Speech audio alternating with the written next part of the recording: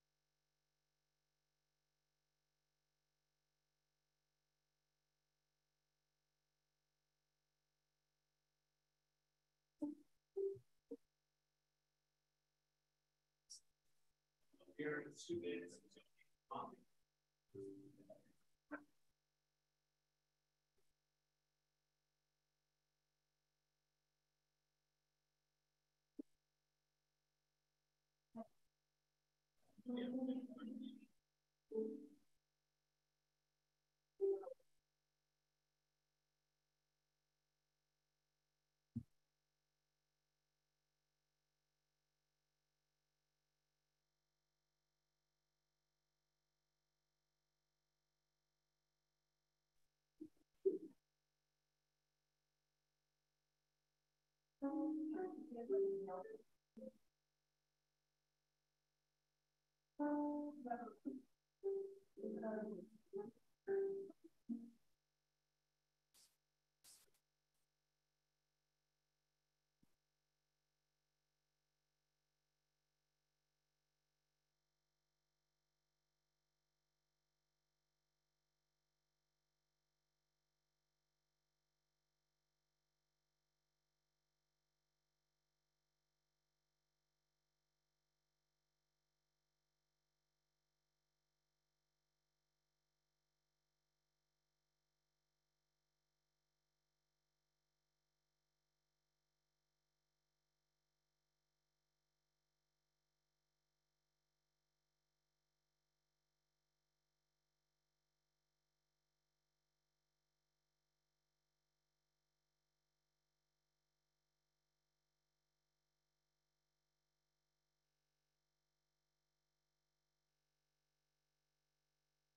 Good morning, everyone. On behalf of my esteemed friends, colleagues, and co-directors, uh, Doctors Conrad Smith and Hemal Gada, we welcome you to Pittsburgh. You're joining an audience of nearly 800 physicians, nurses, advanced practice providers, uh, trainees, and other healthcare providers who take care of patients with heart valve disease. Uh, we're absolutely excited about today's program, and we are confident you will feel the same by the end of today.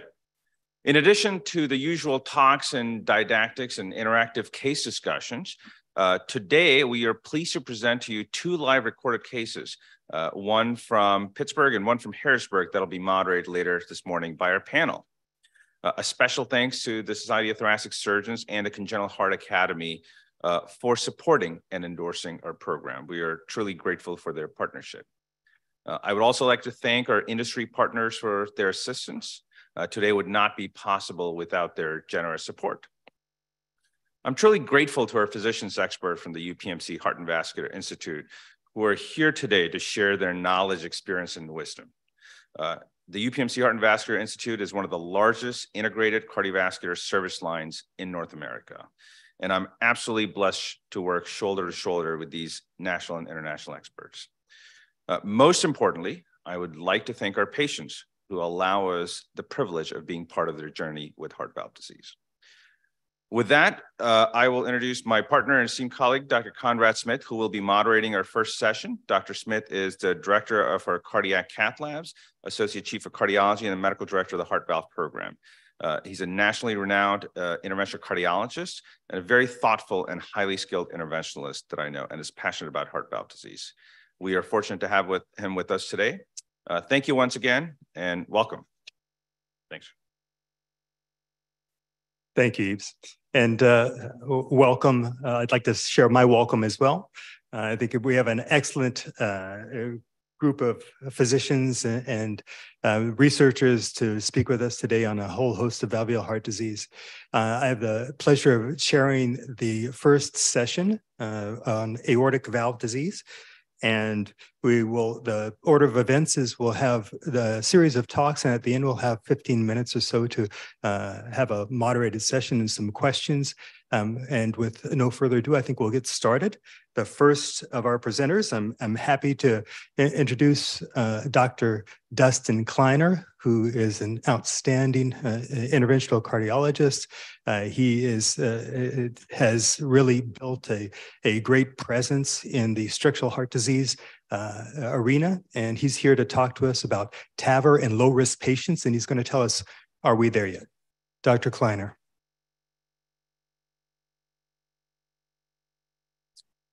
Thank you, Conrad. Thank you, Ebes. Thank you, Hemal. Uh, we'll get started. It's a little of a, a little bit of a misleading topic. I, I think we are we are there. We're not maybe there for everybody, which is what I want to convey to you.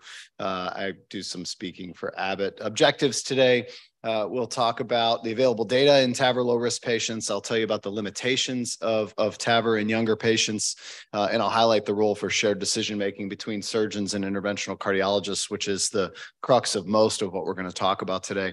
Uh, we'll start with a case scenario, as we always should, bring it back to the bedside and talk about the patient. 64 year old uh, non medical family friend um, who has severe symptomatic aortic stenosis. He read the New York Times article and saw Mick Jagger on stage a few days later and said, Hey, he looks great. If I need to have my aortic valve done, maybe I can do it that way. He's otherwise healthy. What would you recommend to him? So, low risk, what do we mean by low risk? This is the Society of Thoracic Surgeons predicted risk of mortality of less than 3%, uh, with no other life limiting condition not factored into the STS calculator. And there's no evidence of objective frailty that would add incremental risk to these patients. We have two randomized controlled trials that I'll touch on, and we have some incremental follow up of those that have occurred over the last couple of years. The first is the Medtronic low risk trial. So 1,400 patients, mean age of 74, so a little bit older than the patient that I describe in the scenario, looking at a composite endpoint of death or disabling stroke at 24 months. So two years of follow up in the initial trial and the initial publication. The primary endpoint occurred in 5.3% of TAVR patients and 6.7% of surgical patients. Um, at, at 30 days, stroke rates were lower, bleeding rates were lower, AKI and AFib rates were lower with AFib, which occurs with almost all TAVR versus SAVR trials. Moderate to severe AI rates and pacemaker rates were higher uh, with TAVR patients than they were with surgical patients.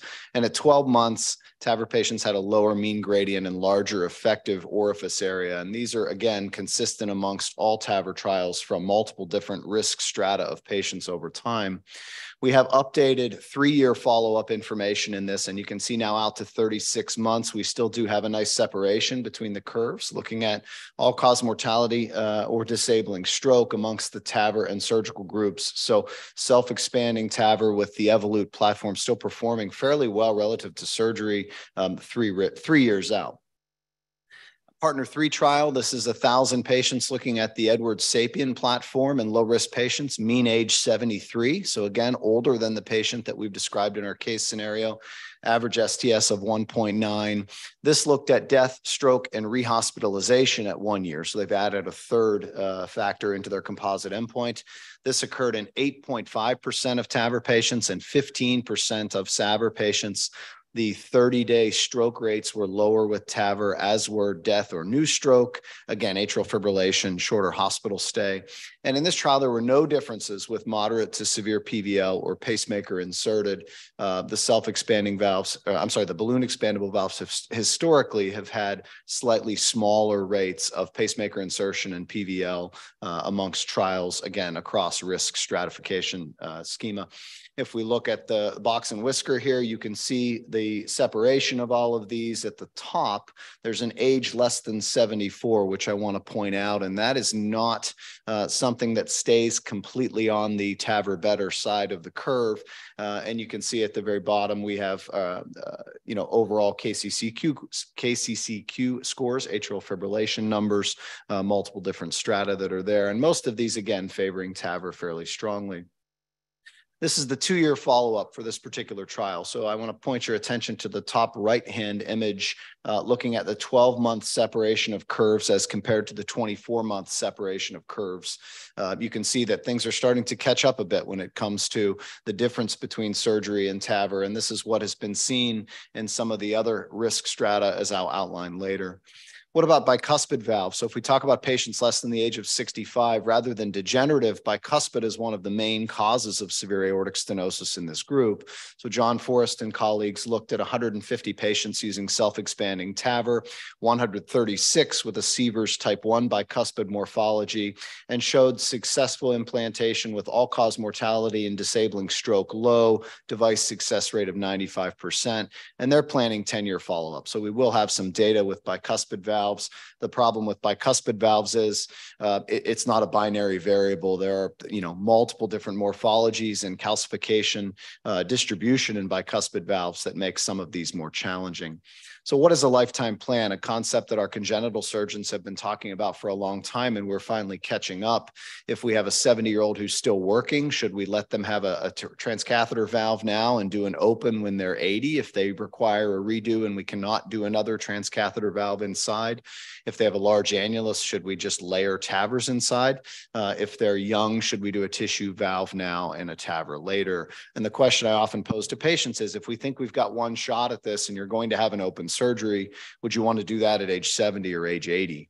So how long is this thing going to last? So the, the valves that were FDA approved have been subtly adjusted uh, since 2019. We do not have long-term data on the particular strata or, or the particular variation of the valve that we're using today, just based on the FDA approval. And when these were done in 2009 and 2010, we were doing them in 90-year-old patients. So we don't have 10-year follow-up. Those patients simply aren't here to tell us how their valves are doing at this point. There's been a lot of discussion about the Notion and UK TAVI registries, which are two of the largest follow-ups that we have, uh, talking about good long-term function. If we look a little deeper into those, we see that the UK TAVI registry first, 241 patients that had a baseline and a greater than five-year transthoracic echo, uh, mix of self-expanding and balloon expandable. And if you look at the bottom, 21 cases that are still alive of moderate structural valve deterioration at 8.7%. However, However, if you look at the curves all the way to the right at eight years, there are only 44 patients that are still around to tell us whether they have moderate or worse structural valve deterioration. So we're dealing with small numbers. And now that we have 21 or 22 with structural valve deterioration out of 44, that doesn't sound as good as 21 out or 22 out of 240. The Notion registry is very similar with TAVR and SAVR, equal parts. Um, the structural valve deterioration was higher for SAVR than TAVR, which is 24% as opposed to 5%. Uh, bioprosthetic valve failure that required reintervention was similar amongst groups. And this is the graph there. Again, if you look at the number at risk, we have quite low numbers at risk when we get out to that six-year endpoint. These are the rest of the long-term data. I wanted cricket noises, but I ended up with cricket pictures. There's really not a lot here. We're in a, a data-free zone as far as the long-term outcome. So why don't we do a TAVR and then just do a second TAVR inside? Uh, Gilbert Tang and colleagues looked at 551 SAPIEN patients. The SAPIEN valve is the annular valve. Uh, theoretically, one would think this would be easier to do a TAVR inside a TAVR and came up with a classification schema relative to the sinotubular junction, the height of the sinotubular junction, and the coronary access that would be possible if we put two layers of SAPIEN inside each other. The most important part, if you look at the right side of the screen, is if your initial transcatheter heart valve comes above the sinotubular junction and makes contact with the sinotubular junction, your ability to put a second valve inside and still have access to the left main coronary is going to be significantly limited. And that occurs up to 30% of the time. So this is not a, a one-off finding. This is quite a frequent finding. Let's talk about the newer data. So the partner data that has had multiple risk strata done. This is the intermediate risk data, looking at patients that received the S3 and are planning on 10-year follow-up. This is their five-year data that was published. If you look at zero to 24 months, which was the initial publication, we have a significant, uh, you know, uh, really superimposition of the curves between transcatheter valve and surgery. And in the iliofemoral group, this was statistically significantly in the favor of TAVR. But look what happens between years two and five. We have a complete flip flop in the curves that we see with TAVR not performing as well as surgery from years two to five. So this is a very important indicator that in patients who are even lower risk for the initial intervention, what are we going to see with our low risk trial as we have 10 year follow up? Back to your family friend. So I, when you when you're counseling these folks, you say we've got two year follow up for the Edwards valve, and we have three year follow up for the Medtronic valve. Unfortunately, for most 65 year olds, they're not worried about two and three two and three year follow up. They're worried about 10 and 12 year follow up, which we just simply don't have at this point. Limitations of TAVR, valve durability, longevity is unknown. As I said, optimal strategy for treating a failed TAVR is unknown. A permanent pacemaker is probably not a big deal if you're 85, but if you're 60 and have to deal with multiple lead recalls and, and potential bacteremia uh, issues in your life, that's a major issue. And we're also not able to treat concomitant conditions that would come up left main, ascending aortic disease, other valve disease. So, who do I think should still have a SAVR in 2023? Low risk patients with coronary disease, especially left main or LAD. I think we, we would all agree as interventionalists that a LIMA will outperform a drug-eluting stent for, for severe proximal left anterior descending disease or left main disease. May, patients less than 65 and maybe 70 should probably get a mechanical valve, and that's only surgically available at this point. Bicuspid aortic valve disease and concomitant aortopathy, and then patients with a greater than 20 year life expectancy. TAVR for all, what we need, we need long-term durability data. We need 10-year follow-up data from our low-risk trials. We need a better strategy and, and, and placement of our first valve to optimize the potential to have a second valve. Uh, and we're still waiting for the randomized data for TAV and TAV, which we don't have yet.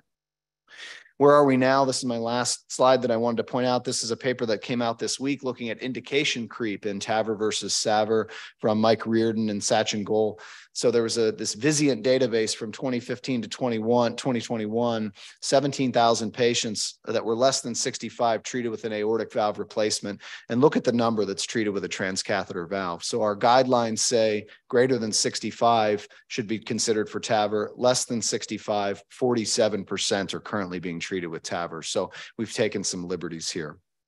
I'll take any questions you have. That's my contact information. And this is a famous Simpsons episode where, you know, the kids say, Are we there yet? Are we there yet? Are we there yet? And Homer just continues to say no the whole time. So uh, I agree with him on this one. Thank you. Thank you, Dustin. Excellent. Um, uh, our next speaker is Dr. Amber Makani who is going to share with us her thoughts about uh, the multitude of valves that we have currently available. How are we going to make sense of who to use these in and, and what, what are the pros and cons of each? Thank you. Dr. Makani.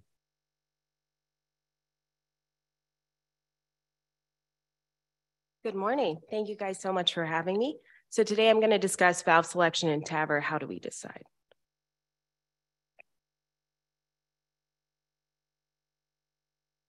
Uh, I have no relevant financial disclosures. So the population of patients who are receiving TAVR in the United States continues to grow.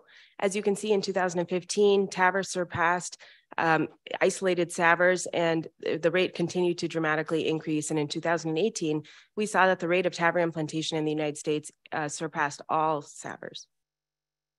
Looking at the mean age of patients receiving TAVR in the United States, uh, comparing those patients in 2013 versus uh, currently, you can see that there's a general decrease in the average age of patients who are receiving TAVR. And we expect that this is a large contributor to the increased volume of TAVR implantation in the US. And so our traditional focus has been around immediate cure. So we've been treating typically patients who are 80 years old. These are patients who have limited functional capacity and typically a trileaflet anatomy. And our focus has been mortality rate, decreasing our stroke risk, evaluating pacemaker needs, and the quality of life. But as we continue to treat younger patients, there's a little bit of shift of our evolution of focus to lifetime management, as Dustin mentioned. We're treating younger patients who are 60 plus. These patients are more active and they have variable anatomy. So our focus is now about durability for increased longevity, optimal hemodynamics, consideration of valve and valve TAVR, and coronary access going through the typical valves that we use. So there are multiple iterations of the balloon expandable uh, Edwards valve and the Sapien 3 Ultra you see on the right side. um, as our current iteration. In terms of self-expanding TAVR valves, um, there are multiple iterations of the Medtronic valve as well, and the current uh, Evolut FX. And the um, Abbott valve has kind of evolved into the current generation of Navitor. So uh, different ways to look at these valves. So we often talk about intraannular valves versus supraannular valves. Um, you can see that the Edwards Sapien and the Abbott Navitor valves are both intraannular valves versus the Medtronic valve being a supraannular valve, um, high versus low radial strength. And lastly, uh, uh, not that it's at the forefront of our minds, but something to keep in mind is the cost. So there's two sides of a coin here. We often have to balance complications with management considerations. And the complications include things like permanent pacemaker, paravalvular leak, stroke, coronary obstruction, uh, annular rupture, as well as vascular complications. And the management considerations, we often are looking at optimizing the hemodynamics, long-term durability, um, uh, looking at bicuspid valve disease, as well as coronary reaccess. And the things that, uh, you know, unfortunately 10 minutes is not enough time to, to talk about all of this, but I was just gonna kind of highlight a few, uh, few aspects here. So we'll talk about a little bit of uh, um, both sides here. So unfortunately, as, as Dustin kind of alluded to, we have no large randomized head-to-head trials for current generation of TAVR valves. And we're awaiting data regarding the SMART trial um, in those patients who are randomized with small, small annuli to the Evolut versus the Sapien valve. So looking at conduction abnormalities, um, this is the partner three trial that evaluated transcatheter aortic valve replacement in balloon expandable valves in low risk patients. You can see that on average, the uh, new pacemaker rate here is fairly small at 7.3%, but still greater than those patients who received surgery. Notably, though, there's a new left bundle branch block that has been shown to have other implications in about 23% of patients looking at the uh, at the Medtronic valve, so in 2014, the advanced study showed that the average uh, pacemaker implantation rate in patients who are receiving the CoreValve was approximately 26%. Hemal and his team have been incredibly successful in dramatically decreasing the pacemaker, implant, pacemaker implantation rate um, for self-expanding valves. You can see that prior to the implementation of cusp overlap, the average pacemaker implantation rate was about 20 to 26%. And looking at the interim analysis of the optimized pro data that was presented at TBT in 2021, the pacemaker implantation rate is now somewhere right around um, around 8.8%. Uh, and Hemal's team has actually shown even lower rates in their in their personal data. Um, so evaluating paravalvular leak, this is in the Observant 2 study, which evaluated patients who received um, the, the uh, iterations of the uh, uh, sorry, self-expanding as well as balloon expandable valves as listed. You can see on the left side of the figure, there's mean gradients that are listed, and on the right side, paravalvular leak. So typically what we found is that self-expanding valves have lower mean gradients versus the sapien typically has a higher mean gradient, but there's a little bit of a trade-off when we're looking at paravalvular regurgitation, as those patients who receive a sapien valve were noted to have lower rates of paravalvular regurgitation um, than those patients who received a self-expanding valve looking at patient prosthesis mismatch. So this is the uh, from the STS ACC TVT, uh, uh, the TVT registry. And so this is looking at all comer, uh, comer patients treated with TAVR between 2014 and 2017. And what you can see is that there's multiple uh, risk factors for patient prosthesis mismatch, including a valve size less than 23 millimeters, a valve and valve TAVR, and things like body surface area, age, uh, female sex, as well as multiple other factors that are listed. And on the right, you see the breakdown of patients who typically have patient prosthesis mismatch. Um, and, and thankfully, this is not a frequent occurrence, but uh, on the figure that's on the far right, you can see that in those patients who have severe patient prosthesis mismatch, even at one year, there's increased mortality in comparison to those who do not looking at hemodynamics. So this is hot off the press from our institution. Um, this is an analysis completed by Jake Brown, one of our cardiac surgery residents, as well as Dr. Sultan. And what you can see is that across the board, the dimensionless index is higher immediately post-TAVR, and there's a mild reduction that is fairly insignificant in the self-expanding valves uh, that is more pronounced in those patients who receive a sapien valve. This figure depicts the mean gradients. Um, tip, uh, kind of similar to what's well published is that on the day of the TAVI, we see decreased gradients overall in all valves that are implanted. Uh, for the self-expanding valves, the Portico, as well as the Evolut, you see that there's a transient increase on day one, but the, ultimately this gradient decreases at 30-day follow-up. Um, in those patients who received the balloon expandable sapien valve, they had uh, gradients that were elevated at day one that were fairly persistently elevated even at day 30. On the right, you can see the comparison of mean gradient between the valves. And the red line on top is the sapien valve, as we mentioned, increased gradients that are fairly persistent. And on the bottom, you see the superimposed lines demonstrate the Abbott uh, uh, Portico as well as the Medtronic Evolut valve. And uh, this really proves that the Abbott Portico valve, despite being an intraannular valve, really does have similar gradients um, to the supraannular Medtronic Evolut valve. So lastly, looking at structural valve deterioration, um, I know that Dustin showed some of this data, so just to kind of skim through it briefly, um, this is the eight-year follow-up for the NOTION trial on the left that shows overall that the TAVI valve has less structural valve deterioration in comparison to SAVR valves. And you can see the definition of, of structural valve uh, deterioration listed. Uh, when we look at the follow-up of the PARTNER 2 trial, we see that the current uh, or the SAPIEN 3 has significantly lower rates of structural valve deterioration in comparison to SAPIEN XT, but notably the SAPIEN 3 valve still has higher rates of valve uh, deterioration in comparison to surgical valves. So generalized considerations here. So the current literature has shown that there's uh, lower mean gradients and larger effective orifice area traditionally in supraannular valves. However, our data and our experience seems to suggest that both self-expanding valve platforms have similar mean gradients. The long-term durability beyond six to eight years has not been well established for any valve platform.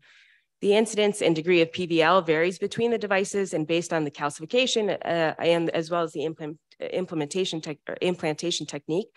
But in general, moderate and severe PVL incidence has decreased with the current generation of TAVR valves that we use currently. For valve and valve TAVR, optimal device selection uh, requires us to really identify what is the mechanism that the initial valve failed, whether this is patient prosthesis mismatch, structural valve uh, degeneration, or both. If it's patient prosthesis mismatch, a self-expanding valve may be more favorable in small bioprosthetic prostheses. And balloon fracture of certain prosthetic valves may also facilitate TAVR with larger uh, device um, for better orifice areas. So our take home points here, there's really no clear algorithm for valve selection. Each patient must be considered on a case by case basis. Um, considerations include the patient age, their calcium burden, coronary artery disease, valve morphology, as well as durability. But what I can say is uh, what we found is in patients with angulated roots, bicuspid aortic valve disease, extremely large annuli, and beyond ma manufacturer recommendations, uh, typically a sapien valve is a good choice. In younger patients, consider a use of an intraannular valve. Patients with coronary artery disease, um, consider an intraannular valve as well. And for valve and valve TAVR, consider a self-expanding valve. Thank you so much. Thank you, Dr. Makani. We're going to uh, change gears a little bit and talk now about the uh, how we manage some of the uh, potential complications or how we deal with patients that have TAVRs in place and, and significant coronary artery disease. Dr. Catalin Toma, our expert coronary uh, interventionalist, is going to talk to us about percutaneous coronary interventions with TAVR. He's going to tell us uh, tips and tricks. Thank you, Catalin. Thanks. Uh, thanks for having me. So no complications here. It's all good. So, um, so when, when we think about coronary artery disease and TAVR, we think about sort of two aspects, the coronary artery disease pre-TAVR and post-TAVR. So pre-TAVR, the important thing that we need to address is whether we should treat coronary artery disease with revascularization. And when do we do that? And this has been an evolving field. When we started doing TAVR, we used to stent everybody pre-TAVR. Now we move to a completely different approach. This is a case that we did a while back. You see a patient with a very tight ostial RCA lesion. There's a moderate uh, mid LAD disease as well. So is this a patient that would need um, treated with revascularization pre-TAVR? If you're looking at the um, incidence of coronary artery disease, as you could expect, is very high in this patient population. These are all patients. They all have um, coronary artery disease. We detect a lot of this with coronary CTA. And it's a predictor of uh, short and long-term mortality, but the question is, is treating the disease, would that uh, impact anything? And we actually do have some randomized clinical data in this space, the activation trial, which addressed specifically this question. This is an European trial looking at PCI before TAVR in patients with mostly single vessel disease, stable disease. And as you can see in panel A, there is complete overlap of the curves. In fact, this trial was terminated earlier. Uh, no difference in events, but there is a difference in the bleeding rate, which is high in the patients who underwent PCI as you'd expect because of the dual antiplatelet therapy. If you're looking at all the data combined, and by all the data, I mean mostly observational studies and the randomized control trial that we talked about, you'll see that the um, um, uh, curves overlap perfectly. There is no evidence currently that a routine PCI pre-TAVR um, is uh, of any clinical benefit. Now, having said that, uh, this is a paper that just came out in EuroIntervention that looks in detail at this aspect of coronary artery disease and TAVR before and after. It's a very, uh, very good read and that summarizes the current evidence. It's a little more nuanced than that, right? So we individualize treatment in, uh, in patients pre-TAVR. So if you have somebody who has proximal disease, like our patients, critical stenosis, more than 90%, not the 70% that's maybe IFR positive, if they have unstable um, presentation, a younger age, LV dysfunction due to CAD, although this is probably taboo now, uh, or planned for what is called now high frame TAVR, as opposed to patients in which medical management is favored, patients with high risk of bleeding, uh, mid-vessel branch disease, old age, and planned for low frame TAVR. And I'll show you what that is. So this is back to our patient. Um, we did, um, I I think we might have shockwave this patient and we got a good result. So how about um, coronary artery disease post-TAVR? So this becomes more of an issue of how do you do this and what are the technical challenges here, right? If you're looking at, uh, there are a number of studies looking at coronary access post-TAVR, as you can imagine, is a little challenging. This is a, a study looking, a Canadian study looking at the STEMI patients who had the TAVR before. And as you can see, the, third, the, the door to balloon time is longer. There's a four, fourfold higher uh, PCI failure in this cases, and the mortality is high. But the important thing is the incidence of STEMI in patients post-TAVR is very low. And this is substantiated by more recent data showing that the need for PCI post-TAVR in the patient population that we currently treat is relatively low. If you're looking at why does this happen, this is the REACCESS trial looking at patients who underwent PCI or coronary angiography post-TAVR. You can see the predictors for failure to access the corners, as you'd expect, uh, are the high frame valves, such as the Evolut valve, high implant of the valve, and misalignment of the coronary, uh, of the commissures with the, uh, with the uh, coronary arteries.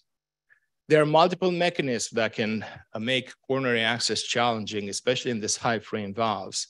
You have effaced sinuses, you have bulky leaflets that can get in front of the ostia of the coronaries, especially if the coronaries are low. And some of the mechanical issues related to the valve, you can have cell and ostium misalignment. So it's not necessarily commissural alignment, but there is the, the metal part of the valve that's right in front of the coronary where you can have commissural misalignment where the commissure of the valve of the new valve sits right in front of the coronary. And of course, there are different, different types of valves. Um, some of them have easier coronary access, and these are the low frame players, the Sapien and ACURATE neo. The higher frame players, such as Portico and particularly Evolut with a low frame, with a low cell, small cell, cell size, are uh, somewhat more challenging. So how do you do this? In a um, every interventional cardiologist will come across this um, in the middle of the night sometimes, uh, and you have to know how to deal with this. Uh, this is something important for our fellows as well. Um, with this um, high frame valves, such as the Evolut valve, uh, what you want to do is prefer femoral access for these cases. You want to make sure that you position yourself in an angle that shows you the ostium of the, of the coronary of interest very well. And this is usually an LAO cranial angle. And you want to start with the pigtail. So the whole concept is to try to stay inside the frame and get coaxial with the coronary artery and not get outside or not get tangled with the outside of the frame. Catheter selection, the simple rule of thumb is go 0.5 smaller than what you would use for your regular um, approach. You want to get as perpendicular um, on the frame as possible.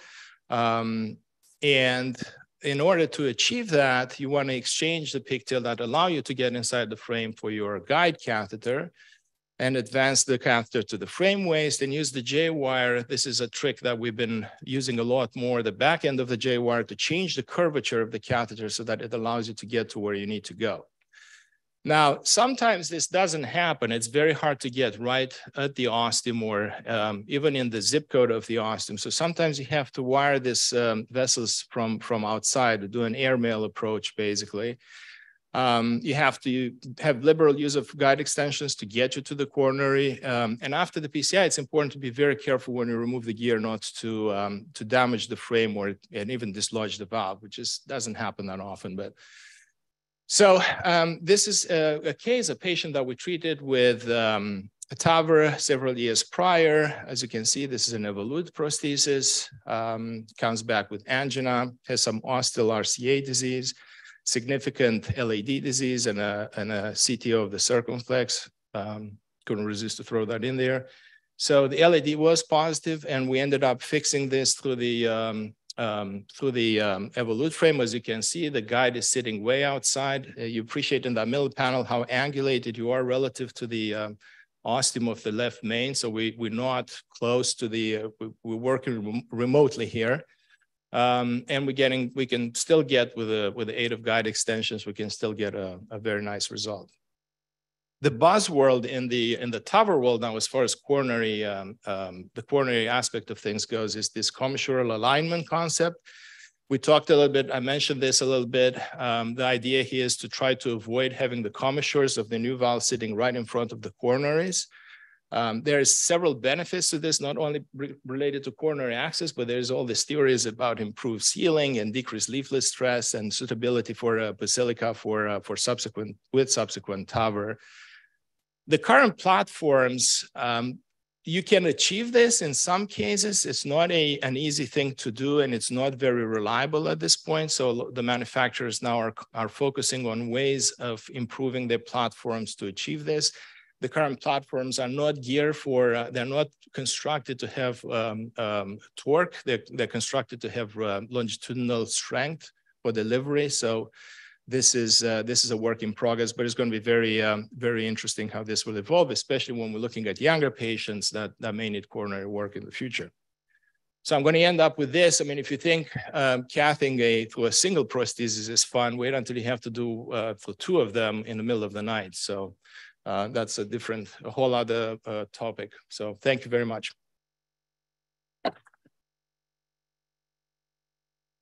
You're right.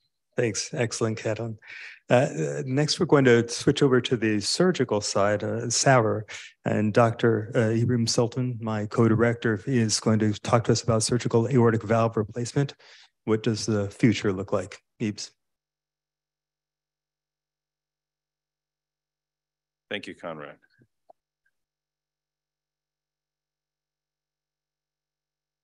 We're waiting for my slides since I just submitted them about three minutes ago. So all right. Wonderful. Well, thank you again, everyone, for joining this morning. I know many of you are tubed into YouTube and live via Zoom. Uh, feel free to put your questions and comments in the chat. Uh, we have multiple physicians uh, moderating and can help answer those questions, and Dr. Smith will bring them to the panel. So this is a little bit of a loaded question. Uh, does surgical aortic valve replacement have a future? Right. So here are my disclosures. And the short answer is yes, but it comes with caveats. So if you look at the aortic valve intervention universe, and we, we call this AVR, we don't say TAVI or TAVR or SAVR anymore, because really the goal again is to alleviate the patients with aortic stenosis in, in those particular patients. And so we've seen that there's clearly been a revolution in the management of, of aortic stenosis, right? Uh, and this is a nice cartoon that depicts this uh, from back in the day from New Yorker what have we learned really over the past decade, right? We have learned that TAVI is a revolutionary technology to treat patients with aortic stenosis. It'll likely continue to be the dominant mode of treatment for degenerative trileaflet aortic stenosis. And a multidisciplinary evaluation in a valve clinic is likely to provide the most thoughtful and comprehensive treatment plan for patients with heart valve disease. And the third part is very important, and you've heard this with, uh, with, with Dustin earlier as well. So, what is the heart team, right? So, the patient's primary care physician or, or provider, uh, the patient's primary cardiologist, uh, our imaging expert, uh, interventional cardiologists, cardiac surgeon, advanced practice providers, and nurses who are with us in the clinic. But the reality is that the patient is driving most of these decisions, right? And so the patient is truly the captain of this heart team. And depending on which expert on this list they talk to, it is not uncommon that a little bit of knowledge is a dangerous thing. And so when we combine our expertise and really look at what we think is relevant comparing patient to patient, moving away from this low risk, intermediate, high risk, but really talking about life expectancy and, and amount of future interventions that gives us a better framework. So what does the patient want? Which is very different than what does the physicians want, right? So patients want uh, the least invasive option and complete relief of their symptoms. They want 0% mortality. They want 0% stroke. They don't want a pacemaker. They want to go home the same day or the next day. They want to be back to work and golfing the same week. And they want to know what is a long-term or durability plan. Some of them may not talk about it if they're not educated on it, but they want some sort of plan if their prosthesis fails. And they, they again, do not want any INR checks from quote unquote rat poison. And so this lifetime management is not really a buzzword. It's thrown around obviously quite a bit. Uh, and we've learned this, as I'm sure Dustin pointed out, from, from congenital cardiologists and surgeons. So if you look at the life expectancy uh, quite a bit ago, this is what that looked like, right? So patients who we know got to about age 65 lived for about 18 two years or so. What we know is once you get five years past AVR, you're likely to get a survival benefit that's equivalent to the healthy population, assuming you don't have any concomitant disease. Now, this has changed over time, and this continues to increase, particularly in women. So what is the patient with aortic stenosis here? Whether they get direct mailing from one of the companies in their mail or what their PCP tells them or, or what they read in the news about Mick Jagger, which is, well, first valve, get a bioprosthetic cow or pig valve. There's all these new technologies, right? It's going to last about 20 years. And then you go in and you go get a valve through the groin, right? What that patient should really know is that the time to failure is really about seven years median. It's not 13 years. It was 13 years when we didn't monitor these patients as aggressively with echocardiograms. It was 13 years when a 90 year old, after getting a surgical AVR, was not referred for any intervention because valve and valve therapies didn't exist. That's when it was 13 years. We know, based on valve and valve registry data, it, it's about seven years when these start failing. The second valve and valve TAVI, uh, which which is usually a TAVI, is usually in in the, let's say late 60s or 70s. And so, what do you do when you're when it's time for your third valve, right? And again, there's variety of leaflet modification techniques that may help, but again, it's a little bit in the sky and very much restricted to certain centers or worse. And this is what you see perhaps on, on either coast or big cities. Well, get your TAVR when you're about six years old.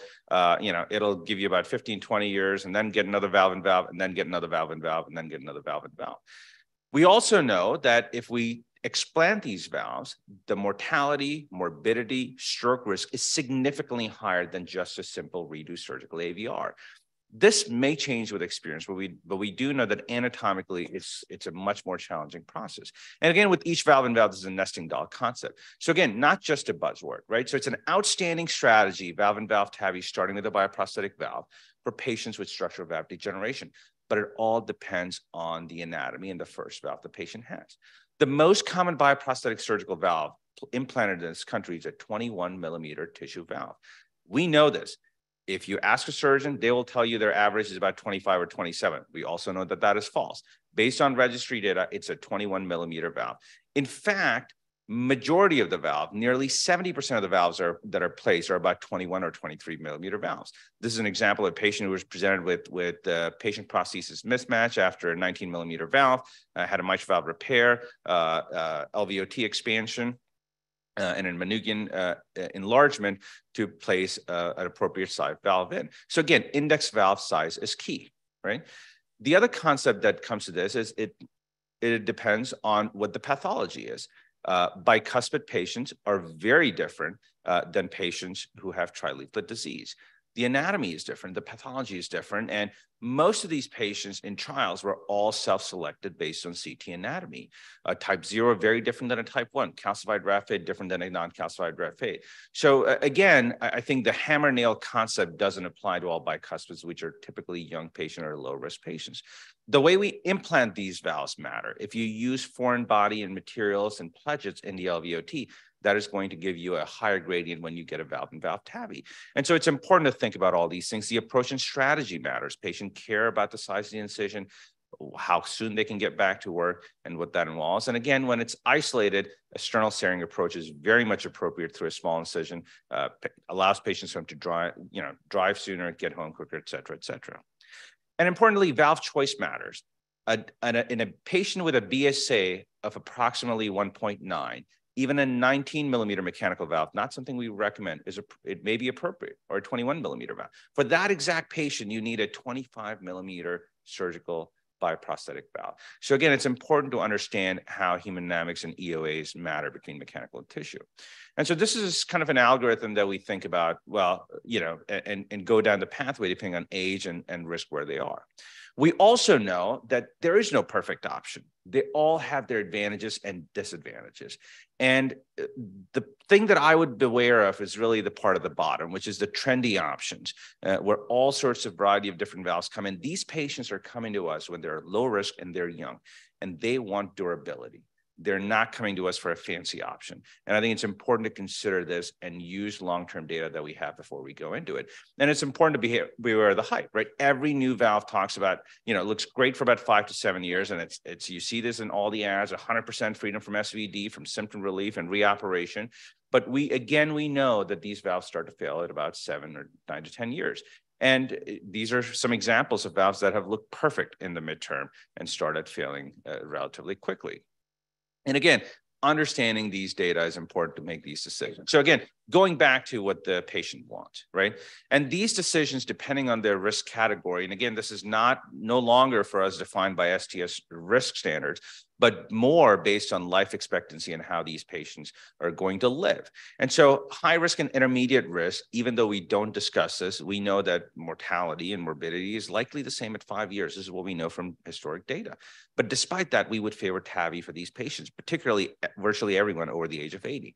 In low risk, or what I would call younger patients, we know that TAVR equivalent to SAVR at three years, and I put giant asterisk marks there because we only know this for self-expanding valves. This is not the case for balloon expanding valve. There's no data to prove that. So when we have these discussions, patients, important to note. Concomitant left main or proximal LAD disease, very simple aortopathy, prior bioprosthesis, bicuspid aortic valve, which deserves an hour-long talk by itself. And so when we look at future of SAVR, it is very likely that that it may be apart from what we would do treating low risk or younger patients, perhaps fighting structural valve degeneration down the line. Great. Thank you again and uh, excited about the rest of the day. Appreciate it. Thank you. It's excellent. We are going to change gears again and uh, move from the aortic valve to hypertrophic cardiomyopathy. Dr. Timothy Wong is our expert, our local expert in hypertrophic obstructive cardiomyopathy. He's going to give us a, a talk about the state of the art. Tim.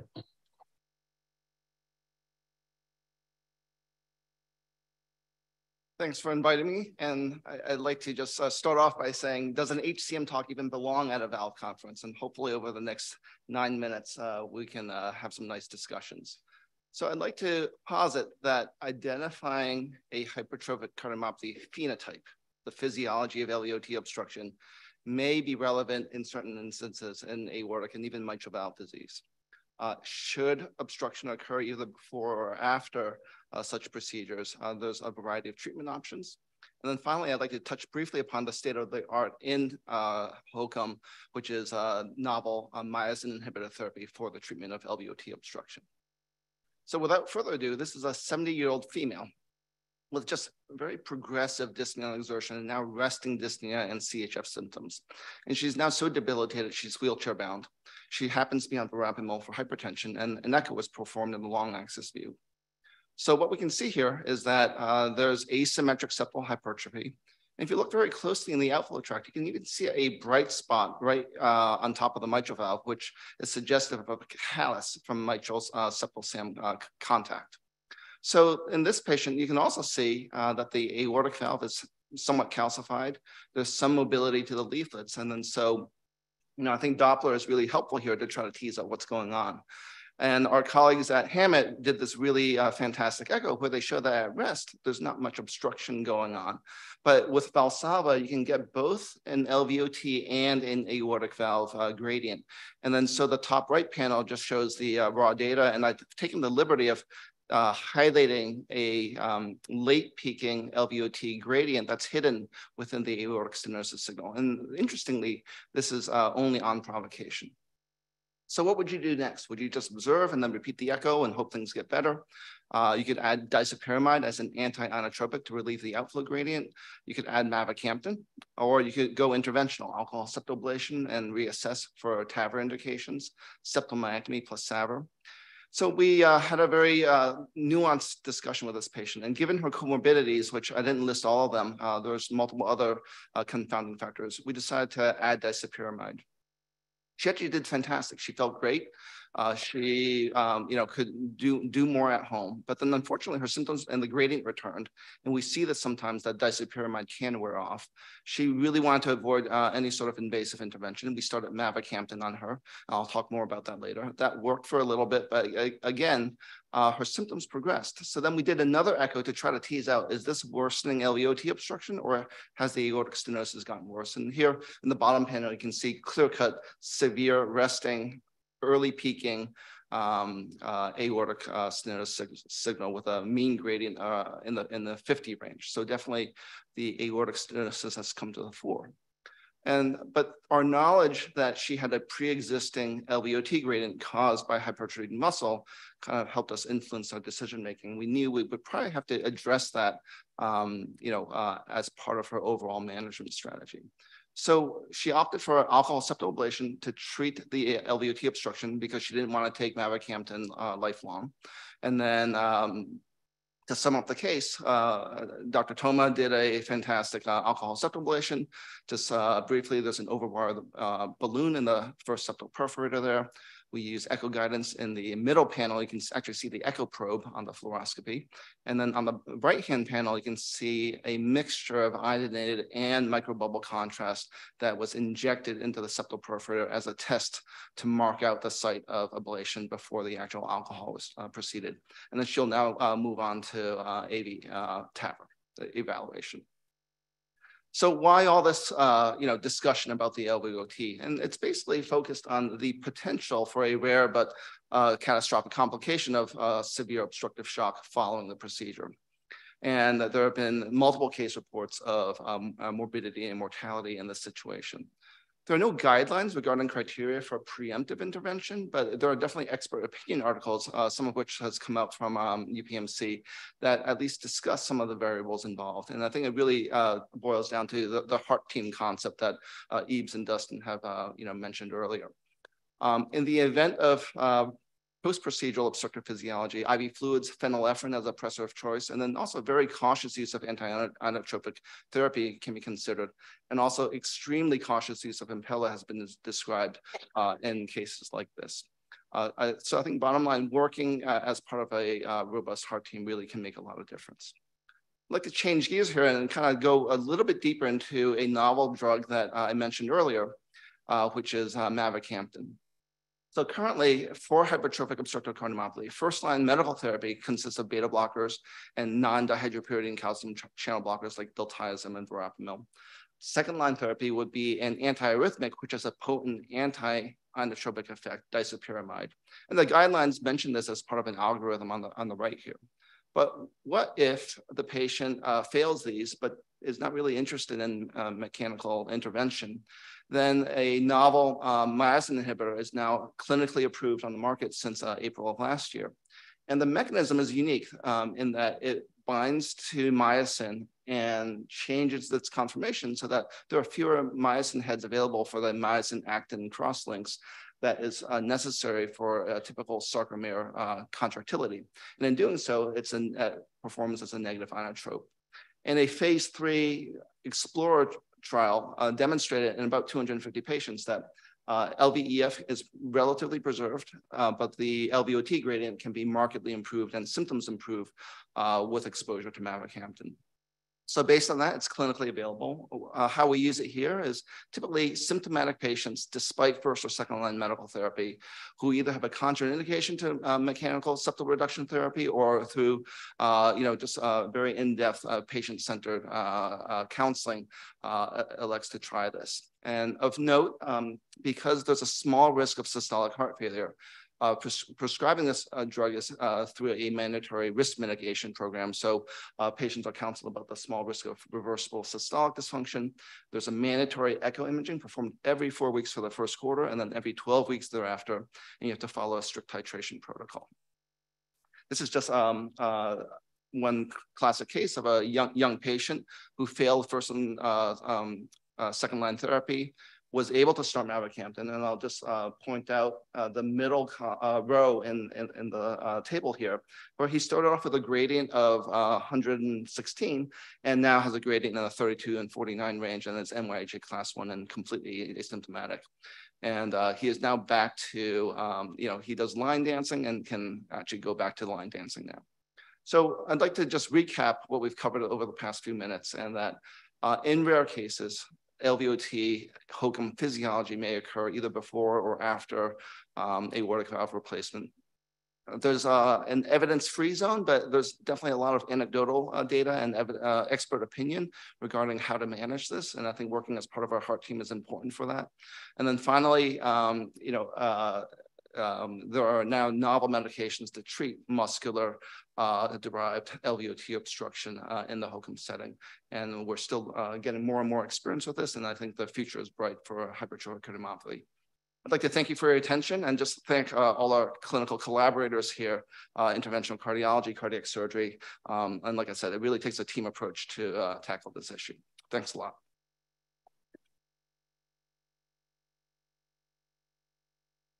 Great. We're going to move forward now. We've heard a lot about surgical and transcatheter aortic valve replacement.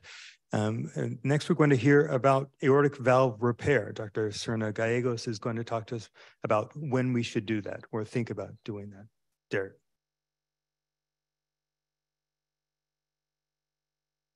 Thank you. Uh, I want to just first uh, thank all the directors of the conference and the symposium, uh, Dr. Gada, Dr. Smith, and Dr. Sultan for having me. Uh, today's talk, we're going to talk about uh, aortic valve repair and when to do it. Uh, we're going to briefly talk about some aortic valve anatomy, advantages and challenges to aortic valve repair, some strategies for aortic valve repair, and then some, some results. The advantages of aortic valve repair can be, uh, uh, there can be many. Uh, hemodynamics are obviously the best of the valve that we're all born with. Uh, durability, uh, we're going to talk a little bit about things that can make some valve repairs more durable than others, but generally, you know, absence of calcification and absence of things like fenestrations can make for a very durable valve repair. Um, there's really no chance of a patient prosthesis mismatch for our own aortic valves.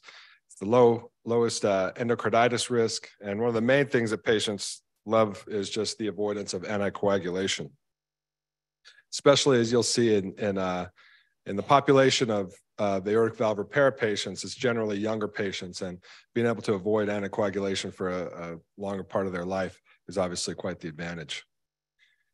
Uh, isolated uh, aortic regurgitation with essentially normal cusps is, is relatively rare. Um, trileaflet valve has three coaptation zones that all need to be optimized to maintain a, a, a good uh, functioning valve that's durable over time. Um, and often we see at least some leaflet calcifications or some fenestrations. And the more we have to do to any leaflet, whether it's decalcifying it or uh, repairing uh, things like fenestrations, uh, the the more complex it becomes, and and the the the uh, worse the durability is over time. One of the things that's very important about aortic valve repair is, is, is thinking about it much in the same way that we think of mitral valve repair. We, we often uh, think about you know, the mitral valve and the, the subvalvular apparatus and all the different parts, the chorda tendineae and the, the papillary muscles and, and all the different functioning parts of the mitral valve. And we really need to think about the aortic valve in the same way. Uh, manipulation of the annulus, manipulation of the cusps, uh, the commissures, intercommissural triangles that really give a lot of the support from the annulus and the and the ventricular aortic junction all the way up through the commissures and the connection of those leaflet or, or cusps, uh, the anchoring of them into the aortic wall, all those parts of the aortic valve are, are, incredibly important and manipulation of those is important for a good durable aortic valve repair.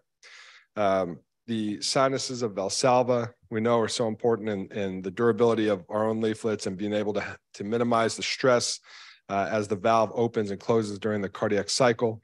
The sinotubular junction, the alignment of the, of the commissures, um, which, which allows for great coaptation of the, of the leaflets and, and the, the cusps.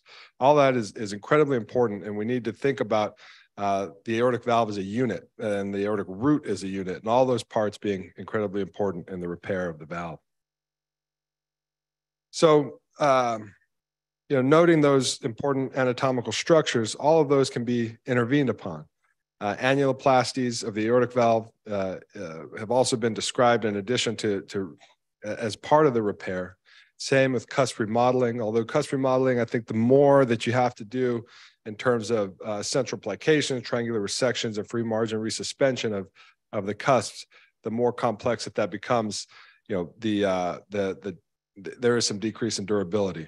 Raphe remodeling for uh, bicuspid aortic valves, commissural resuspension, uh, both in, in uh, valve sparing root repairs, and, and also very importantly, and one of the most kind of common uh, aortic valve repairs that we do is, is a aortic valve repair for um, aortic regurgitation and aortic dissection. And commissural resuspension is incredibly important in, in giving those patients a, a, uh, um, a long living, uh, durable repair of that aortic valve. Um, sinus replacement, as in uh, the remodeling technique and uh, resizing of the sinotubular junction, again, uh, kind of um, realigning those commissures and making everything very competent. The two most common uh, types of valve repair, uh, I mentioned aortic valve resuspension for aortic dissection, but also valve sparing root replacement. We're going to focus more on valve sparing root replacement today, um, just out of, out of time issues. Um, so the requirements for, for the two techniques, reimplantation, remodeling. Reimplantation, you need absence of cusp degeneration. Remodeling, you in, in addition to the absence of cusp degeneration, you need an absence of annular enlargement. Now, there's there's kind of a theory on on the two different types of uh, aneurysms that and, and, the repairs that that, uh, that you can do for both of them. So in a, a young patient uh, with a genetic syndrome or genetic disease, Marfan's, Loeys Dietz, where a lot of the, the pathology is down in the root, um, often you'll have uh, annular ectasia, annular dilation. And that lends itself more to a, a reimplantation technique where the annulus is stabilized patients in their later decades of life, often patients that have degenerative, uh, you know, ascending aortic aneurysms that, that start in the ascending aorta and move proximally into the, the sinotubular junction, with that being a lot of, and into the sinuses also, but with the much of the pathology being in the ascending aorta and, and moving proximally, those patients uh, can, can do as well with, with a remodeling technique because the, the annulus is not uh, as often enlarged in those patients. This is a, a picture of a, a reimplantation. Um, the uh, for the reimplantation, the apparatus affected the, the annulus is stabilized, sinotubular junction is resized, and the commissures are resuspended. This was uh, Tyrone, Tyrone David's 20-year uh, data looking at uh, reimplantations, 333 patients, follow-up of 10 years, mean age, again, 46 years, mostly uh, young patients. Um, the survival um, uh, 20 years, uh, through the survival all the way out to 20 years, just under 80%. Um, if you look at um, uh, mortality or a uh, combination of mortality or reoperation at 20 years, 22.8%, uh, but very good uh, uh, results. If you look at the degree of aortic regurgitation, severe and moderate, 1.3 and 2.6% at 20 years. And then the, the graph at the bottom is mostly just to look at everything um, except for the very deep red, is uh, is no aortic regurgitation trace or mild. So over a time period of 20 years, uh, very, very uh, few instances of severe or even moderate aortic regurgitation. Uh, this was 25 year experience of the of Tyrone David's group looking at both reimplantations and uh, remodeling, uh, mostly reimplantations and some remodeling, mortality, freedom from mortality, at 18 years, 76.8%, freedom from reoperation at 18 years, 95%, and then freedom from significant aortic uh, insufficiency, 78% at 18 years. This is comparing their remodeling and reimplantation, not, not any uh, statistical significance, but some trending towards uh, freedom from reoperation being better for the reimplantation technique uh, all the way out to 20 years. So if we're looking at remodeling, uh, the apparatus that are affected, the sinotubular junctions resize, the commissures are resuspended, and the sinuses are, are, are basically replaced. Annulus is not stabilized. Some people do perform an annuloplasty in addition to the uh, remodeling technique, uh, which can add, uh, have some added benefit of stabilizing the annulus. This is a pic, uh, picture of, of the way it's uh, performed, and you can see that the valve is not reimplanted within a graft. It's, um, it's the sinuses are replaced and the valve commissures are resuspended. You need an absence of cusp degeneration and absence of annular enlargement. This is uh, a large uh, group's data from uh, Germany, so almost 750 patients, mean age of 54 years.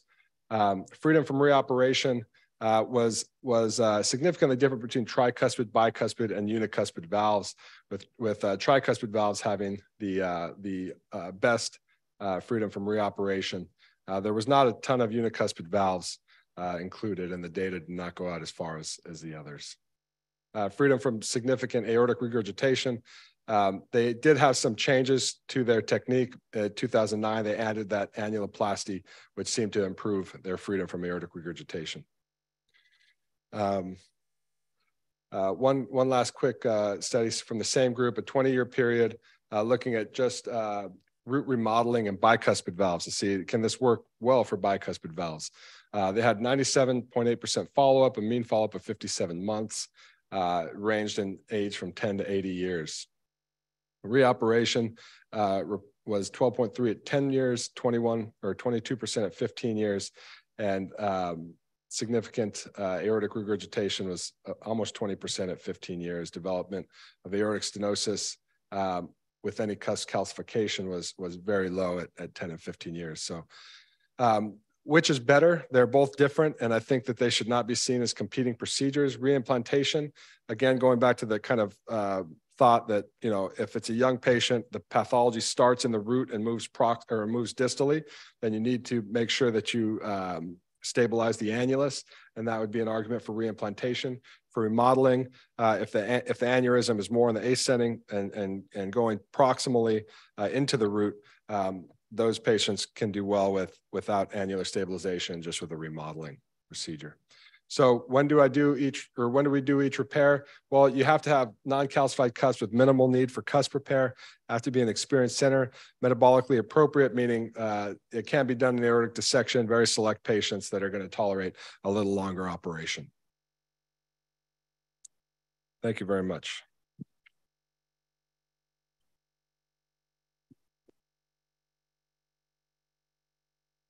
All right, excellent. And closing out our session, we're going to get uh, a, a little bit more um, basic with a, a research talk um, by Dr. Cynthia St. Hilaire. She's going to talk to us about from the bench to the bedside, novel druggable target driving in aortic stenosis. Dr. St. Hilaire.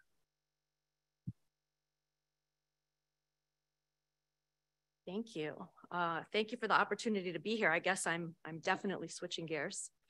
Um, so I, I, do have a disclosure. We are we're patenting some of this technology.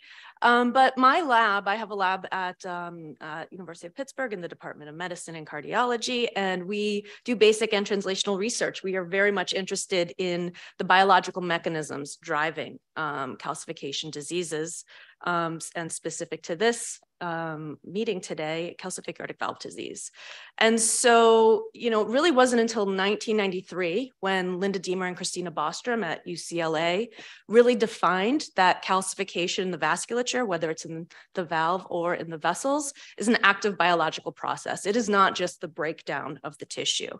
And we in my lab are very interested in understanding that process that causes a healthy vascular cell to transition into a calcifying cell. And our main questions are stemming around or swimming around this idea that is it um, maybe a one or two step process where just a couple genes or a couple proteins are dysregulated? Or do the cells actually undergo a very complex um, transdifferentiation where they maybe assume, you know, stem cell like properties and, and then um, undergo a transition that makes them very much osteoblast like cells? And so as we were thinking about um, calcific aortic valve disease, um, because the other diseases I'm working on are, are, genetic based, you know, we really went back to the tissue, the, the cell source of a lot of the cells in our tissue. And, and, and in a lot of the soft tissue, including the vasculature, it's the mesenchymal stem cell. And as we're digging around, um, we found these really interesting studies. These are rather old, they're from 2002. And when they overexpressed this gene called, or this just gene called TERT or telomerase, which hopefully everyone in the audience knows is what helps um, keep a cell healthy. It extends the telomeres of a cell. And that um, overexpression didn't immortalize the cells, it actually drove them to calcify. And so I'm not going to give you a big biochemical talk. Um, I know you're all physicians, um, but um, suffice it to say that under normal conditions, this, this gene TERT helps to elongate the telomeres at the end of our chromosome. But a lot of recent and really interesting molecular work has identified that it's actually also a chaperone that can help harness the chromatin remodeling components that help a cell transition between its fate. And so we started to ask this question, um, I think it was in about 2017, does TERT, does overexpression of TERT help drive the osteogenic transition of cells? And we're very interested in this, obviously, because if we know what's driving it, we can perhaps prevent it from happening. And so that's um, when I started collaborating with um, cardiothoracic surgeons here at UPMC and the HVI. And um, this lower valve actually we got from Ebes. And um, we started with a tissue-based approach. And so looking at these human tissues, we started to measure this protein in the, in the, in the tissue and found that it was very up, um, as you can see in the pink here. I don't think I have a pointer, but um, it was very high in, in the calcified tissue. And we were able to develop um, a very unique protocol, well, not very unique, but, but hadn't existed before, where we can actually uh, collect cells directly from these patient valves, but also from uh, donor cadaveric tissue that is up to two days old. And we can process these cells um, in special solutions that allows them to survive for in vitro disease modeling. And so we can actually get cells to calcify in a dish. That's what you see with this red stain. And we started to do kind of basic molecular biology approaches to understand the um, contribution and the requirement of this gene TERT in our cells. And if we were overexpressing it in the valve interstitial cells that we would collect um, from patients, we could prevent calcification in a dish. And this is a standard, you know, in vitro disease model um, used in the field. And when we wanted to think about what could be driving this, what could be driving um, this, this protein TERT to be upregulated, it really shouldn't be there if a cell is not dividing. We went back and started to look at some of the cases where you get early um, calcification of the valve, you know, things like inflammation and interferonopathies um, drive um, some of that pathology. And there's even some uh, studies um, in vitro uh, using porcine cells, I believe, that showed that interferon signaling can help drive the transdifferentiation of a valve interstitial cell. And so we started to ask that question and looked at this protein RUNX2, which is required for a cell to calcify. And so this RUNX2 is highly up in our cells. It is present in the nucleus when these valve interstitial cells are undergoing osteogenic transition. And we can do um, these molecular assays called proximity ligation assays, where we can actually see TERT and STAT co-localization in these valve interstitial cells in our in vitro disease model. We can also show binding through immunoprecipitation assays and also um, some more um, uh, direct and also unbiased approaches that are showing this complex of TERT and STAT5 are honing in to um, the RUNX2 sites in the DNA, helping to drive the expression of this osteogenic gene RUNX2. What we've then wanted to do is try to leverage this to prevent calcification. So if we use an inhibitor of telomerase, our cells will essentially age, right? We can't shorten our telomeres. Also, a telomere um, inhibiting drug doesn't prevent calcification. We're talking about the non-canonical effects of TERT. So we went down the other pathway, which is STAT5. And if we use known available inhibitors of STAT5, we can prevent calcification in addition. So this is showing you data from both um, human valve interstitial cells, but also coronary artery smooth muscle cells. We also then go back to the patient tissue and we have found that TERT and STAT are co-localizing um, in the nucleus of cells of, of calcified valve tissue. Really importantly, um, where, where, where could we actually try to target these, these pathways um, therapies is perhaps in a bioprosthetic valve, right? If we could perhaps coat a bioprosthetic valve with a novel molecule to prevent the osteogenic transition of cells, um, that, that might expand uh, the lifespan beyond the seven years. And so we're actually seeing that the cells on top of and kind of embedded in bioprosthetic valves um, are also showing these signatures of TERT and STAT5 in their osteogenic, it, it, as these cells are calcifying. You can see them um, in, in the green and the red um, on, this, um, on this image. And so to kind of summarize our findings, you know, we think that this initial inflammatory insult is driving the activation of these genes in the valve interstitial cells, and they're coming together and activating this osteogenic transcriptional program that is driving the transdifferentiation of a valve interstitial cell from a healthy to a calcified state. We're now really working on trying to leverage and understand what's happening, how this is working. And so we've taken um, kind of a cool AI approach where we can start to model these um, um, using AlphaFold and identify how exactly these proteins are interacting. We're also developing tools to watch this in our cells uh, in live time uh, using molecules that um, can be uh, attached to our proteins of interest, our TERT and STAT5. And so we can see in a dish um, in a large format system when and where these are interacting, and also then screen um, novel and, and, and, and established um, biological compounds to prevent their interaction. And so that was, I've never given a short eight minute talk before, but that was a successful one. So this obviously takes a massive team to do, not only um, with the clinical side of things, but my lab. Um, this project was started by a former postdoc, Luis um, Hortells, who's, who's now a PI in Germany, and really spearheaded now by Rolando Cuevas. But of course, um, it takes a village and, and um, wonderful collaborations with um, HVI and, and, and my, my, my favorite surgeon, Ebes. So thank you.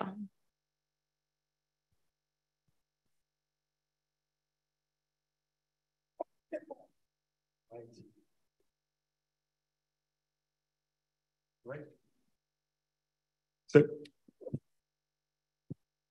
so, so uh, we'd love to open up things to, to questions, and and I think that thank you. That was a fantastic talk, and I think it, it certainly sort of over uh, uh, over uh, is overarching with respect to all that we've been talking about here. Ebes, I know you're you're very active in the field.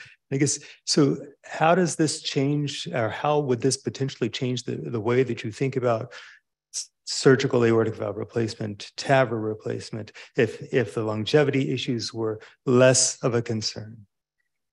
I'd probably try to focus on investing in whatever company Cindy's going to. so because we, will all be out of a job. Uh, no, I, I, mean, you know, the I think this is ter- you know this is exciting. I mean, this is more than exciting. Uh, the results that Cindy and her lab have demonstrated are very promising.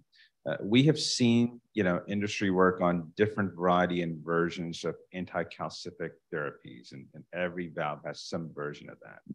What we haven't seen is the kind of results that Cindy has demonstrated. Uh, you know, the next step, once this is proven, would be to then take the next step, coat valves, uh, you know, and potentially get to a druggable target. Boy, oh boy. I mean, you know, uh, as I said, you know, there'll be some empty valve clinics once that happens.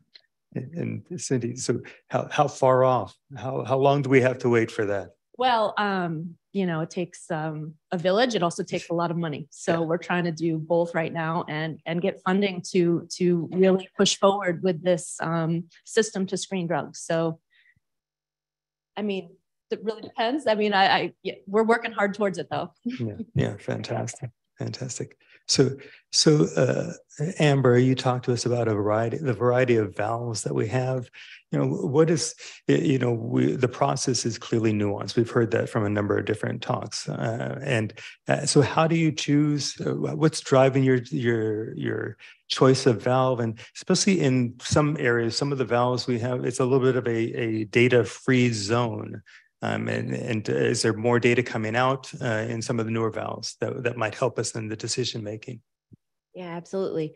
I, I think it takes, you know, certainly an extensive conversation with the patient, understanding their age, their risk factors, the presence of coronary artery disease, what is their predicted longevity just to better understand the, uh, the necessary longevity of a valve um, and their uh, risk factors as, well as how high risk they are um, are kind of the factors that I think we take into account.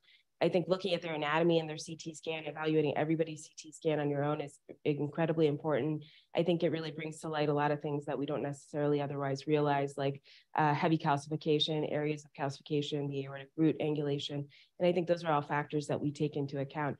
I think that as we continue to get more data on the Abbott Navitor valve, as well as long-term data on the other valves, I think uh, we'll have a little bit more light shed on the long-term durability, which I think is really going to be one of the biggest factors for us moving forward. Great, excellent. That brings me to you, Dustin. So, so the long you said you said we're not there yet. Um, so how do you, how do you manage your patients? You know, they're see, they're on the internet. They're seeing all these tweets. Uh, they're they're they come to you and they really don't want to end up with a surgical valve. They want something that's going to be, as you as you've nicely highlighted, you know, go in, go out. You're you're golfing the next day. Um, how do you manage those patients? How do you work with them and talk them through that whole process? Yeah, so th- this is a huge challenge. Everybody comes in with a preconceived notion, and the preconceived notion and preference is not for sternotomy. So it's obviously a, a big challenge for us um, I, w- when I'm speaking with them, I try to talk about not just what we're doing now, but what are we going to have the option to do in the future. And I speak with them a bit about their CT scan result. Am I putting in a large valve? Am I not able to put in a large valve? Is it going to be a small transcatheter prosthesis? What is the likelihood based on anatomy, sinuses, valsalva, diameters? Coronary heights that we'll be able to do this a second time. Um, and then I, I do clearly bring up the explant TAVR registry. I think we have to at this point that we go from a low risk patient who has a mortality of less than 1% with their sternotomy, and we convert that into a patient who has a 10% risk of mortality if something goes wrong with their transcatheter valve. Uh, that, that's a scary statistic for anybody who's going to TAVR somebody with a greater than 20 year life expectancy. And uh, I, I feel like in interest of full disclosure, they need to know that as well. Uh, and then the, the, the best tool that we have for that is a, a true collaborative uh, relationship with our surgeons and our cardiologists. You come to the valve clinic for discussion about what your options are. You're not just meeting a cardiologist. You're not just meeting a surgeon. You're going to meet both. And and uh, you know we we truly both give our spiel, and we find that uh, it is often the case that I'm pushing for surgery and the surgeons are pushing for TAVR. So it is uh, often quite a role reversal that we see. Uh, but all those factor in, and I think the, the more information we can give the patient, the better. Great. Yeah, thank you. Uh, I have a question from online. Considerations for patients' status post CABG who now require aortic valve replacement. Uh, I guess maybe I'll add consideration of patients um, who need both CABG and AVR or that. That's good. To read it through. You just okay. Can the panel comment on the considerations for patients status post CABG who now require aortic valve replacement? That one may be the wrong person to answer. yeah. I don't know if this is working, but um, you know, obviously post CABG, another surgery would be uh, sort of higher risk. So you're elevating the risk of another procedure. Um, I think we're kind of leaning more and more towards, you know, TAVR in this uh, in this uh, patient population. Uh, if the valves, if the uh, initial CABG operation was of, of, good quality and you have, you know, multiple arterial conduits, you don't even need to worry so much about the uh, the coronaries um, that much. So in fact, it makes it somewhat somewhat easier um, as far as that goes. And uh, you know, the conversely, if you need CABG, obviously the surgical approach is better, right? Especially if you need a, uh, an IMA, if you need a proximal LAD disease or left main disease, that's a no-brainer. Okay. And another question from the from the chat, um, asking about studies looking at incidence or progression of calcific aortic valve stenosis and dietary intake, uh, comparing potentially different diets with vegan or ketogenic dietary uh, intake populations um, and whether TERT or STAT5 is changed on those dietary intakes. Yeah, so we're the first to actually report TERT and STAT5 interaction, periods. So I have not gone back and looked at anything related to dietary consumption and, and um, that interaction, um, I don't believe there is um, any robust studies on nutritional intake and um, calcific valve disease progression, um, but you know it does have somewhat similar risk factors to um, coronary artery disease. But um, I'm just the basic scientist, so it's, it's not involved in TERT Staph 5 that we know of yet.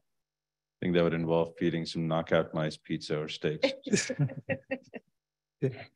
So, so Catalin, in, I mean, the, the, the, the work that you show with respect to treating patients with coronary disease after they've had TAVR is really challenging uh, situation. So how, as we move forward, do we train our uh, interventional cardiologists so that in the middle of the night, when they're dealing with a post-TAVR patient, they can, they have increased the likelihood of a successful re, uh, recanalization of a STEMI patient? It's it's a it's an issue of being familiar with the prosthesis and and and becoming familiar with the environment. And i think you know certainly our fellows get exposed to that um, and people become more familiar with what this prosthesis look like and what what the challenges are. In conferences like this uh, that certainly help. And it's it's a relatively simple a set of rules that um, that you need to go by in order to achieve successful uh, successful procedure. The problem is that a lot of this uh, the, the physicians that do the TAVR, like ourselves, are not necessarily the physicians that do the STEMIs in the middle of the night in the community. So that's sort of the uh, the little gap that we need uh, we need to we need to bridge. But again, talking more about it and making uh, making people understand that this is again is not uh, really rocket science. It's relatively simple if you follow some some simple rules like we were uh, we were showing, I think it's uh, it's very achievable. Great. And of course, referral to, I mean, if it's an elective procedure that's complicated and someone who had three TAVRs, then then that perhaps may be worth uh, referring somewhere else. And Derek, you talked to us about uh, aortic valve repair, and you showed some fantastic Tyrone David um, data with respect to 20 years out. And, uh, and I, so, I guess one question is: is is that happening? Uh, can other people achieve those results? One, and then secondly, is there any way that we should think about these valves if they do fail um, with respect to repeat surgery or transcatheter um, treatments? Uh, so I guess the first thing is is uh, you know I, I, do think that those results are achievable by others. I think that the technique is very well defined. I think you know um, in centers that do a lot of a lot of see a lot of those patients. I think the results are obviously going to be better. We know with lots of other operations, there's a very uh, clear volume and quality kind of uh, connection. Um, in regards to repeat surgery, it's going to depend a lot on the on the the way that they fail. If they fail with with calcium or becoming stenotic, then then TAVR may be a maybe an option in there. Um, but if they fail with uh, without you know with aortic regurgitation, and there's not a, a, high calcium burden to hold the valve in there, then those are patients I think are going to go on to either getting a you know bioprosthetic uh, reoperative root replacement, or or you know if it's a patient that failed at a young age, then a, a mechanical root replacement. Great, great. And, and Tim, you know, you've done a fantastic job at, at setting up a, a really uh, multidisciplinary hypertrophic cardiomyopathy um, uh, program at our institution. And um, can, can, you tell us, you know, what are, what are the, the key components to that and, and um, you know, how you've uh, been able to do that? So I think it's, you know, I think multiple folks have said it's a team effort and it really starts in the community where good communication with uh, PCPs and uh, local cardiologists, educating folks about the concept of hypertrophic cardiomyopathy, how to recognize it, and uh, first and second line therapy, and also really you know trying to partner with them in terms of you know discussing when is it appropriate to trigger uh, third line therapy or uh, septal reduction therapy, and I think uh, keeping that conversation going over years because what we now know is that even if you have a diagnosis of HCM, your life expectancy should be normal and with uh, modern therapy. And I think, you know, uh, preparing for a 5, 10, 20 year discussion is uh, really, you know, key to uh, good patient outcomes. Yep. Fantastic. Anything else from online, Josh?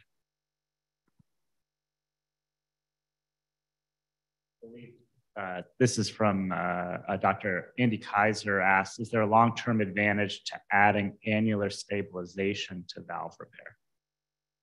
Yeah, I think uh, if you look at the data that I presented, uh, you know, uh, from the German group in 2009, they had started adding annular stabilization to um, to their uh, remodeling procedures. They did see a, a decrease in in um, aortic regurgitation over time. Again, I think it goes back to kind of the uh, pathology. If it's a, a, the initial pathology starts in the root in lots of patients who have genetic syndrome, Marfan's, things like that, then you're going to have a higher chance of that annulus dilating over time, leading to, to that mechanism of, of aortic regurgitation. I think uh, those are the patients that that um, annular stabilization definitely benefit.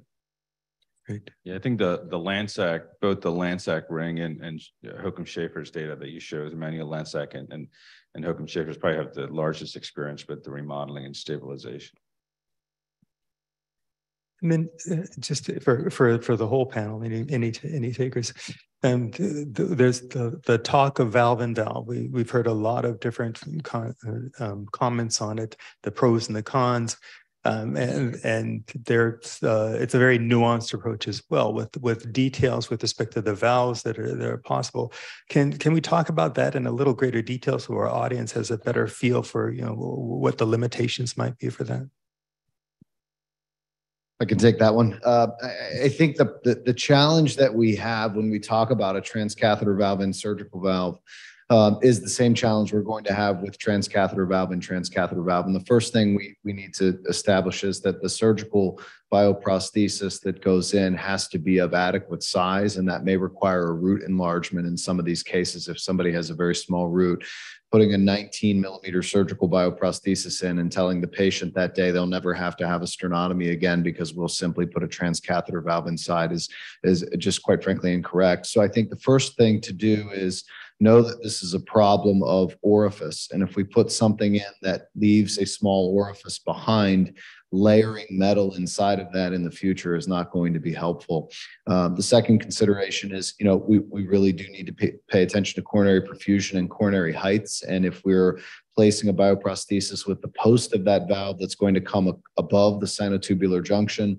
Uh, if we're using a valve that has externally mounted leaflets, we may need to do a leaflet modification strategy in the future, like a BASILICA, in order to have that procedure done. And we're running into that a lot with our trifecta volume. Uh, and the third component of a prosthesis is if a small prosthesis is going to go in the ability to modify the sewing ring of that valve and fracture that sewing ring at the time of transcatheter valve replacement inside that to put in a bigger transcatheter prosthesis becomes important. So really the three things we talk about are what is the size of the valve that's going in? Is it modifiable by a bioprosthetic valve modification or a, a, a ring fracture? Uh, and what is going to be the strategy for the leaflet modification if it comes above the sinotubular junction? Function. Um, so we're, we're, we're, externally mounted leaflets seen in the trifecta and in the Mitroflow are much higher risk for uh, coronary obstruction for any valve and valve procedure, especially when we're dealing with uh, a narrow sinus of Valsalva or a short sinotubular junction. So there, there's clearly a lot of nuance to it. And that's where I think a, a center with very involved cardiologists and very involved surgeons, not only at the time of the initial implant, but at the time of the need for reintervention is very helpful. Great. And maybe if uh, just a quick last comment on vascular access approach to TAVR. How do you make those decisions? That we're talking about an older population with concomitant vascular disease, and sometimes the standard approach is not available to you. How do you manage that? You know, I think we've gotten, you know, and this is kudos to technology and the engineers who designed these uh, delivery systems. I think majority of the patients are going are treated by transfemoral approach again, you know, I think we take a lot of pride in not having a hammer nail approach, which is, you know, you have a patient that clearly needs a transcatheter valve and transfemoral access is not appropriate or adequate. We have a very low threshold to using carotid or subclavian access.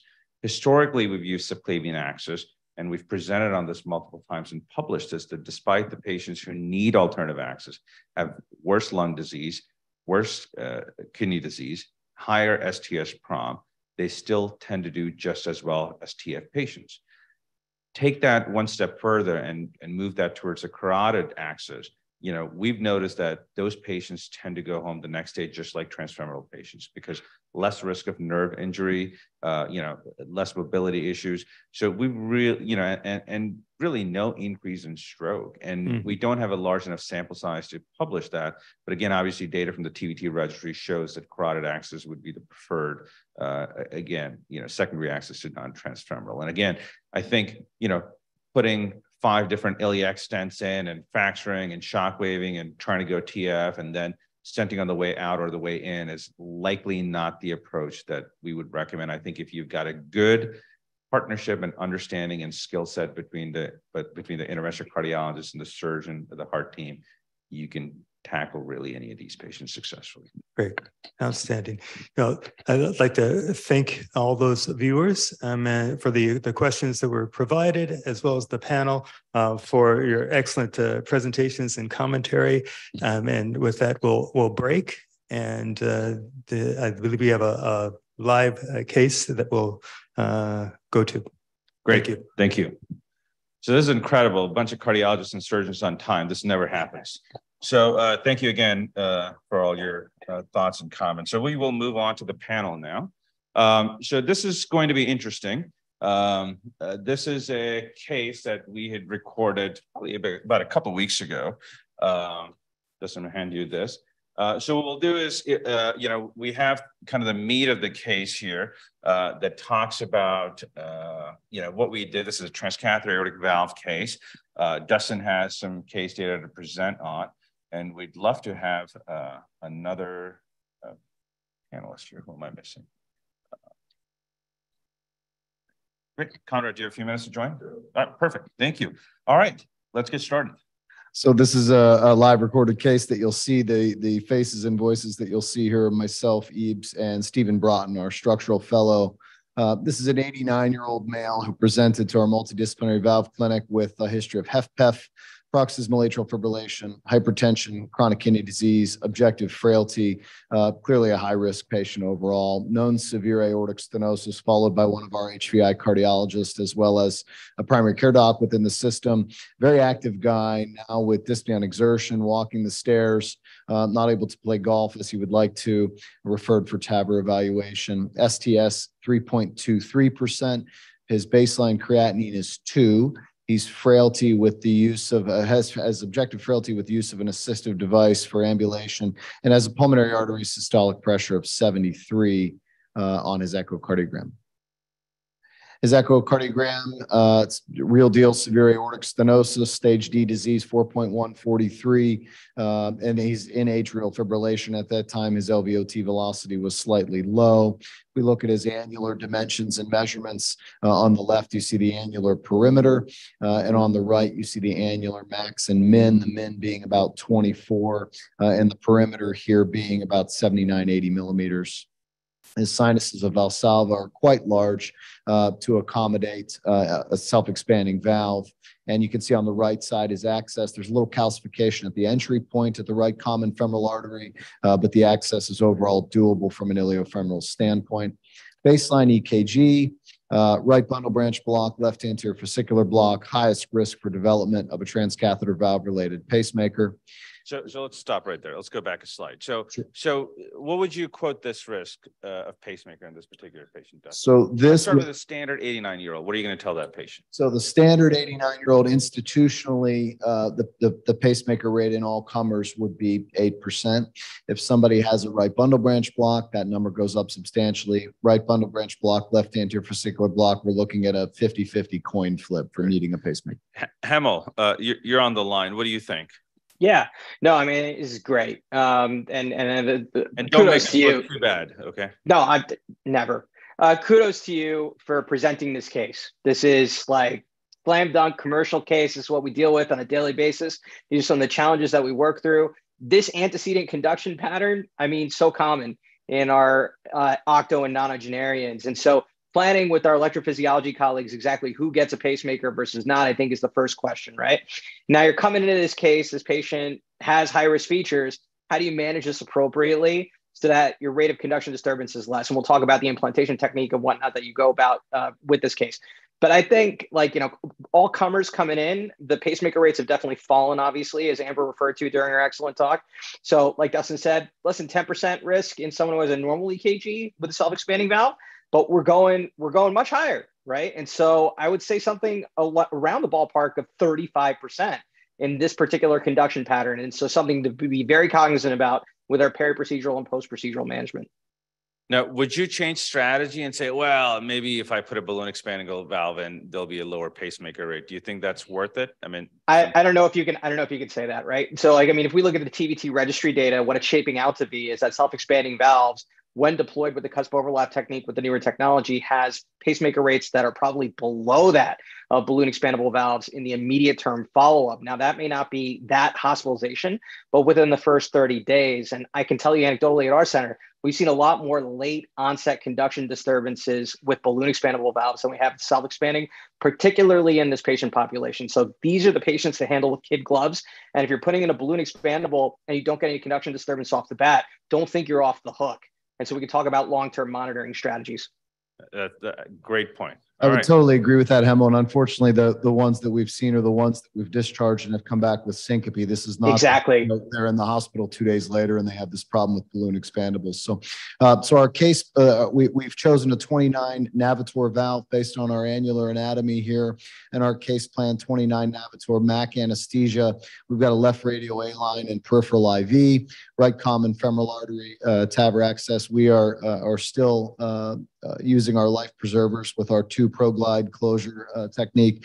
The left common femoral pigtail and temporary pacemaker catheter, we're going to pre-dilate with a 24 millimeter Z-Med, and we're looking at two to four millimeters here uh, with this Navitor based on right bundle, left anterior fascicular block.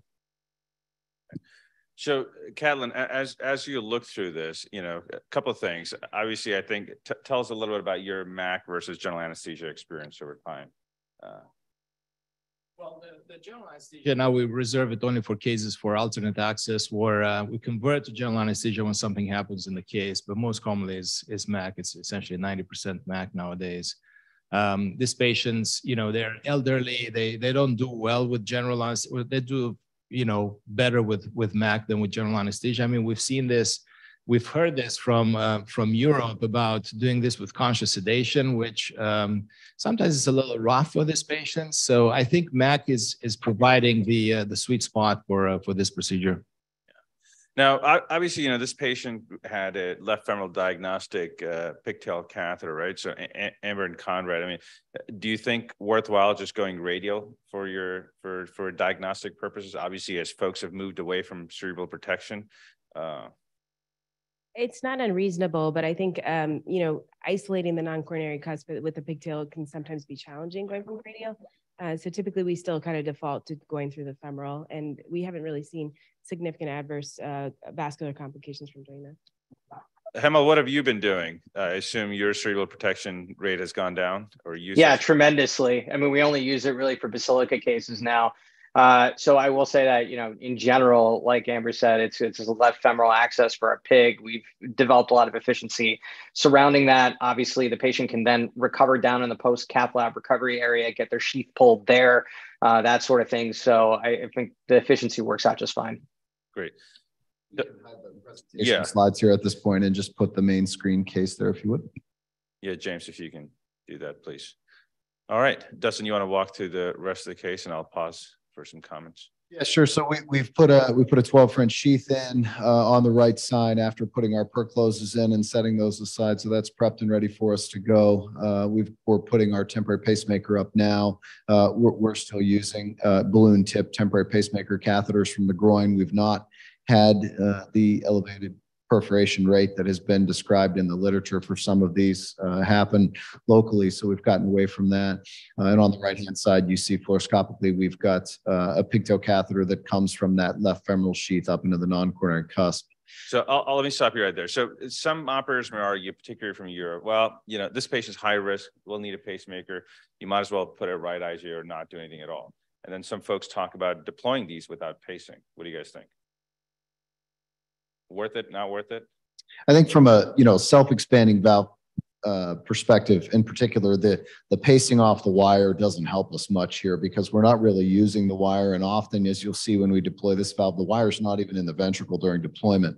Uh, we do think there's very little downside to rapid pacing these patients from a hemodynamic perspective, and the valve stability that's added is certainly helpful.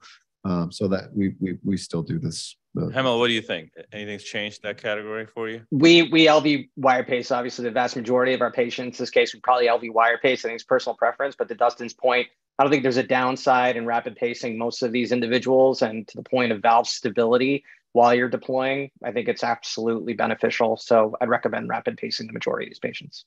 Dustin, walk us through what we're doing here. Sure the first point that I would make here uh, with this platform in particular, we, we, we really, with earlier generation self-expanding devices, which are going to give us better hemodynamic performance, had a lot of trouble with horizontal root anatomy. It was quite a challenging implant. So when we see these patients with horizontal root anatomy, as exemplified by where that pigtail is, we, we worry a little. Uh, this is just a five French AL1 catheter and an 035 straight wire, and we're uh, trial and error uh, crossing the wire across the ventricle. Trial and error. I thought it was very precise. Uh, it's not not quite precise. Uh, the the other interesting thing that you notice here, and I want to point this out because I'm I'm seeing it now, and I remember this case specifically. Uh, one of the things that you see here. So this is a patient with pulmonary hypertension who's got a bit of a dilated right ventricle, and if you watch his hemodynamics in the bottom left of the screen, you start to see that his STs are are not normal here, um, even in the presence of a bundle. There may be some some uptrending STs and ST elevations that we're looking at, and I'm not sure that I noticed this at the time of. Um, the other thing you're seeing is we've got a wire in the ventricle, and we've got a lot of uh, of non-sustained ventricular ectopy here, obviously, and our our aortic pressure line has taken a hit because of that. And the, the reason we really wanted to show this in, in, full disclosure is we, we want to show what happens in the operating room with these cases. We also want to show what we get away with in the operating room with these cases. So, you know, somebody that we would be really worried about rapid pacing at the same time, we've got, you know, significant non-sustained ventricular tachyarrhythmia here and we've had no problems. So we've now exchanged for a stiff wire in the ventricle. And as that's done with all self-expanding valves, we perform a pre-deployment balloon valvuloplasty. This is to allow our self-expanding valve to go in and have a, an easier ability of expanding and contacting the annulus. So under rapid pacing, as you can see on the hemodynamic tracing, we're trying to eliminate the pulsatility, and then we perform pre-deployment valvuloplasty here. Amber, Catalin, uh, Hemal, Conrad, what do you guys think? BAV for all these patients, self-expanding? I think you have to. You have to. This is a this is a very decent calcium burden. You are really aiming for a very precise level of depth here. Um, you, you, tend not to want to post dilate for a couple of different reasons, but I think the most important one here is you don't know how much foreshortening you're going to get on that valve frame if you don't pre-dilate and fairly aggressively. Obviously, our practices use non-compliant balloon. You guys are using a ZMed. Regardless, pre-dilation absolutely key um, to really get that depth that you want on that implant. Then don't pay attention to the wire, Hemal. So I, I, I, I told you I'm not going to say anything bad at all. Question for you. So how do you size your balloon? We go usually by minimal yeah. Are you getting more aggressive with that now or? Yeah, absolutely. Uh, so, so Catalin, you know, we're, we're going mean for most of our patients and you got a little bit of a chunk of protruding calcium here. And so maybe I'd be more inclined to min, min plus one on this one. Uh, but I think the vast majority of our cases, we're doing mean uh, annulus versus LVOT, whatever's the lesser of the two. That's the true balloon size that we're going to pick. And uh, we, we've obviously had some good success with that approach. And is it is it more aggressive with the uh, Portico with an Navitor than the Evolut, you think? Or do you think you need I, to be more aggressive with an Navitor?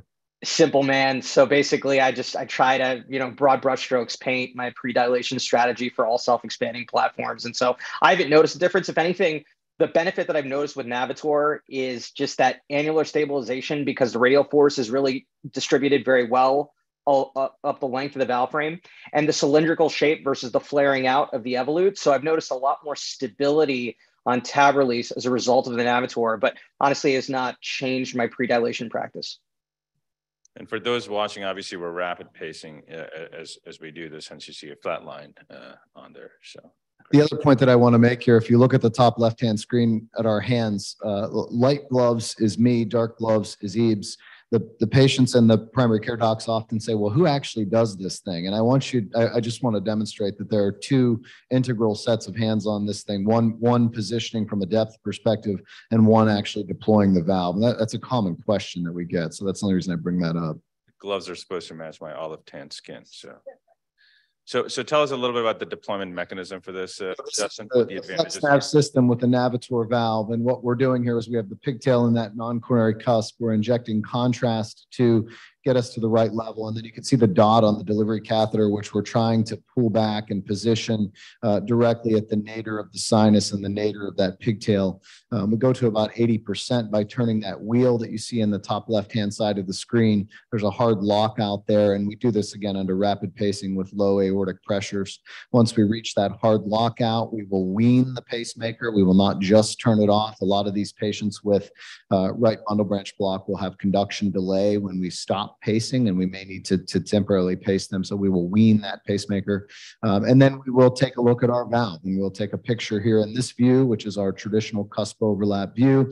We'll take a view in the uh, LAO projection to see where we are. So we've taken our cusp overlap view. We're going to scroll over to the LAO view. Here we're looking for the non-coronary leaflet of the valve and, and, and position the frame relative to that.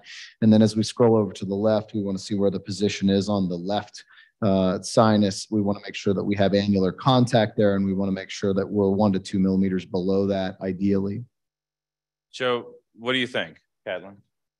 Um, before I answer that, uh, are we broadcasting this or are we seeing Hemal's uh, live? No, this is being broadcast, right, James? Everything's being broadcast. This is, yeah. All right, sorry. Uh, yeah, so uh, you know, uh, this is this is a technique that um, the, you know cusp overlap technique with some modifications um, that that Hemal has been instrumental in in um, in developing. And the concept here is that um, when you come with the self-expanding valves, the uh, non-coronary cusp is the lowest point. So if you secure that point, almost 100% of the time you're going to be, be below the valve everywhere else. And the second thing is that um, the the higher you are, the less likely you are to have a conduction problem, and that's why we were talking about, you know, um, avoiding uh, conduction issues with this with this technique. Uh, it's slightly different for the Navitor valve. I think this valve um, rotates differently upon deployment than the, um, the Evolut valve, in my experience. And this is why we kind of had to uh, adjust a little bit the technique and make sure that we're sitting below the left cusp as well hence the uh, the additional view that um, that we we take. Um, but it's it's been it's been working well, and I think it's becoming sort of the standard way of uh, of implanting this uh, this valve nowadays. Uh, Amber, what did you think of that first initial placement? Like it, hate it? I think that um, you know it's useful to wean the pacemaker to figure out. eh, We already knew that we had a high rate of pacemaker risk going into this case with the baseline um, conduction abnormalities. It's helpful to kind of wean the pacemaker, see where we are from a conduction standpoint.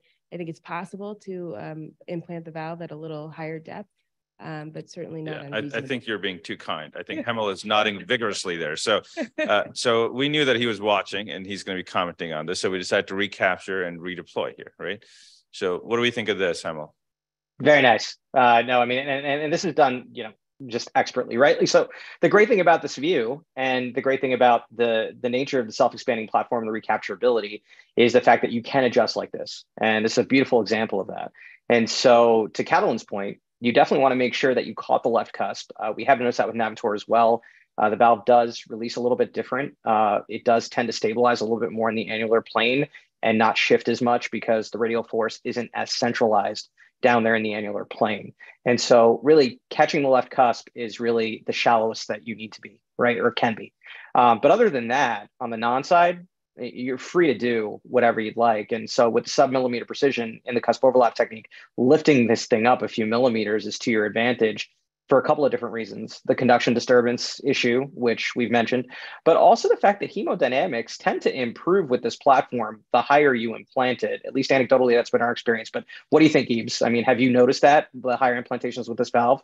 Yeah, you know, honestly, we've been so pleased with the hemodynamics, and Amber showed you some of the data we presented at TVT last year and CRT this year, uh, which is, you know, doesn't matter how we, where we, I mean, perhaps it does. I think there's probably more arguments to make about durability and the way the valves function, perhaps preventing HALT and HAM with appropriate deployment uh, than the hemodynamics. But I, I, agree with you. I mean, I think you catch on to a good spot. I think if you're high and, and nice, it does make a difference. The advantage is, again, this is an intra-annular valve, right? So you're not, you know, being at one or two doesn't mean you're much higher than that. You're really in the annular plane, which I think makes a huge difference here. We saw this with Optimize Pro as well, which which Amber kind of reflected on. And with these higher implants with a self-expanding valve with an external wrap, we've seen, I would say some people would call it paradoxically less paravalvular regurgitation. It's because of that wrap's ability to really interdigitate with the leaflet anatomy, you know, versus leaving it down in the LVOT. And so with Navitor, I think we're going to find the same thing that these higher implants are going to lead to less conduction disturbance rates, um, probably better hemodynamics, less rates of HALT HAM, and then obviously less PVL as well. For sure. Conrad, what do you think of that positioning? Happy? Would you post still, leave it alone? Perfect. Amber? It looks great. I actually have a question for Hemal. So when you're pacing out the wire, um, typically when we're happy with the 80% mark, we pull the wire back into the into the uh, device platform, and we have a traditionally a pacemaker in place. How are you guys doing that um, from your standpoint in terms of pacing? If if you are pacing out the wire? Yeah, we just go slow. So that's a good point, Amber. So I mean, if we if we notice a conduction disturbance at that point, we can always put the wire back so that there's some LV contact and and pace accordingly. As long as you don't have the delivery catheter pulled back too far, that'll insulate just fine and conduct just fine. But our tab release um, or paddle release is done with the wire pulled back, and it's just slow and deliberate over about 30 second period of time.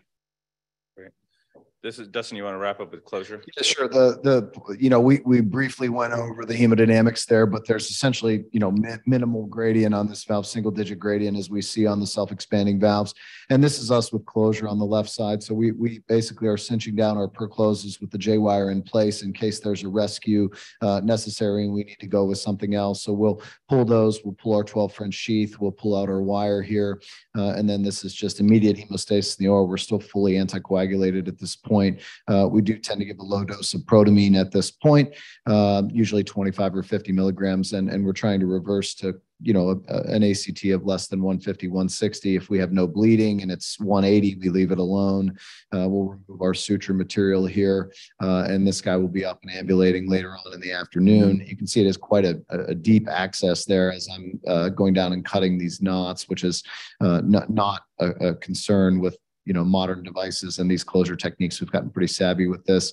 Uh, on the left hand side, we'll pull the vein out and, and hold manual pressure, and on the right side, we will um, uh, just use a closure device traditionally for the small arterial access site. The other point about the case that was interesting that we sort of glossed over, but I mentioned the STs earlier. Uh, you know, we, we put the Navitor valve in, we felt the STs were still elevated and in, you know, 30 seconds, we're able to easily engage the coronary in this case with a JR4 and show that the right coronary is widely patent. And we do see these ST changes in the setting of patients with pulmonary hypertension and bundles and RV dysfunction from time to time. And that was our conclusion here, but it was nice to have a valve that was very easy to, to navigate through and see a coronary uh, on our way out. It made us feel a lot better before we got to the PACU and saw the post-op EKG with, you know, ST changes changes. Uh, conduction was intact here, as you saw, based on valve positioning. So we were satisfied with that. Great. Uh, I think just to sum up, uh, Catalin, you want to just share with us where you think this valve tends to shine and the advantages over the other commercially available platforms? Yeah, so uh, certainly the hemodynamics are superior to the uh, to the balloon expanding valve based on our experience um, and based on what we see already, um, you know, um, everywhere else. Um, and as far as relative to the other self-expanding platform that we have, um, the coronary access is, is markedly better with this, right? I mean, the cell size in this valve are significantly larger. In fact, if you put a Portico inside a Portico and misalign them 180 degrees, so perfect misalignment, the cell size are, are still larger than a, than an Evolut. So you can put two of this one inside of the other and achieve the same thing. Um, uh, the uh, the other thing is the deliverability is perhaps more deliverable. I mean, it's a it's a newer, latest generation, later generation um, delivery platform.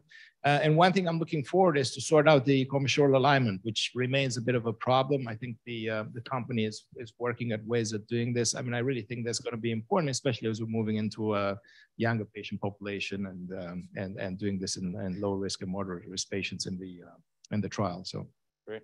Hemal, anything to add to that?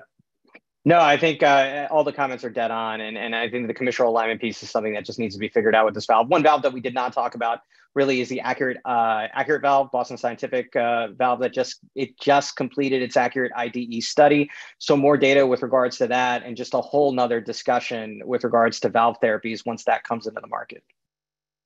Great, wonderful. We'll wrap up there. We'll just take a two minute break, and we will be back on. Thank you so much.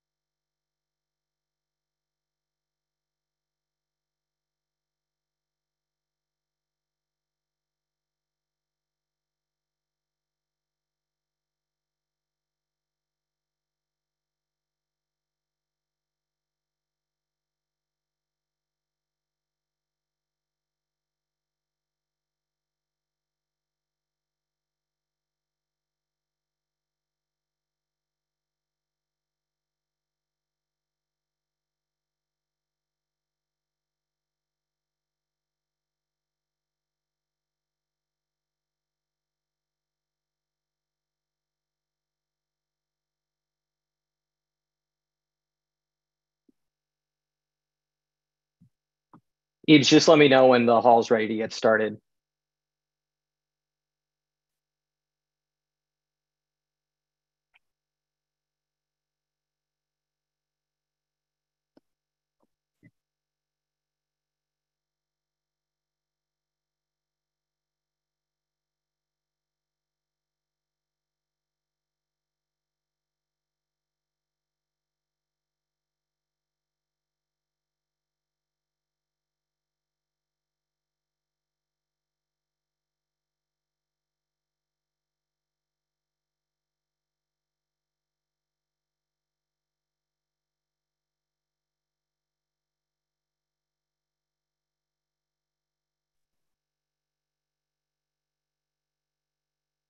James, are we good? All right. Uh, well, welcome back, everyone. I hope you had a good, quick uh, bio break. Our next session's on mitral and tricuspid valve disease and, uh, and a little bit of potpourri. Uh, Hemal Gada will be moderating the next session. Uh, if you practice interventional cardiology in the uh, in North America, or really anywhere in the world, you know who Hemal Gada is. He has had a tremendous amount of contribution in the structural heart and transcatheter heart valve space. Uh, thank you, Hemal, uh, for joining us virtually, and I will hand it over to you. Eve, such a kind introduction. It's a it's a distinct honor to to really join. Apologies for not being here personally. Had some personal kid obligations to take care of this weekend, so it uh, it, it, it couldn't allow me to, to get to Pittsburgh. But I'm really hopeful that next year I'll definitely be able to join. So I'd like to turn over to Conrad Smith, uh, who needs no introduction. Uh, his experience in this space is unparalleled, uh, and he's going to get us started with transcatheter mitral edge to edge repair in low risk patients. What are the global posts, Conrad? Great, thanks, Hemal. Uh, if I could have a first slide.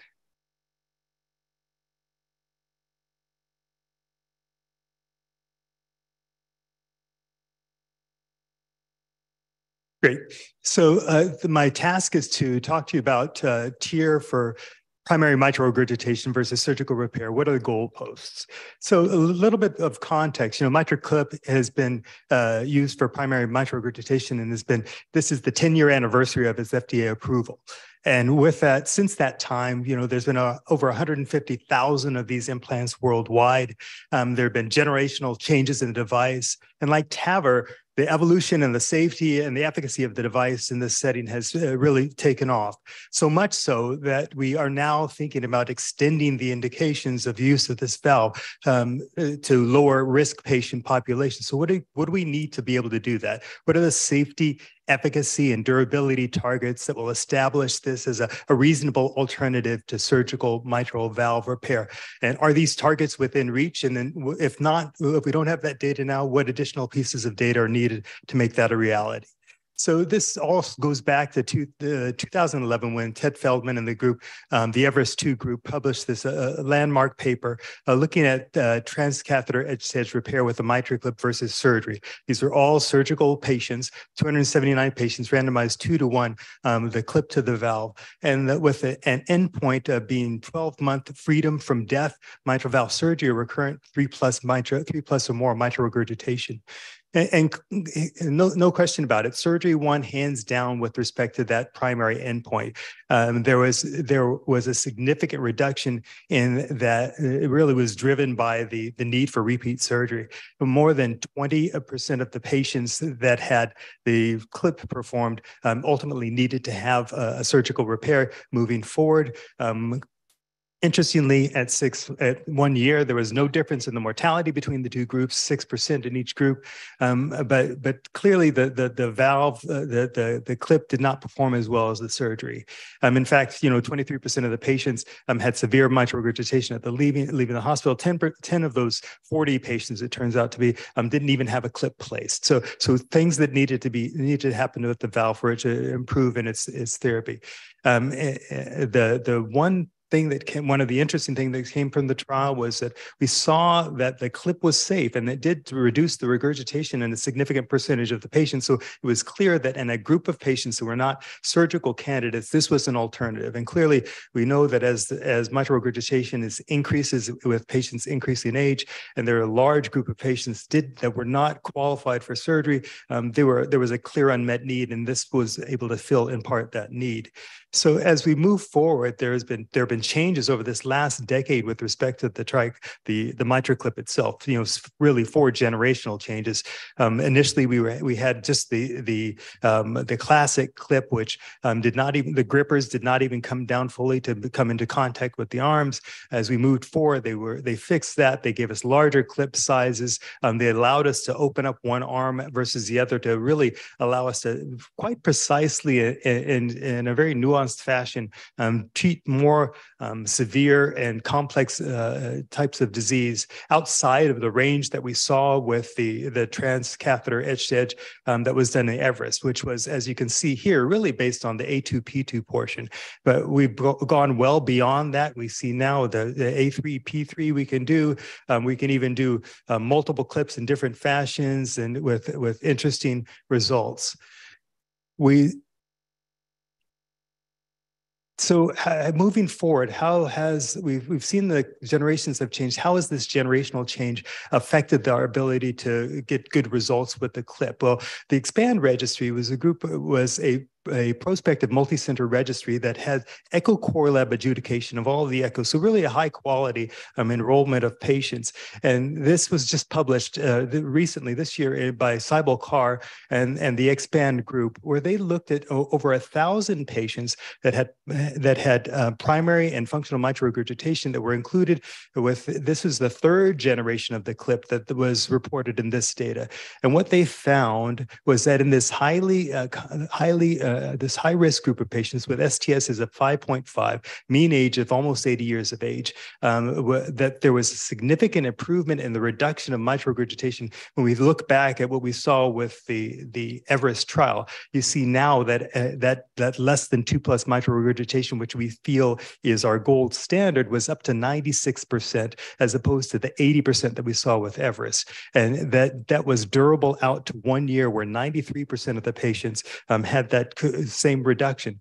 And another interesting piece is that when we look at the more, uh, more rigorous criteria, looking at less than one plus, less than or equal to one plus mild mitral regurgitation, we see that 80% of those patients, over 80% of those patients, up to one year, um, were able to achieve that result. And, and data has shown that one plus versus two plus, there is a, a little bit of a signal that that's going to give you um, somewhat greater durability.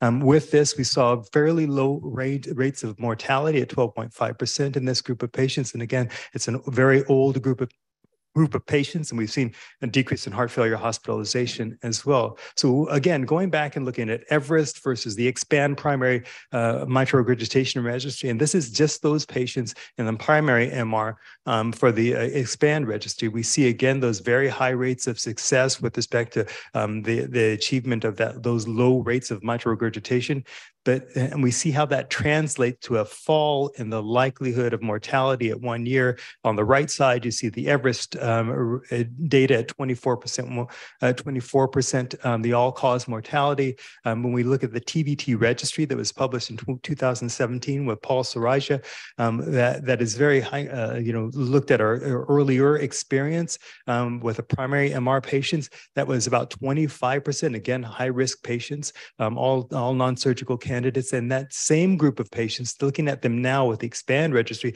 it's been really nearly cut in half, that late mortality. So the, the experience with the, the clip as well as the generational changes in the device have led to significant improvements. Now, that's not all that's happened. Again, this was just the, the third generation of the clip. We know that there's a fourth generation of the clip, which has further enhanced our ability to treat these patients. We see that there's been an inter, uh, interval uptick in the success that we have in decreasing the mitral regurgitation. Here you see the EXPAND G4 registry, again, that last iteration um, where we have wider clips, both small and short, uh, and small and long clips with independent gripper arms and with this, we've been able to, to inch up that now that very um, very challenging less than or equal to one plus mitral regurgitation up to almost 90% in, in patients at, at, 30 days.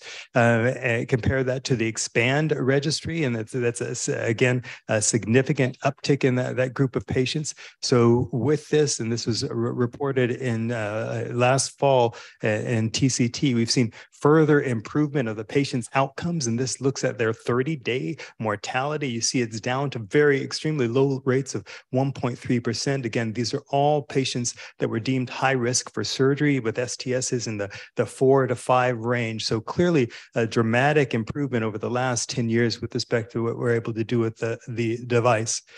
Now, uh, we uh, how are we doing on the surgical side? Well, the surgeons do a fantastic job. We have great surgeons that are that are speaking in the audience today, and we find that the mortality that is associated with surgery, and this is from uh, a paper that looked at the STS registry by the name Badhwar, they found more 30 day mortality for surgery shows just 1.1% um, mortality, uh, which is which is really extraordinary. The surgeons they are to be applauded for the, the work that they're able to do with this. Now they they looked at morbidity mortality, it's just 8.8% of those with, with the uh, components that you see here. Um, and there was a small conversion to mitral valve re replacement, um, but but very small. And overall, just really um, qu uh, quite a high bar has been set with respect to what we're what we need to do from a transcatheter standpoint. What we know, though, is that from this is that it was the data is limited in the sense that the STS registry didn't really give us an idea um, from uh, the STS risk of these patients compared to all the patients that I've shown you from the trans the transcatheter side have necessarily been high risk patients given the the uh, FDA approval for this group of patients with primary mitral regurgitation. There's not really echocardiographic follow up, meaning finding uh, the the severity of the mitral regurgitation after the surgery and the, and the late follow up along those lines. Um, and then the functional uh, functional capacity and quality of life data is not there. It is in, in registries that we're doing for our transcatheters and as a requirement of uh, having the availability to do that. And then the, looking at the other um, interesting and important component, that intermediate, uh, the one year mortality.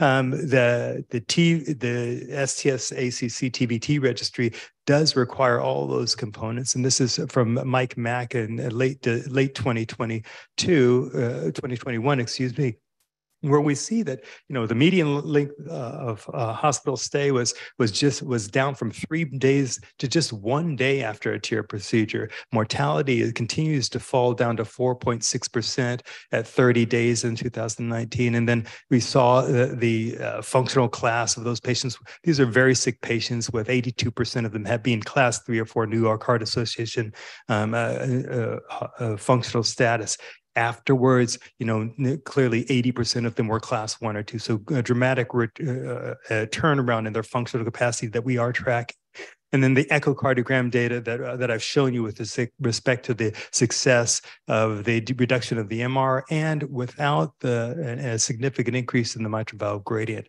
On the right, you see just how things have really taken off with over 10,000 um, TEER procedures being done in 2019. Now, looking specifically at the primary mitral regurgitation patients, this was data just out of the ACC, which I think is fantastic by Raj Makkar and his group at Cedars-Sinai. And they looked at the, a subgroup of these patients, the PMR patients from the STS registry, 19,000 patients. They found they looked at the primary success as they defined it of less than two plus or less than or equal to two plus MR and a gradient of less than 10 millimeters of mercury. And they their their endpoint was in hospital, uh, 30 day and one year death, heart failure, hospitalization, or mitral valve re- reintervention. Uh, again, older group of patient over 80, STS again higher, four and a half percent, and um, including patients, 10% of whom were on home oxygen and had had heart failure hospitalization within uh, the the, uh, the two two weeks prior, 77%. So clearly a sick group of patients. But look at these mortality rates at 30 days, and you see just 2.66%, well below the STS um, prediction for them. Um, the reintervention rates ex- exceedingly low. Heart failure um, rates are low as well, uh, as well as all potential all other um, stroke uh, need for dialysis, all in the 1.5% range or less what we know about uh, the success rates that have occurred have improved over time from 2014 to 2022. We see that really over 90% success rate is defined um, by this study. Uh, we found that at post discharge, the MR severity was exceed was less than two plus in over 95% of the patients, as well as that was durable out to 30 days. And even that very low, mild mitral regurgitation um, was uh, fairly durable in two thirds of the patients at 30 days. What does that, how does that translate? They did something really nice in this study. They sort of looked looked at the ability to achieve that less than two plus mitral regurgitation and the ability to achieve less than, than 10 millimeters of mercury gradient and less than five millimeters of mercury gradient, the mean gradient across the mitral valve. And they looked at how that affected the patient's outcomes from a heart failure standpoint at one year, intermediate results, and death at one year. And you can see there's a there's a, a clear gradient. So that if we're able to achieve mild mitral regurgitation and with a low gradient, the likelihood of uh, heart failure readmission, heart failure readmission at one year is only 6.2%, and mortality Again, a high risk group of patients down to 11.4%. So I think good intermediate data. And I think what this says is that we're we are on our way to being able to, to, to to challenge some of these less severe risk uh, surgical risk patients. Now, uh, it's not head-to-head data; these are different groups of patients. So, what this what do we need? We need head-to-head data, and those things are happening. These are two trials that are currently ongoing. We see the Repair MR trial that's that, that we are happy to be a part of. 500 patients, one-to-one MitraClip versus surgery, and uh, with uh, the intermediate risk being defined as age greater than 75 or STS risk of greater than two percent or increased surgical risk is determined by the surgeon. Um, looking at just severe degenerative mitral regurgitation um, and the ability to be clip or with surgery get that down to that one plus. Um, uh, the the uh, the this is a non-inferiority trial looking for equivalence or near equivalence between the two groups um, and it will we'll look at this uh, very carefully as we we continue to enroll. The second trial which is the primary trial is a, is a little bit different in the sense that it's looking at very young patients patients that are greater than the age of 65 it's looking at three risk categories mild uh, uh intermediate low intermediate and high risk groups of patients. And uh, they are going to look at all cause mortality, valve reintervention, hospitalizations, um, and, and stratify them by the risk category that the patients are in. So these two trials we're look will continue to follow them very closely. It's going to give us the information that we need to determine if and when um, the the clip is really able to safely be considered in the, those more intermediate groups of patients. So in closing, I'll just say that you know severe primary mitral regurgitation is associated with poor clinical outcomes if it's untreated. Um, that surgery does remain the the standard of care, and for good reason. We saw those excellent surgical results that were out there, uh, but as TEER improves, there may it may become an alternative to lower in even in lower surgical risk patients.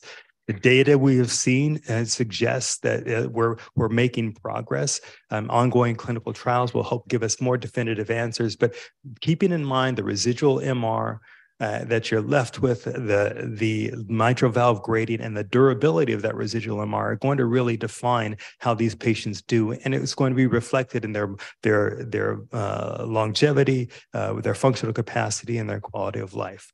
Um, so, with that, I'll close. Thank you. Thanks, Conrad. Amazing, comprehensive talk. Um, just for the remainder of the speakers, try to let's try to keep it in a 10 minute window. I want I want to engage Conrad and the rest of you in discussion afterwards with some provocative uh, questions. So why don't we move on to Jeff Fowler, uh, thinking beyond the clip, the role of transcatheter mitral valve replacement.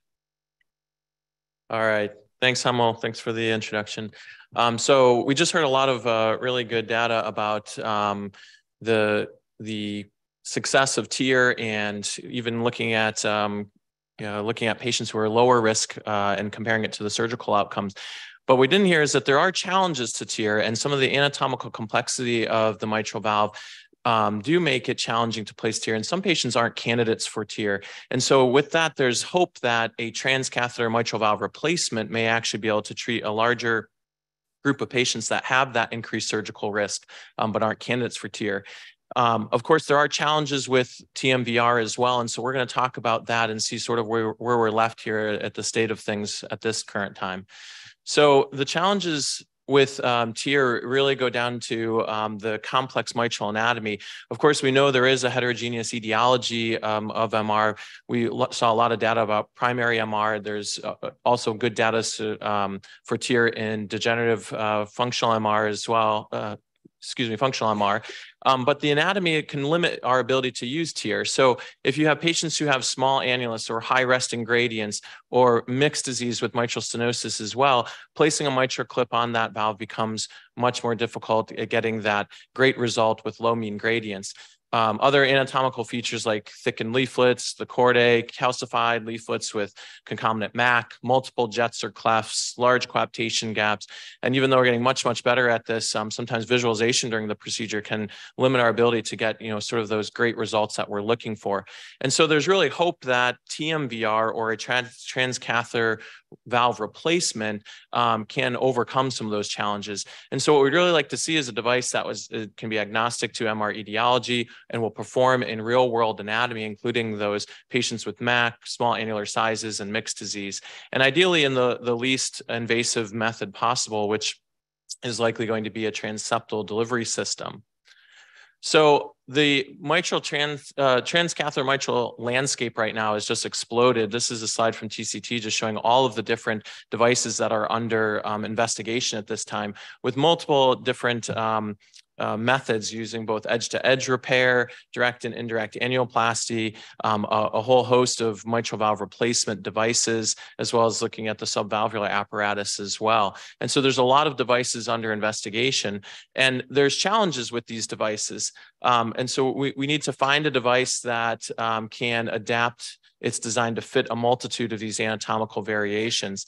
Uh, we've talked about small annular sizes with MAC, but the, the annular size is quite large in the mitral space and anchoring these devices appropriately um, while minimizing paravalvular leak and getting adequate seal is important. And so you can see in that top uh, graphic there, there's been multiple different methods from tabs to paddles to apical tethers to try to both anchor and seal these devices appropriately. And these large devices have to be packaged in small catheters in order to be um, delivered in the least uh, invasive way possible to help um, these high risk patients who aren't surgical candidates. When we look at um, further anatomical challenges, um, LVOT obstruction or the, the so-called neo-LVOT that's created once the device is in place is another um, you know, large consideration here. There are different um, anatomical features that make this uh, more challenging, including the anterior mitral valve leaflet length, um, asymmetrical septal hypertrophy bulging into that LVOT diameter. The aorta mitral angle, angle plays a, a large role in the size of the LVOT afterwards. As well as de device-related co concerns, um, including device protrusion or flaring that's necessary. And so we've gotten um, really good using our structural CTs to um, overlay a uh, so-called virtual valve in there and look at how uh, an individual patient's anatomy will in, be impacted by um, the device that we're implanting there and try to gauge what would be the complications that we may see or whether there is adequate space um, for, for one of these devices.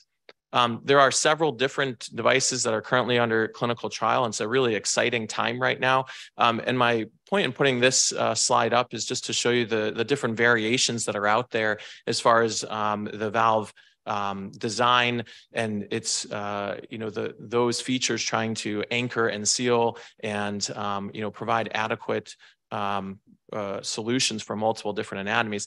And under randomized clinical trial, um, there are pretty strict inclusion and exclusion criteria for each of these different patients. And so we do see right now that we're having um, a little bit of uh, some challenges getting these patients into these clinical trials to evaluate them with relatively high uh, screen failure rates that are predominantly related to anatomical variations and just, you know, looking at how these devices perform in each one um, does become a little bit more of a challenge.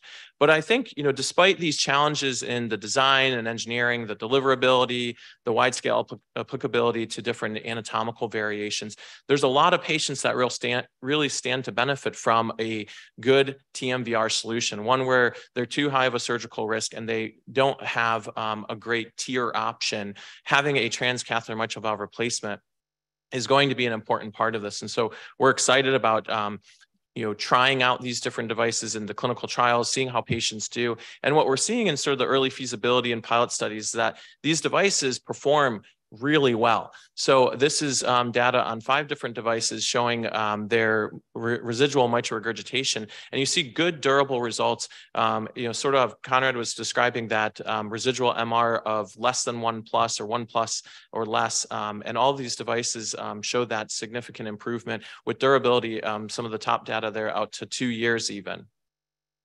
So let's finish with a case. Um, this is a 76 year old male who has ischemic cardiomyopathy with an EF of 30% and severe functional MR. He's fully revascularized on good medical and device therapy and yet has persistent NYHA functional class two to three symptoms. He's high risk for surgical valve replacement and his anatomy is amenable for TMVR. And so he was enrolled at our institution in the Summit randomized control trial with the Abbott Tendyne TMVR approach.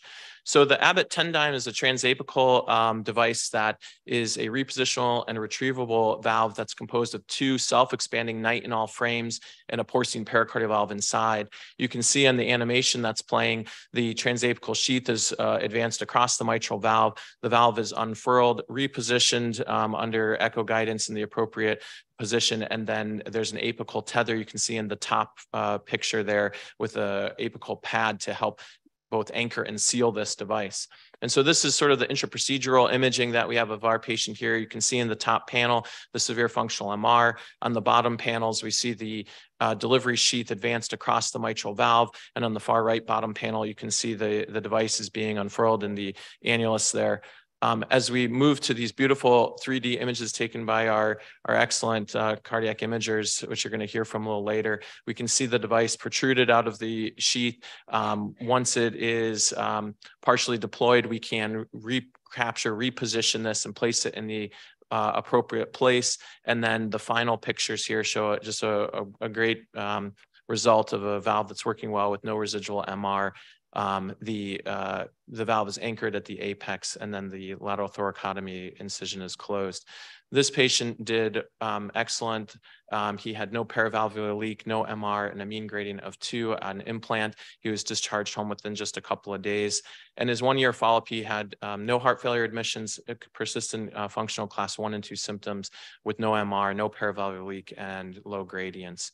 And so I think, um, you know, I'm trying to say in these 10 minutes is that despite the many challenges of TMVR, um, there are a lot of ongoing trials with different designs and different devices that we're trying. There is device iteration advancement that's happening and even interventional techniques and tools that's going to help um, to place these devices in these challenging anatomy.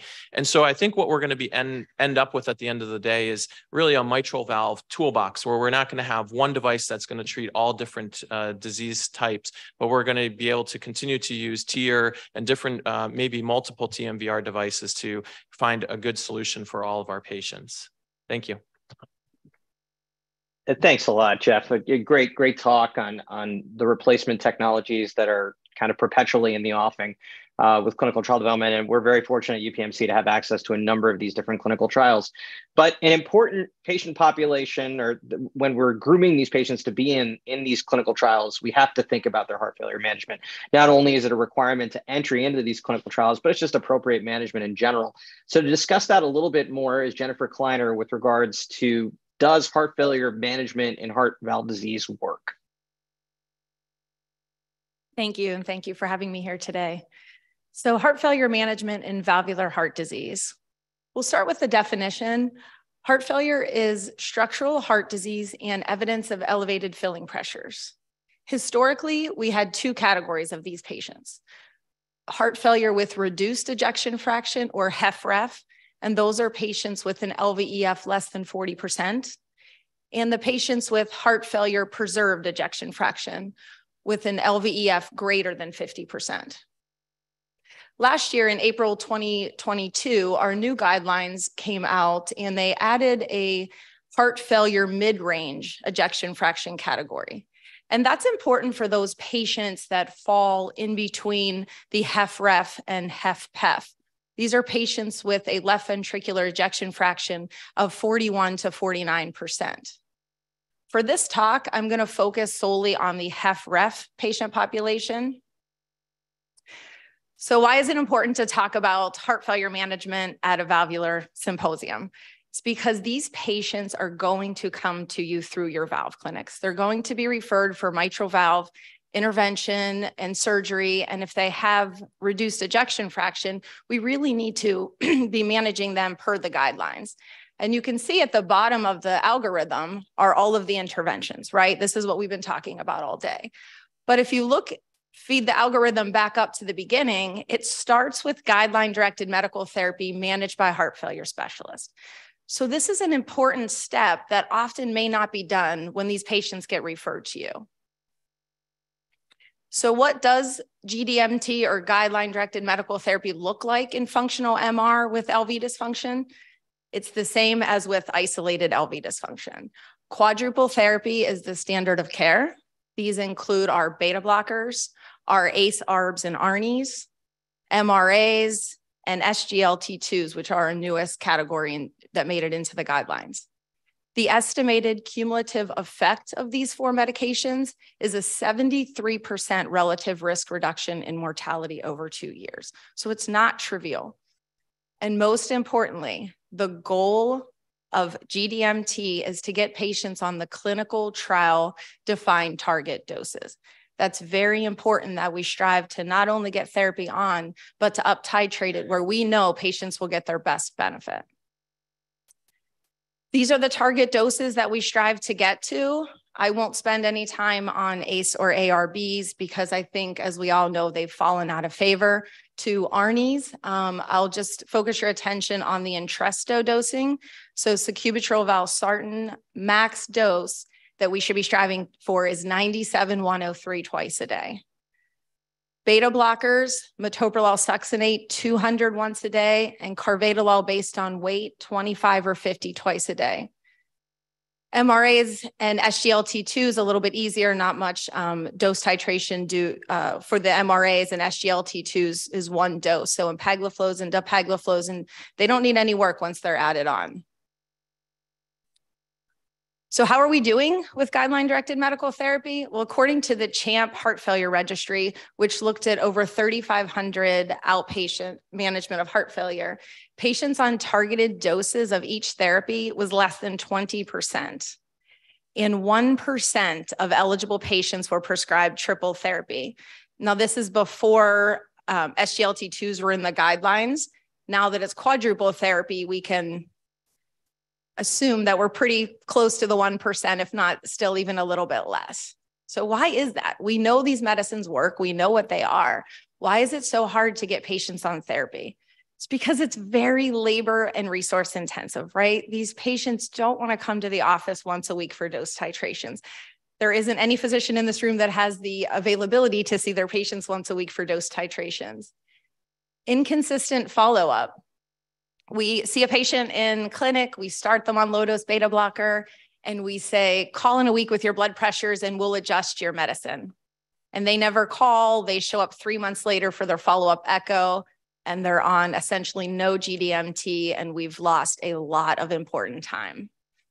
Delay with communication and frequent dose changes. This is difficult for patients, right? They need a lot, you know, four new medications, two of which have significant dose adjustments. So it's a lot for them to handle.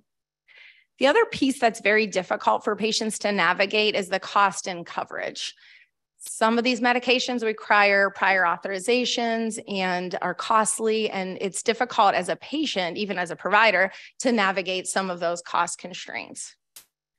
This data was just released about two days ago, um, looking at guideline directed medical therapy and COAPT. So we were looking at the reasons and the rates of intolerability of GDMT so for the patients who had in the COAPT trial who had an LVEF of less than 40%, it was 464 patients.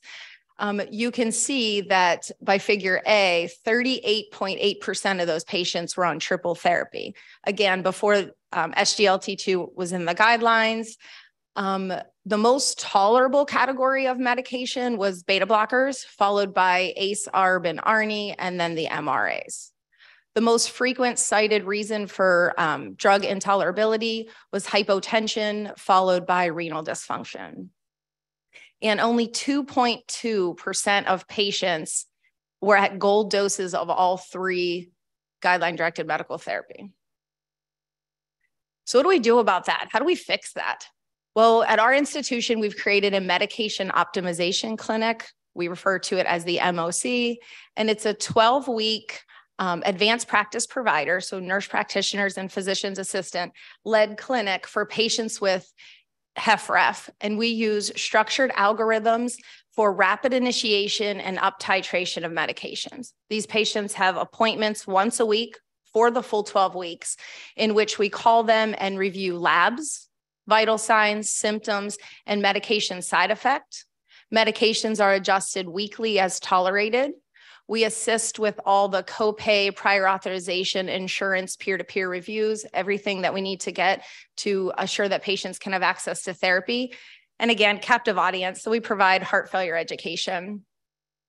The goal is to get four drugs on by four weeks and then use the following weeks for subsequent up titrations. When we first looked at our data at our single center 18 months, we had 206 patients that came through our medication optimization clinic, comparing that to a two to one propensity matching control group of 412. We saw that we were successful in decreasing both heart failure and cardiovascular hospitalizations at the three and six month mark. We also were able to increase the number of patients on quadruple therapy from 6% to 49%. So this was really exciting for us to, to see that this actually works. But the question we got over and over was, is this scalable? Yes, it's often easy to do these things at a large academic medical center where you have more resources, but is this reasonable to think that we could scale this across the system? So we did just that. We expanded to seven sites across the health system for a total of 10 advanced practice providers and they were across the entire state, so different demographic areas. And we're fully integrated into our valve center. So if a patient is referred for mitral valve um, evaluation and they have a low EF, it's an automatic referral to the medication optimization clinic. So we relooked at our data at a little over um, the two and a half year mark. And I know this is a busy slide, so I'll, I will slim it down to the important things. Looking at our N, which is now 772 patients who came through the medication clinic, compared again to a two to one matching of um, a little over 1,500 patients. Not only were we successful in, in getting folks on therapy and getting to that 50 to 100% target dose, we were consistent in that increase in quadruple therapy. So we were able to increase the number of patients on quadruple therapy from 9%, 9.7% to 50.1%. So again, a significant improvement in, in therapy. Most importantly, what does this look like for hospitalizations? So if we are looking at heart failure hospitalizations at three, six, and 12 months, as well as cardiovascular hospitalizations at three, six, and 12 months, we were able to impact all of that. Heart failure hospitalizations at 12 months were decreased from 23.8% to 8.42%. So a significant decrease. Mortality at three, six, and nine months, also significant decrease. If we're looking, if we're looking at the one year mortality data, that was able to be decreased from 10.9% to 1.68%. I wanted to show this Kaplan-Meier's curve for the mortality at 12 months, only to point out um, one point. You can see the separation begins early. So these patients are getting effect almost immediately by being put on guideline directed medical therapy. And that's important because we, we have to stress that we can't wait to refer these patients. When they're identified as having low EF, we need to get them on therapy quickly. And also, this is the reason that we're not quick to scale back on therapy. If a patient isn't doing well, we want to try looking at all other avenues before we scale back because we know it's beneficial. So, in summary, dedicated medication optimization clinics are effective for rapid initiation and up titration of guideline directed medical therapy. We should all strive to achieve the target doses of therapy. And to treat the valve, we must treat the ventricle. Medication optimization clinics are scalable and patients managed through medication optimization clinics have a three to four fold reduction in hospitalizations and mortality. So it may be labor intensive, it may require resources, but it's the right thing to do. And doing the right thing is never the wrong thing. Thank you. That was a that was a really great discussion. Thanks, and I'm sure that we'll have more comments about the role of medical therapy and then the great work that's been done, obviously in your heart failure clinic, and just uh, making sure that we have compliance. Uh, you know, if we're talking about adding a little bit of real estate to the portfolio with mitral, we're heading full blown into emerging markets now. So, really, to uh, kind of begin the discussion with regards to that, we'll turn over to Matt Suffoletto, percutaneous tricuspid valve repair, making it a reality. Okay, greetings everyone. Thanks for having me. I'm really excited to give this talk. Uh, I have no disclosures. We will be discussing, though, an investigational device that we've been using at Presby, the TriClip. I'm going to be showing some pictures. So uh, we all in this room know tricuspid regurgitation is prevalent. It's prognostically significant. This is a higher risk surgical cohort by the time this is diagnosed, perhaps because of late discovery or patients' comorbidities. And in the percutaneous space right now, we have only investigational devices. We don't have a, an FDA approved device. But um, as we've shifted our focus to percutaneous approaches to the tricuspid valve, we've really seen a paradigm shift as far as how we image the tricuspid valve. So for this talk, I'm going to be reviewing tricuspid leaflet anatomy as it pertains to um, percutaneous solutions for tricuspid regurgitation. We're going to talk about how to assess severe TR, uh, discuss briefly the types of functional degeneration, and talk about some of the echo considerations as we uh, approach percutaneous solutions to the tricuspid valve, tricuspid regurgitation. This is Rebecca Hahn. She is really a thought leader in our field. Uh, I'm showing this paper because if you are an imager, if you have any interest in learning how to image the tricuspid valve, she is a really important figure and a, a real Jedi master of the tricuspid valve. Extending that analogy, I'm showing my partner, Bill Katz, we're the, the imagers as part of our tricuspid program, and, uh, and, and we are aspiring to, to, to Jedi masterdom there. Um, this is who I was when Bill first handed me a probe in the early 2000s when I was a fellow, and I realized that this is what I've become. This is where where we are now. Um, and again, extending that analogy, let's talk about our tricuspid valve team. We have Dr. Conrad Smith, our interventionalist. Never tell him the odds. Jeff, I took Luke, so you know who you are. Chewbacca. And uh, also a couple of our other structural imagers, Josh Levinson, who's in the crowd, Dr. Zach Reinhardt, I wanted to call attention to them because of the limitations of the, the protocol. They are not our active imagers for our tricuspid program, but they participate in our heart team waking up for a 6.30 meeting every Thursday. So they deserve a little bit of attention too. And last but not least, PA, Kat, uh, Katie Fatiganti is in the audience. You might not even know who this is, Katie. This might be before your time, but but you really are rounding out the cockpit here with us. So jumping right in, let's activate the hyperdrive and advance my slide. So um, tricuspid regurgitation, it's prevalent. Uh, it's prevalent in our elderly population. We see a higher prevalence with the diseases we know well, our patients with atrial fibrillation, our patients with pacemaker leads, the patients treated for their left-sided valve disease, either surgically or, or percutaneously. And we're plagued by late detection for a lot of different reasons. And this might be because tricuspid regurgitation may be clinically silent early. We might not be good at detecting it in the echo lab, but that's a whole nother subject uh, and really deserves some attention, both uh, from a sonographer and imager level. And by the time we discover it, there's often entrenched comorbidities, longstanding atrial fibrillation, right-sided heart failure, pacemaker lead present, kidney disease, liver disease, as we all know. Uh, I'm going to briefly, uh, uh, I'm going to skip over that. That's a, a, topic for another discussion, but uh, severe TR, know it when you see it. And even aside from some of the real sophisticated quantitative methods or 3D imaging we use, if you are seeing, oh, where's my marker there? If you're seeing reversal in the hepatic veins, if you're seeing a really triangular dense tricuspid signal, if you're seeing a big right atrium and a big IVC without the Re another reason for being there, like a like a, an ASD, um, you should really be paying attention and looking for the tricuspid regurgitation. We have really sophisticated uh, quantitative methods. I remember as a fellow when I learned PISA, I said, "Oh my God, this is so um, you know abstract and academic. Why are we ever going to use this?" Well, we are using PISA and PISA ratings. It's really entered the lexicon. Even our our interventionalists know what PISA is and talk about the PISA dome and baseline shift as we're imaging. Um, so severe TR, no, when you see it, this is one of our patients. We see here a very, on the upper right screen, a very dense triangular tricuspid regurgitation signal. We see a uh, PISA dome flow convergence indicating a high volume regurgitation jet. And we're seeing on the bottom part of our slide there, hepatic vein reversal. And let's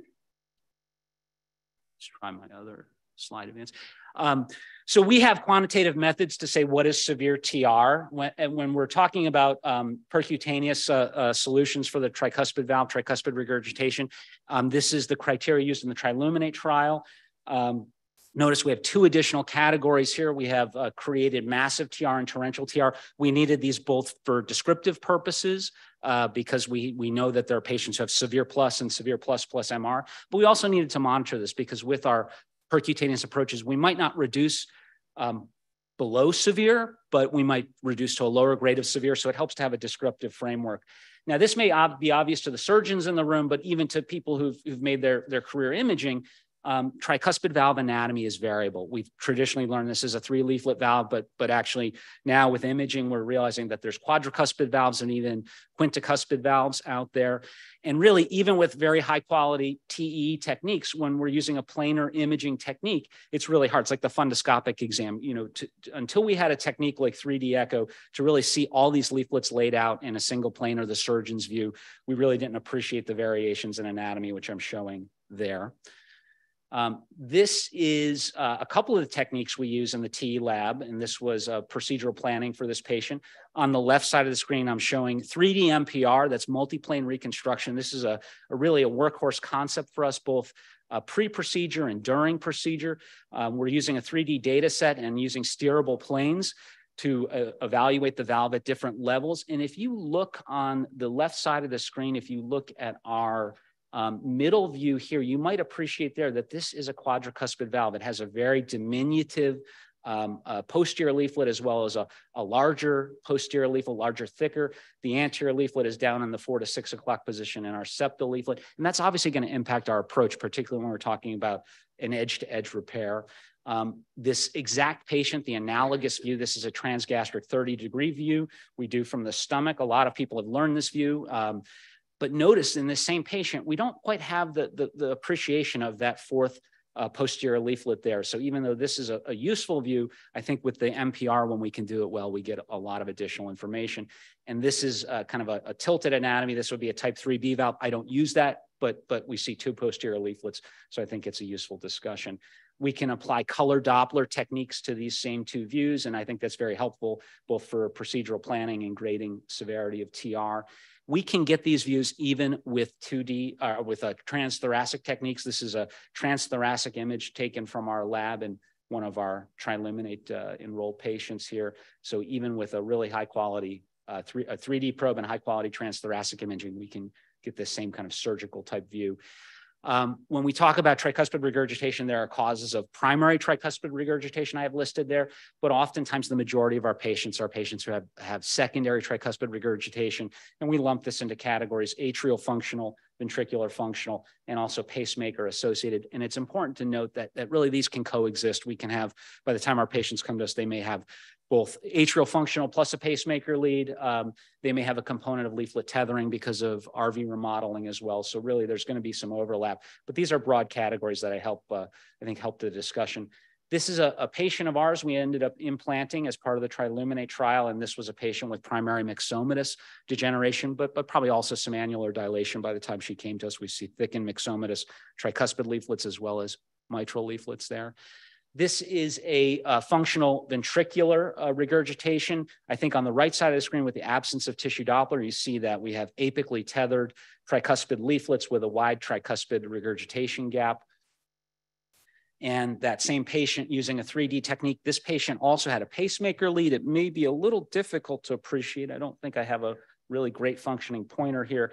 But this patient has a pacemaker lead in the kind of seven o'clock position that we see on the left side of our screen. Now that pacemaker lead, uh, though it may have some interaction with the posterior leaflet, look at the coaptation gap and, and look at our far away from, from that, the anterior leaflet and the septal leaflet are not coapting. So this is a pacemaker that uh, that probably has, has little functional significance to the degree of TR that this patient has.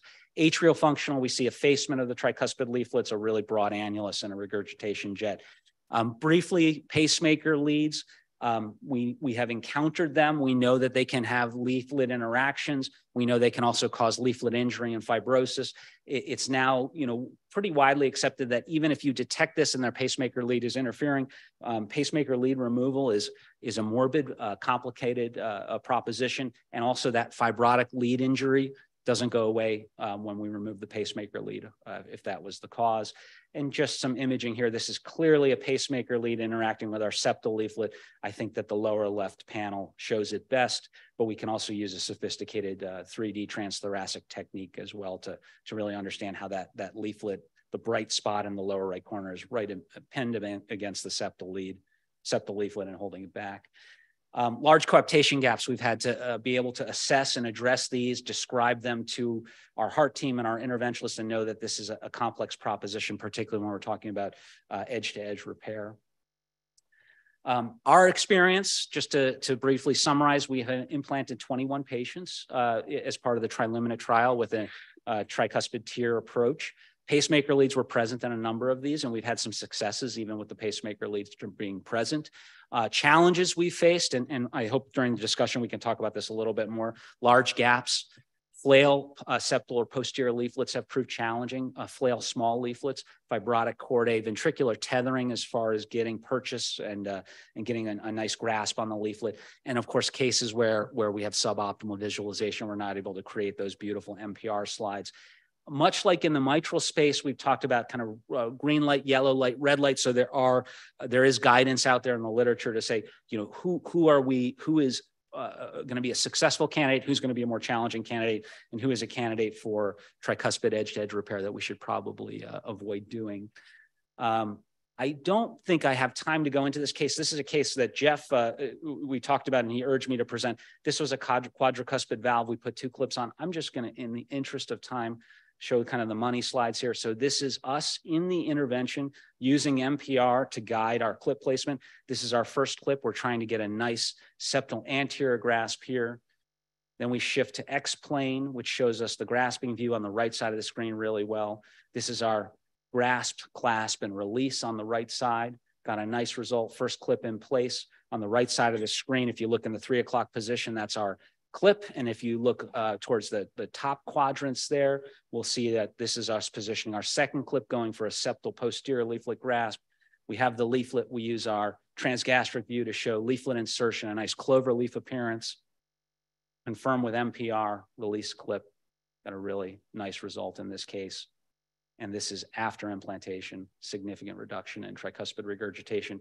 So just to briefly summarize imaging for success, we have to see the leaflets, we have to know the leaflets, we have to be able to describe the leaflets, count the leaflets to guide uh, our, our clipping strategy. We have to mind the gap. Our large gap patients are gonna be difficult. Plan our grasp, be willing to abandon a position or regrasp if we uh, are not liking what we're seeing. And with every move, anticipate what our next move will be during the case. Programmatic success, heart team dynamic, um, interest in advanced echo techniques, a willingness to learn, a willingness to uh, to uh, to push the bounds of what we're doing and train our sonographers to do so. Um, talented interventionalists, of course, willingness to learn, comprehensive cardiology care, MOC clinic, uh, and a patient-centered approach. And with that, I'll show a bibliography and uh, we'll move on to the next speaker. Thanks everyone for your attention. Thanks a lot, Matt. Uh, so we'll transition from the world of repair to the world of replacement. And this talk is titled TTVR, the new TAVR. And uh, as you'll see, this is kind of a tongue in cheek statement. So let me just go ahead and share my screen so I can show you my slides. Uh, hopefully those are transmitting well. If they're not, just let me know. Okay. Uh, so here are my disclosures. Uh, I am going to be talking about how TTVR is the new TAVR, but in the case that they're both heart valves inserted in percutaneously, potentially with three leaflets, and therein the similarities end. So the quagmire is that severe TR is obviously vastly undertreated, more out of mind than out of sight. It's a large historical issue with the reluctance to treat it, increase in hospital mortality, particularly following left-sided cardiac surgery. Percutaneous therapies are a challenge due to the anatomy. Tricuspid leaflets are thinner and more fragile. High chordal density and RV trabeculation challenge navigation. RV dimensions can be small, limiting throw into the RV. Lack of calcium can present sealing problems. The annulus is dynamic, as Matt pointed out in his talk, and we're limited by our imaging. TE is particularly challenging because of the anterior orientation of the tricuspid valve. So um, this is a proposed uh, a standard echocardiographic tricuspid valve nomenclature by Becky Hahn and colleagues, as Matt kind of discussed as well. And obviously, it's much more uh, complex than anything that we have in the aortic uh, valve world. So we're entering into a minefield. When we're talking about transeptal, or sorry, not transeptal, transcatheter tricuspid valve replacement, there is no transeptal support, and the distance between the IVC and the tricuspid annulus can be quite short.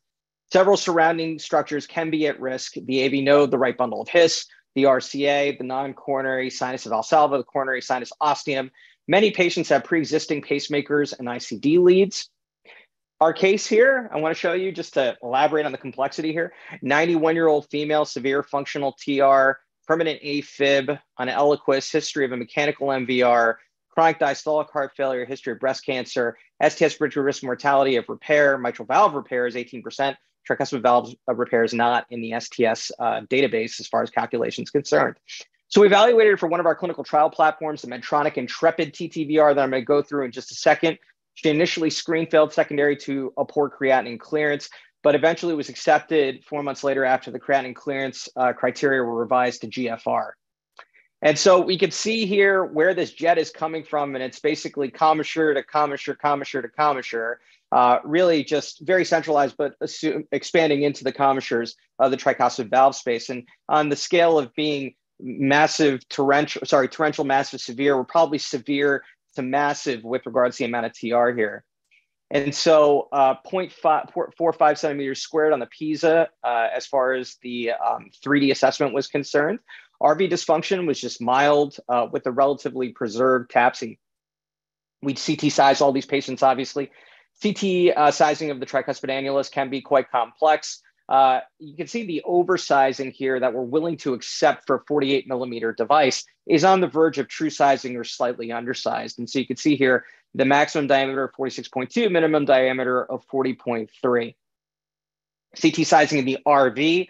And so the length of the right ventricle definitely matters. Um, you know, we're concerned about injury, pseudoaneurysms, perforations, things of that nature. And here things look very good. Obviously, the minimum and maximum view. Uh, this trial was actually halted in the early term, secondary to incidents of those types of events. And those have been largely resolved with the refined criteria to assess um, the depth or length of the right ventricle we look at access, we're looking at venous access, obviously, and the capacitance of a 42 French outer diameter system or a 39 French outer diameter system up from the groin area into the IVC. Sheath to femoral vein ratio is something that we look at. The average perimeter here is about uh, 0.82 uh, for the 37 French, and that's deemed to be suitable for our transfemoral venous access.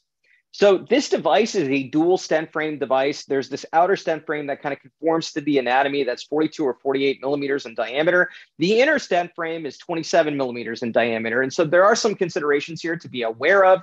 Uh, you can see here that we've got dense chordal structures, IVC TV, annulus distance trajectory issues, RV length, RV size, variable TV annulus dimensions, Horizontal hard axis can present some orthogonal challenges or being able to lie this valve perpendicular, some anatomic shadowing as well. And so here we look at the delivery system, uh, the cradle and stool, which is off the shelf, the sheath and step, step up dilators uh, as being kind of part and parcel of how we do this procedure. And so to move on to some of the MPR rendering and 3D imaging, you can see us here coming in uh, via the SVC and the right atrium with this device that basically has a brim structure to it that we then lower down to the annular plane and we complete rapid pacing to deploy the brim just for sake of time. I won't go through this in too much detail, but you can see here with the 3D and MPR assessments of what we're actually doing. When we go to deploy this valve, and again, I'll kind of fast forward here just to show you what happens uh, that it's a hydraulic indeflator. The valve gets deployed. And at the point of deployment, we look pretty good. But when we release the brim of the valve um, and, and the actual internal fixation of the valve, uh, we do see a little bit of kick up on that posterior aspect of the valve. Um, and what you'll see here is basically that we've caught basically the annular plane with the lower set of cleats but that the valve is basically migrated out a little bit. And this is obviously concerning. When we go to our color Doppler here, you're going to see there's a tremendous amount of color flow here indicating significant paravalvular regurgitation. And so this is definitely an issue. So now what? We think about the Super Bowl, we think about the Eagles pushing uh, their their quarterback Jalen Hurts into the end zone, and that's exactly what we elected to try to do. Uh, so we definitely jam this capsule of the device between the inner and outer stent frame to basically try to move this device in more to an annular level. And uh, what we accomplish with that is actually pretty good. Uh, so we go from here to here. And so we do shut down paravalvular regurgitation to a certain degree. But unfortunately, when we uh, when we move back the capsule, we end up with that same PVL jet that we did before. A patient wasn't really tolerating this very well, uh, and, and this was not a suitable surgical candidate. So what did we elect to do? we elect to put in a 29 millimeter sapien 3 and these are kind of like the um, not in a textbook uh, kind of creative solutions that we're gonna have to think about in this era and so here we elect for 29 millimeter sapien 3 to be deployed a little bit more in the ventricle. And by deploying this, we cut off that PVL jet, as you see here on color, just a very mild amount of PVL remainder. Uh, and so we get a pretty good outcome there. All right, so our peri and post-procedural follow-up looks pretty good. Transthoracic echocardiography showing um, really good solutions uh, with regards to what we had employed. Um, so really just trivial PVL left over and a good tricuspid valve replacement and replacement. So some final thoughts here. Uh, they do well in their preferred anatomies, but understanding what those anatomies are is a work in progress. This complex consists of a very flimsy valve, variably shaped annulus, sometimes dense chordal apparatus, influential chamber, chamber dimensions, and random trajectories, provided you could see it during the procedure at all. However, the patient population is plentiful, very much in need, and most are without any effective commercially available treatment. This field, more than any other, will require collaboration to build and refine an absolutely essential toolbox. So thanks so much. Here's my contact information. Appreciate your time. And without further ado, we can move on to the next talk, which is going to be about concomitant maze and left atrial appendage ligation. uh, heart valve surgery. Do not forget about AFib. We'll turn over to Dr. Chu. Thank you so much.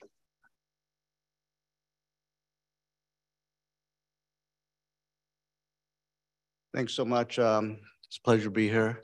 We'll shift gears a little bit about uh, surgical treatment for AFib concomitant valve disease. Um, Here you go. Here are my disclosures uh, specifically related to this talk. Uh, borrow some slides for the AtriCure uh, company, um, but uh, other disclosures are not relevant for this uh, talk. So uh, as we know, most of us um, understand that AFib it's, it's clearly um, a, a, big medical and financial problem and burden for the United States. And only one third of atrial fibrillation is treated during heart surgery. So clearly a very undertreated uh, disease. And, and, currently there are more than 33 million people still suffering from AFib worldwide. And as the population grows and ages, there's clearly a need for um, um, uh, atrial fibrillation treatment. Clearly the burden is going to increase, estimated to be 12 million in uh, 2032. Um, Many studies have shown a clear relationship between atrial fibrillation and uh, heart failure. And um, um, clearly that uh, the restoration of sinus rhythm uh, improves ejection fraction, and especially so in patients with severe left ventricular hypertrophy, with other valvular disease, and the restoration of sinus rhythm in these patients, uh, even uh, with cardiac valve disease, is clearly beneficial from a heart failure and survival standpoint. In 1995, um, uh, one of our um, surgical giants, uh, Jim Cox, developed a technique alongside with the electrophysiologist, a, a, a cut and sew surgical maze procedure, uh, which is really transforming in terms of surgical treatment for atrial fibrillation. Um, this technique uh, initially was described by Jim Cox and uh, as a Cox Maze 3 procedure it involves cutting, literally cutting the right atrium and the left atrium into maze little pieces and then sew back together. So as you can imagine, clearly it's, uh, it's really uh, a lot of needle holes of potential bleeding and, and, and, didn't really take off until different energy sources uh, became available.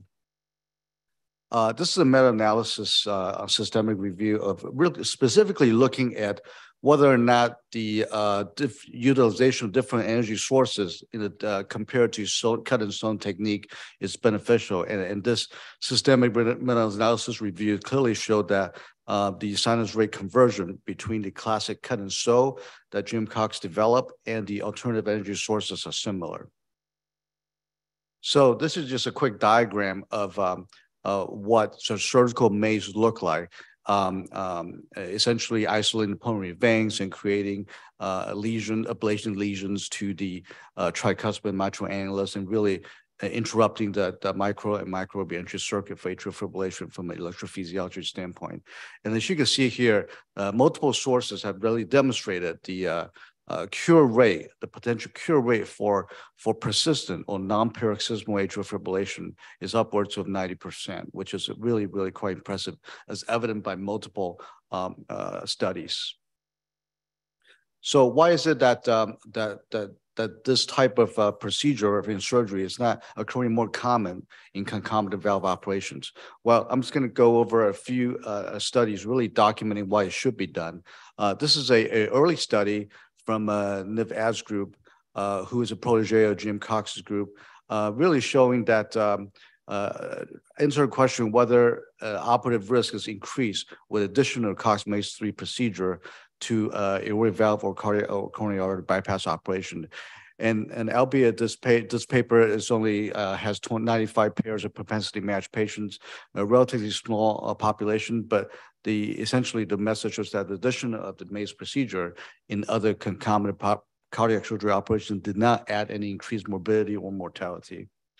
As we move on in the same group, uh, as they get more experience, uh, higher volume of patient and higher sample size, and on a similar note, uh, looking at both concomitant uh, mitral and tricuspid surgery, uh, really the message of this paper, which is published in our premier journal, was no increase in morbidity was associated with this procedure in mitral and tricuspid valve uh, surgical patients. Uh, in similar fashion, as, uh, as, as the same group really look at the long-term outcome, uh, out of uh, 473 patients who underwent the MAZE procedure with mitral valve procedure concomitantly. This study suggests the addition of a Cox Maze procedure uh, uh, with mitral valve disease has high degree complexity, but did not increase over operative risk. So um, uh, in even longer term, term uh, uh, outcome, the uh, in a similar uh, fashion, they look at more patients. Now it's up to 711 patients, um, which also show that uh, in, in, in addition to success of cure for atrial fibrillation, the procedure itself did not add any additional morbidity. So all those papers I showed you were early, but uh, really small sample size. So, so as we get more experience um, for this type of procedure in a surgical fashion, this group in um, the New England Cardiovascular Study Group looked at really the STS database over 20,000 risk suggested patients and clearly showed that there's an increase in survival in the, at least in the midterm and um, for patients who underwent uh, concomitant procedures in other uh, cardiac surgery, which included CABG and valve diseases. Um, this, uh, again, um, really increasing sample size, looking at specifically the um, uh, um, uh, STS database over 10,000 patients also was suggested, really showing that the performance of the MAZE procedure is associated with increased and improved long-term outcome in patients undergoing uh, cardiac surgery. So um, more recently, uh, a group of experts for uh, uh, around the world really uh, trying to answer the question what we should do as surgeons and provide expert uh, guideline in reviewing uh, many, many published literatures as well as expert consensus to identify the question whether or not we should, as surgeons, treat atrial fibrillation in, in, in as a standalone procedure or as a concomitant cardiac surgery procedures. Um, I won't go through uh, because of the time constraints. I won't go through the details, but essentially, I want to draw your attention to the the guideline, which is um, number one. In, whenever you do mitral valve surgery from an um, open surgical standpoint, it is actually a class one indication based on level A evidence to do concomitant MAZE procedures in patients with previous uh, uh, atrial fibrillation. And what about other type of uh, surgery in addition to uh, mitral valve surgery. While it's also class one, level of evidence is B. It's a little bit less strong, but certainly a class one indication. Um, so what's more importantly is that patients with atrial fibrillation who is scheduled to undergo surgery must have a multidisciplinary heart team discussion uh, to really uh, optimize what the treatment uh, options are. And this is not just the STS, uh, multiple other uh, organizations, including cardiology, cardiac surgery around the country and around the world, also uh, recommended the concomitant surgical ablation or MAZE procedure as a class one indication uh, to treat patients with previous uh, uh, atrial fibrillations with other heart valve diseases. So to conclude, um, atrial fibrillation portends to poor survival, which we all know, a MAZE procedure has been shown by multiple studies to cure uh, uh, atrial fibrillation up to 90% of the time. And the radiofrequency ablation and cryo lesions have similar outcome as a traditional uh, cut and sew technique. And, and very clearly, after many um, um, evaluations from, from numerous publications and uh, just started reviews, it's a class one indication for concomitant procedure during surgical heart valve operations. Now, class one, I always tell the residents, is essentially an error of uh, um, uh, omission. So if you don't do it, you go to jail. So it's important that we do that. Um, and, and, surgeons really consider doing this uh, operation at, at the same time. These are some of my references. And um, that being said, thank you for your time. Appreciate the invite. Yeah, thanks so much, Dr. Chu. And clearly a very large patient population Venn diagram intersection between AFib and valve surgery or valve uh, valve disease. So uh, let's go ahead and, and try to limit the next two talks to about eight minutes. Uh, so we'll embrace the robot for mitral valve surgery. Dr. Bonatti, please go ahead. Thank you very much for the kind invitation to look together with you uh, at where we stand with using a surgical robot uh, for mitral valve surgery, more specific, uh, less invasive, minimal invasive mitral valve surgery. The surgeon uh, sits behind, as we know, a console, looks into a 3D HD binocular and controls the surgical instruments uh, with uh, joysticks or masters, as we call them, and also using uh, foot pedals at this uh, console. Here is a view on the docked uh, robot. We have uh, four arms that are, of course, uh, draped in sterile fashion. We have a camera, two instrument arms, and a one arm for holding the left atrial retractor. Work of the patient side uh, surgeon is extremely important for proper work. Here, uh, we start out the operation uh, with a very small mini thoracotomy on the right chest. It's the fourth interspace, and we insert a soft tissue uh, retractor. In parallel to these steps, one of us uh, cannulates the patient in the right groin usually. Uh, we have the venous drainage uh, cannulae, uh, bringing the, the oxygenated blood into the heart-lung machine, and then it's pumped back uh, through the arterial cannula. We insist on a distal perfusion cannula like we do in ECMO to ensure proper leg perfusion during the procedure. After going on pump, a long cardioplegia cannula is inserted into the ascending aorta and uh, connected to the cardioplegia vent line. You can use either an endoballoon or a uh, cross clamp, uh, the so-called Chitwood clamp that is brought endothoracically to the ascending aorta. We cross clamp the aorta and induce cardioplegia. This is the uh, endoscopic robotic surgeon's uh, view on the anatomy. Uh, you appreciate the ascending aorta with the cardioplegia cannula, the left atrial retractor that now pushes away the uh, right atrium so that we can uh, access the Waterston groove and we have the left and uh, right instrument, robotic instrument uh, in our site. Once uh, we open uh, the left atrium, you see here a P2 flail typical myxomatous degeneration. We use uh, a ruler just to get an idea how much we reduce, we reduce the height of the posterior leaflet. We target 1.5 centimeters. And in most instances, if we do resectional techniques, use a triangular resection of the P2 uh, segment. Curved scissors are used to do that, and the resected portion is handed over to the patient side surgeon. The defect is closed using a double layer running 4O Prolene suture, requires good coordination again between patient side surgeon and console surgeon. And uh, in the end, uh, this uh, suture is tied using a what we call uh, knot pusher, which we will see in a second here. The um, annuloplasty is, I mean, essentially every mitral valve repair is concluded with an annuloplasty, and in most instances we use an annuloplasty band.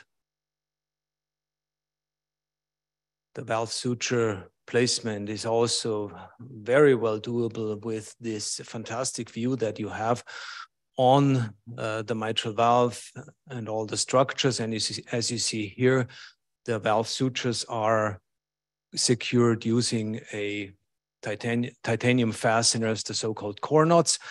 Another example, uh, this is not myxomatous degeneration, but fibroelastic deficiency, much less tissue as you see here. And in those cases, we are more reluctant to resect uh, the tissue, but use neocords for the reconstruction. The neocord Gore-Tex CV4 is anchored deep into the papillary muscle and then goes again through the papillary muscle at the insertion site of the cords. Pull it out of the chest and then uh, bring the neocord through the free edge of the leaflet twice, and then it is secured with eight knots by the patient side surgeon. We also look into the length of the neocords. That's the tricky thing about the um, neocord technique, how to how long to keep them. It's usually something between one centimeter and one and a half centimeters that we use. And then again, conclusion of the repair with a annuloplasty band. A water test shows us a completely competent valve. Now, which patients, any patients with an indication for repair can be considered and undergo specific uh, workup. There are several uh, caveats or contraindications, severe AR, severe MAC, severe left ventricular dysfunction and dilatation of the ventricle, severe pulmonary hypertension, uh, hypertension, all that you see on echo. Related to cardiopulmonary bypass, aortoiliac atherosclerosis is something to respect, and the femoral artery diameter. Um, chest deformities such as uh, pectus excavatum is a contraindication, severe forms, of course, and um, we also look into lung functions because we have to collapse the right lung with a double lumen tube. Severe forms of lung disease we don't do. We are um, reluctant with uh, reduce. Additional CAD, coronary artery disease, sometimes we do stenting before the minimal invasive mitral valve repair, uh, or we uh, suggest sternotomy in these cases. Poor RV function is also a contraindication. Um, okay, good. All right. How is that uh, being done all over the US? These are data of the STS. Um, if you follow the, the gray line, you see that since 2015, robotic mitral valve repair has increased from 10 to 14%, and videoscopic um, approaches from 19% to 27%. Overall, making this 42% of procedures being done in a less invasive approach in the US. Um, a current review that we performed showed us uh, in more than 5,000 published patients over 20 years that the mortality rates are way below 1%, about 1.5%. Uh, Stroke rates 1%, revision for bleeding 2.5%, 23% transfusion.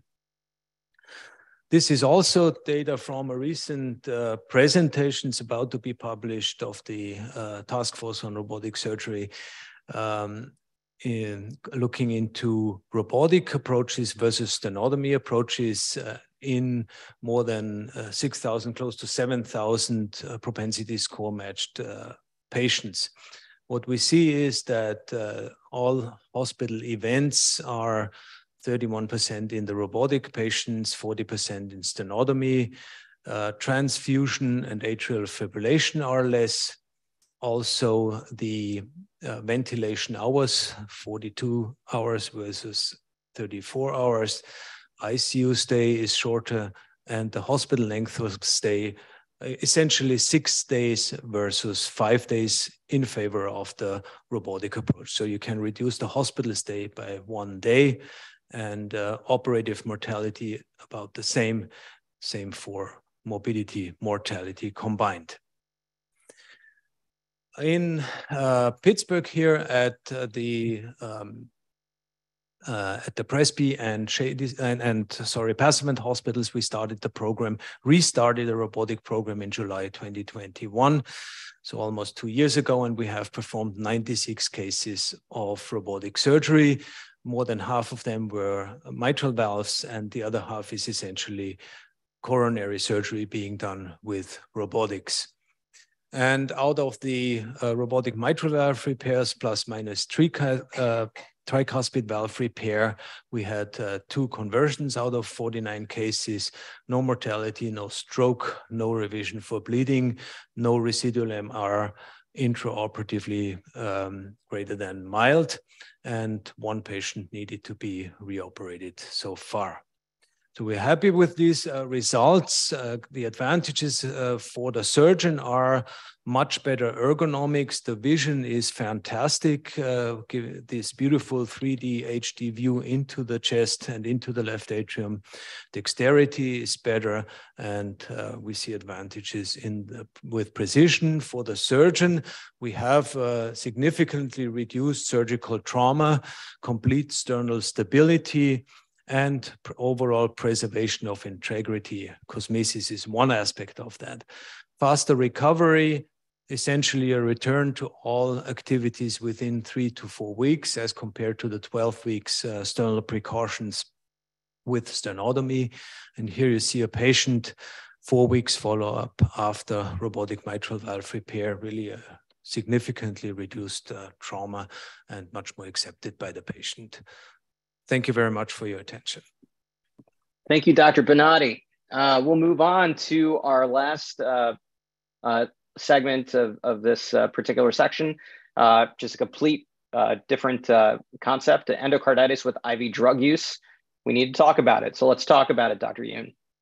Well, it's called maximally invasive heart surgery.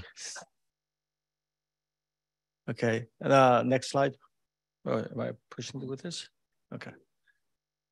So uh, no disclosure. Um, so at UPMC Presbyterian, we have a multidisciplinary endocarditis team, and uh, these are the team members. And sometimes we we get even more subspecialties involved.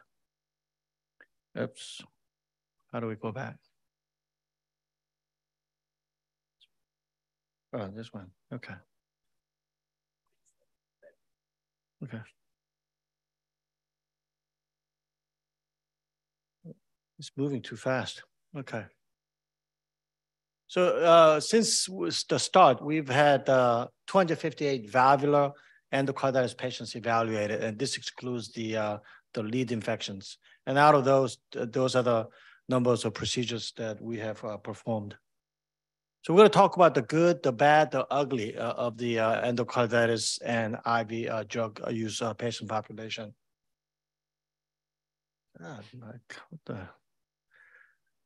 Oops, this is old. Okay. Clicker. Okay.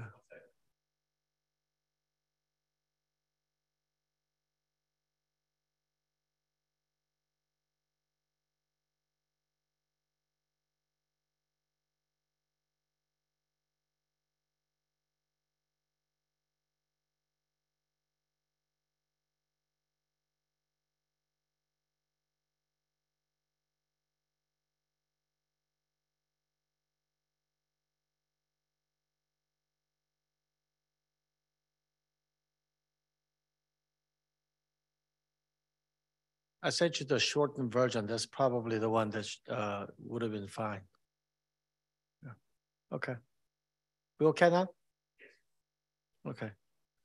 So uh, the change uh, in etiology of uh, endocarditis is the main thing is that if over the last couple of decades, the IV drug use uh, patients have become really the uh, big portion of this patient population. And these patients have 100-fold increase in uh, risk of endocarditis. So to discuss the good and bad and ugly, I'm going to give you some uh, case reports. Here is a uh, first case, HD, uh, 30-year-old female. She had aortic valve replacement and other complex procedure done in 2015. And uh, she actually stayed uh, sober for a decade and compliant with all the methadone clinic and such. And she returns with severe prosthetic aortic valve stenosis.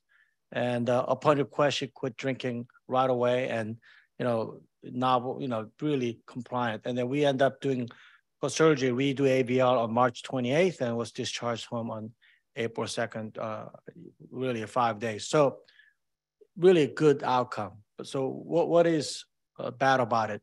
Well, the morning of surgery, this patient, well, somebody called our uh, or front desk and saying this patient is drunk and doing all kinds of drugs the night before surgery. So, you know, we're thinking about canceling this patient's case. Well, it turns out it was her mother, who's a drug addict, uh, decided after because she had an argument previous night that uh, she decided to sabotage this patient's surgery. So it really shows the social aspect of a lot of this patient population. They really have frequently very unstable social situation, and that becomes a big problem in managing these patients. And this is the, uh, you know, really uh, just uh, structural deterioration of the tissue valve after eight years, and she got a nice mechanical valve. The other case, uh, polysubstance abuse, uh, IV drug use, ETOH. Uh, she, he also had a lot of uh, other issues, HCV, cirrhosis, pancreatitis, Crohn's disease, status post ileocecectomy. He was admitted with uh, left thalamic stroke and right parietal subarachnoid hemorrhoid, hemorrhage, sorry, not hemorrhoid.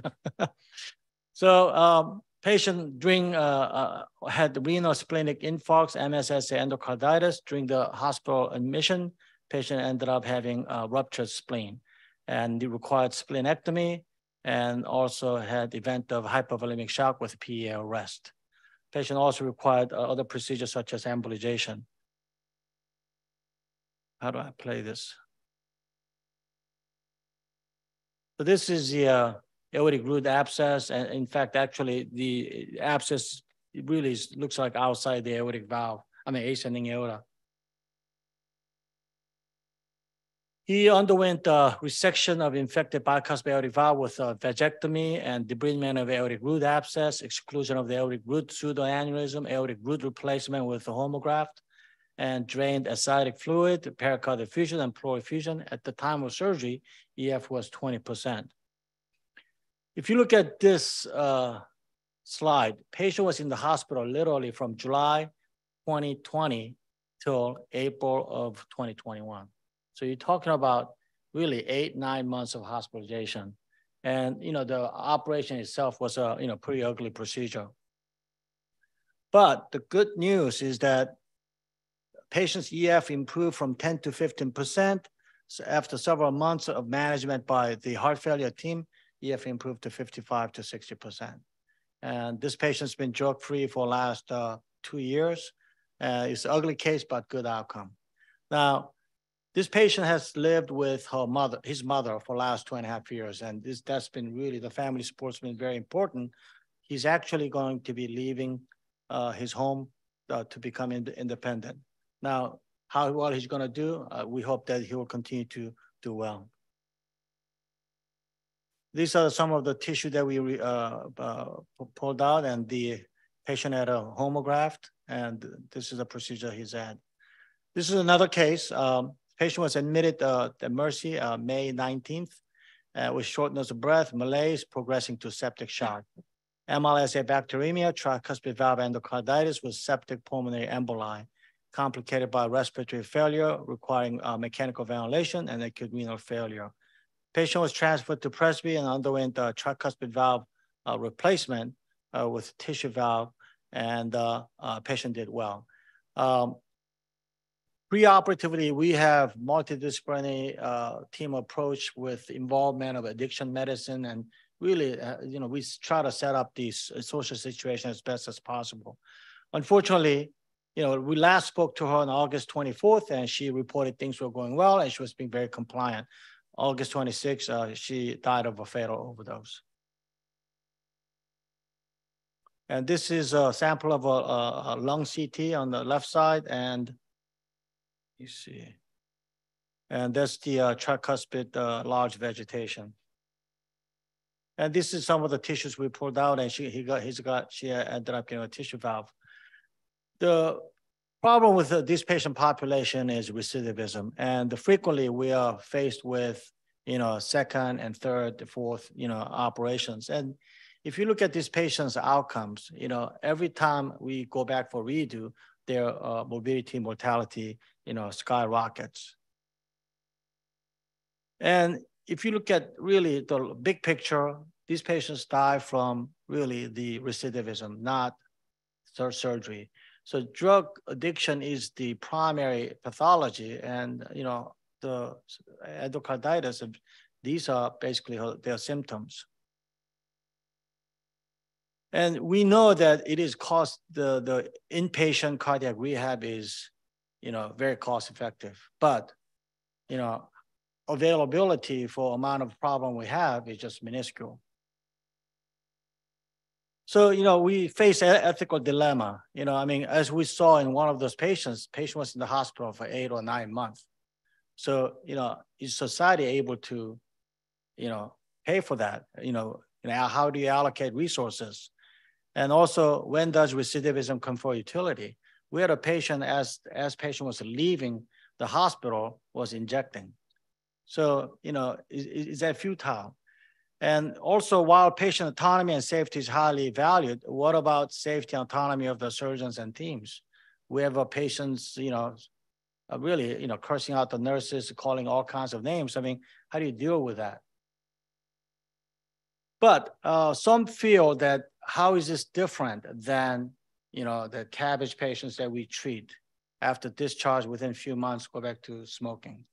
And, you know, the morbid, morbidly obese patient after we do the, the procedures for morbid obesity, you know, they frequently do go back uh, becoming morbidly obese again because uh, they've failed procedure, not because of the surgery, but because of, uh, you know, uh, really the lifestyle. So, you know, one would ask, how is this different than, you know, those? But, uh, you know, that's food for thought. But this is certainly a difficult patient population. I think UPMC Presbyterian is probably in uh, endocarditis, as far as endocarditis uh, is concerned, we do cover Western Pennsylvania, Maryland, and West Virginia because we get patients from all of these areas. These are not patients that I think other hospitals are very freely and willingly to uh, send to Presbyterian University Hospital. With that, uh, finish my talk. Thank you. Thanks so much. Uh, it just clearly uh, a lot of content laden discussion there uh, as far as endocarditis patients are concerned. Clearly, a drag to society economically, and we've got to intervene earlier on these folks, both from a behavioral standpoint, but then also when they get their uh, valve issues. So uh, we got about five minutes uh, for just very focused discussion. So I would like uh, all the distinguished members of the panel to comment broadly on a couple of different topics. So one thing that I've noticed with these mitral valve repair replacement trials, Conrad and um, Jeff, is that you know we're actually inaugurating new technology within the constructs of these studies, and then we're also changing the study designs as we move along. So what was a randomization of surgery then becomes maybe a TEER exclusive cohort with maybe the maybe the maybe maybe future development more towards TEER randomization that sort of thing. How are we going to interpret these results at the end of the day? More for the replacement studies than obviously the TEER studies but uh, as we inject new technology and change study designs what exactly is that going to lead to scientifically? Yeah, no, I think it's a, a great question, and I, I, think in part, you know, uh, uh, the this has um, become the case as the TEER technology has shown uh, evidence of benefit in in earlier studies and in clinical practice. So, it, in in some patients, it was not felt to be reasonable to randomize the, them to uh, to to have uh, not not have TEER as a reasonable arm for randomizing those patients. But I think it's it's a standard of care. It's what we're dealing with now, and it, I think it was an important step for both enrollment in the trials, but also in, in as we're looking at patients to what is what are the options the patients have moving forward, and how that is going to define the, the true utility of these these valve replacement therapies. As Jeff mentioned, I mean it's a tough field. It's a very tough field with respect to the number of patients that are um, not deemed um, eligible for for anatomic reasons or for other reasons. So so uh, it, our ability to sort of maximize and optimize the, the number of patients that we're able to en enroll in the trials and look at the data uh, down the road to see uh, to see where we are. I think you, have experienced it uh, as well in the the work that you guys are doing, and I think it's it's it, not only is it the challenge in enrolling the patients, but it's the, the modifications of devices and approaches that are going to make it a challenging field. And I think a field that is we still have a lot of work to do. Jeff, you have any comments about that? The transformation within studies, new devices getting injected in, study paradigms changing? Yeah, I mean, I think it's just gonna it's gonna be an iterative process, and you know, as we get new devices that become more of the standard of care, we're gonna have to compare it against you know that new level, and so I mean, I think this is probably not going to be handled as much in randomized control trials, more in real world registry data as we get commercial devices that are on the market and we see how they respond, um, you know, kind of in a real world anatomy with different techniques that we're using to be able to use an individual device that maybe wasn't studied in the randomized control yeah. trial. So, I mean, I think it's just going to keep evolving as we go and we get more devices commercially available to use. That's an excellent point. And I mean, I just think that this is like apples to oranges at this point. So we're really transforming how we view clinical trial development in this particular field randomized control trials may not be, you know, feasible or practical in any way. To transition to um, the great talk that was uh, made with regards to heart failure by Jennifer Kleiner, and then more towards a clinical cardiologist perspective, Matt Suffoletto. TR patients, how do we optimize their medical management and what exactly does that consist of? Want to start? Well, so, you know, if they have a low EF, then it's easy, right? We just use the same guideline directed medical therapy that we have for patients, again, with mitral valve disease um, or isolated LV dysfunction. So what about isolated tricuspid regurgitation? Is there like a target dose of diuretic that you're gearing up to do? And I mean, obviously SGLT2 inhibitors and diastolic heart failure have been obviously, or HEF, have been promulgated as a very promising therapy in these folks. I mean, are you trying to achieve the same targets? And what is your monitoring of a TR patient with right-sided heart failure? So we're trying to get them as close as we can to euvolemia. That is very difficult in this patient population. Um, so diuretics, we, you know, we use them aggressively. We use them at high doses. SGLT2 has been wonderful to supplement, um, you know, diuretics. Uh, I've been very impressed about the amount of diuretic effect from SGLT2. Um, we do not up titrate those again, just the the um, once a day dosing, but we have been successful in getting folks who's historically difficult to manage from a diuretic standpoint um, with a fine balance of SGLT2 and and loop diuretic. Matt, any comments about that? Difficulties with this patient population? To, yeah, to, to jump in, actually, one of the um, cases I showed, which was the ventricular functional TR in my talk, where we saw these uh, these apically tethered tricuspid leaflets with a very uh, wide jet, big gap. So that patient was an inpatient at the time. After those images were taken, she uh, underwent inotrope facilitated diuresis. She left the hospital on SGLT2 inhibitors, somewhat heroic doses of Bumex three times a day.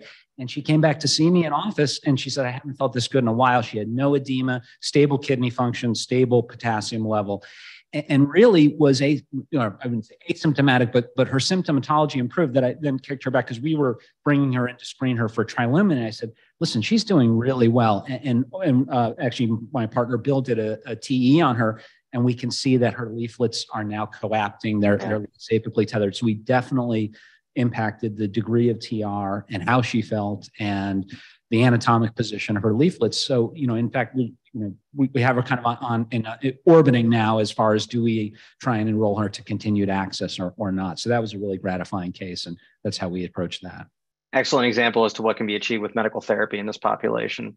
Turn over to the surgeons with regards to durability. So, what do we know about mitral valve repair durability, tricuspid valve repair durability, and do you think that there's a role of percutaneous therapy versus surgery trials and assessing that further? I mean, if you look at, you know, I mean, the outcomes that uh, Dr. Bonatti, uh, you know, showed, I mean, your mortality with mitral valve, you know, repair, surgical, open surgical versus mitral, I mean, it's just, it's a decimal point percentage. And, you know, mitral valve repair, I mean, they're durable. And mitral valve replacement, no different than really any of the tissue valves that uh, you know the uh, percutaneous valve would be. And so you know, I, I think uh, definitely whether it's tricuspid you know or mitral valve repair using uh, clips, I think they need to be compared to surgical outcomes. Uh, uh, you know, otherwise it's uh, you know comparing apple to oranges. Any other comments about what we know about durability in the surgery surgical arena? Uh, sure. Uh, I mean, what we cannot uh, deny is uh, a you know long-term freedom from uh, reoperation. You know, in the 95, 90% range. So we have to prepare the patients for a reintervention, reoperation in the range of 5 10% over the coming years.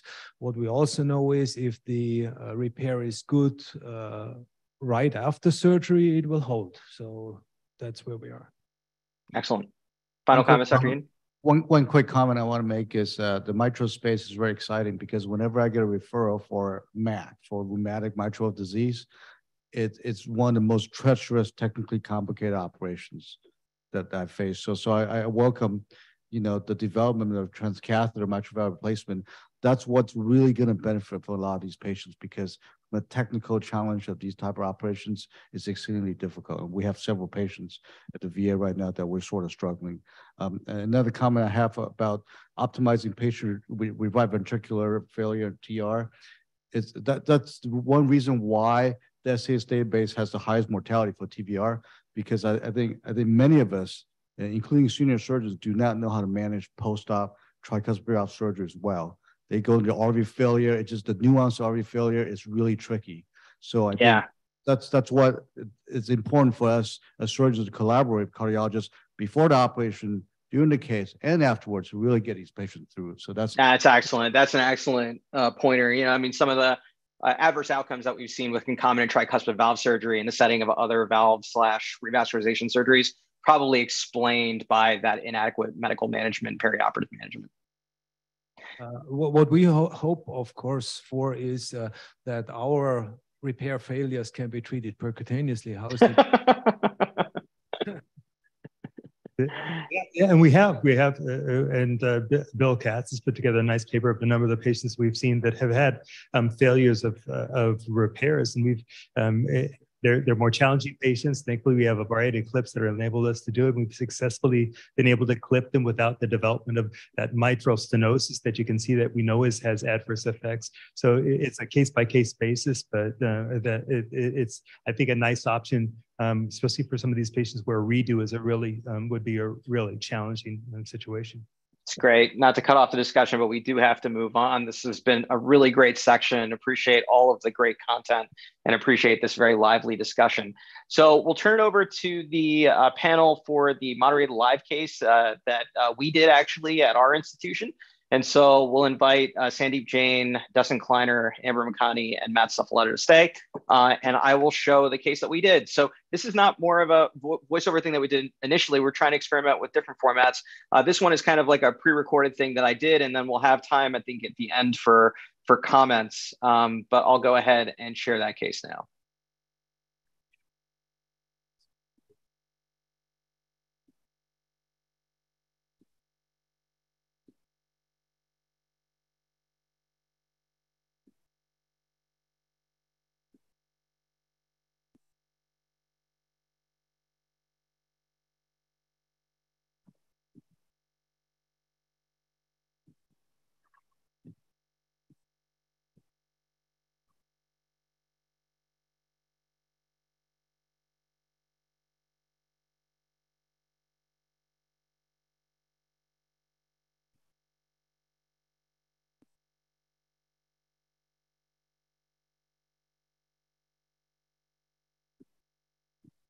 Sorry, I've been told that you can't hear. I got to work on that. Yes, when Okay. you go to share your screen, make sure you select the share system audio. All right, let me do that. Uh, so sorry, just do a new share here and share sound. Easy enough. All right, I'll just uh, go ahead and uh, start that again. Thank you.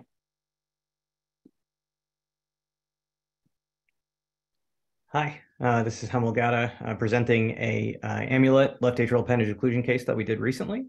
Uh, I'm joined by my colleague in the case, Dr. Roberto Hodaro, who would be handling the TE imaging. So the Amplatzer amulet is a left atrial appendage occluder that's been out in the commercial market uh, for a couple of years now. Uh, the disc at the very end of that device is designed to completely seal the left atrial appendage at its orifice. It's a disc, disc and lobe or disc and hub model. Uh, the lobe itself is what provides the radial force to really bind to the appendage. Um, it has stabilizing, wi- stabilizing wires which engage with the wall of the left atrial appendage to help hold the device in place. And then this waist that really maintains this uh, distance and tension between the lobe and disc, and this flexible connection allows the device to self orient, as we'll hopefully see in our case.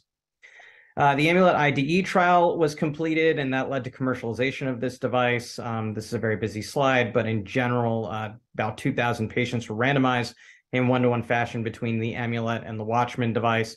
And you see that it was really non-inferior at um, all the hard endpoints that were studied with regards to Watchman.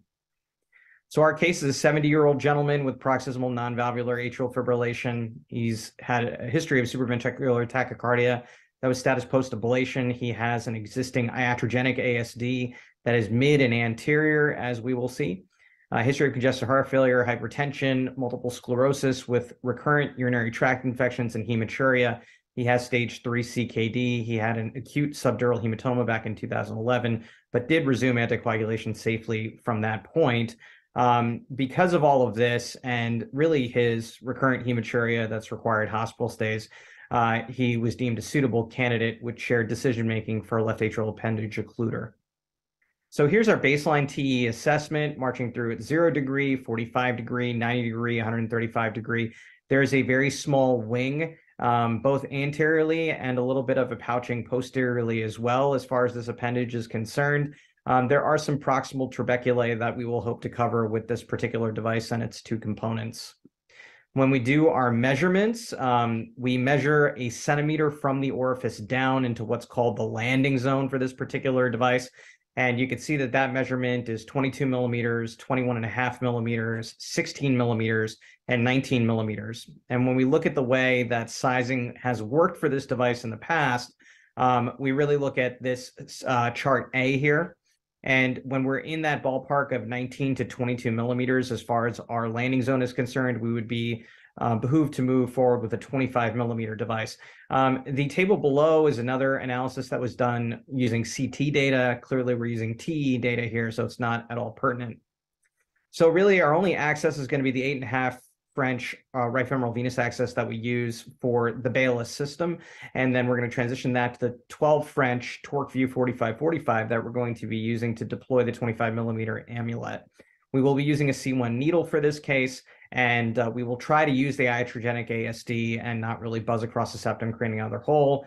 And we are going to be using a closure with a finger figure of eight suture at the completion of the procedure. So uh, let's move on in the case. Uh, we did package it together with GHX Explorer Surgical, as you'll see. Thank you. Okay, great. We'll take the needle. Can we give heparin, please, Ed? Thank you.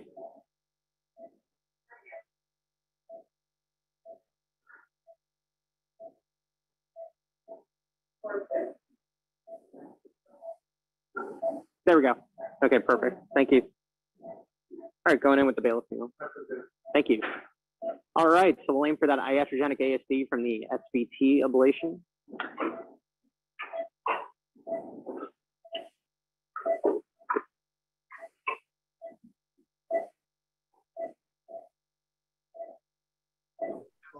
Sit up here. Let me ask you a question. Uh, you're, you're doing TEE imaging pre, no CT imaging pre. What about a TE makes you pick one uh, commercially available device versus another? It's a great question. And so, really, um, I think that the ostial nature of, of pectinate muscle clearance to the mitral valve is going to have you pick one versus the other. Those are the two that I really go for. And then, of course, some other dimensions that would be related to the appendage.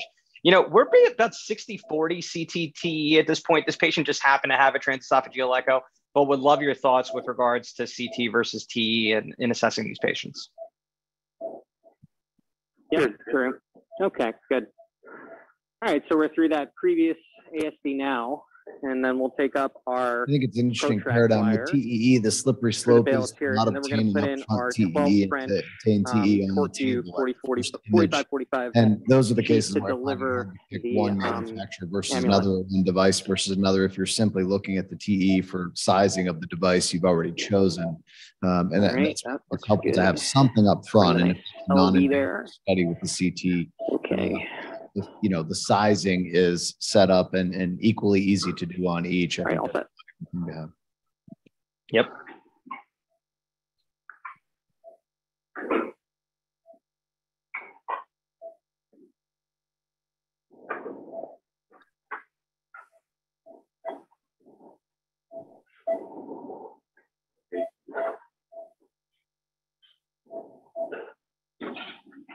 I just uh, pan back to the septum. We'll cross the sheath through it. All right, good. That should be across now. X-pin. Yep. Awesome. Okay. So then let's go ahead and walk the dilator out. And then we'll take that um, copilot. X-pin. Yeah. And you can just put the copilot on first, sorry. One, what do you want to Put it on here. Yeah.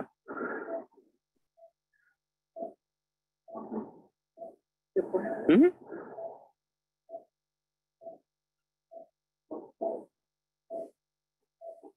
Good. All right, very good. And then we'll load the pigtail in. Let's go to a fluoro over the shoulder view here to open up the ostium of the appendage. So that'll just be like a roughly RAO 20 cranial 20 view.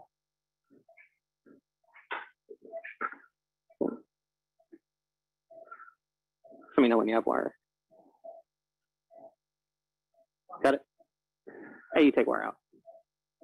Yep.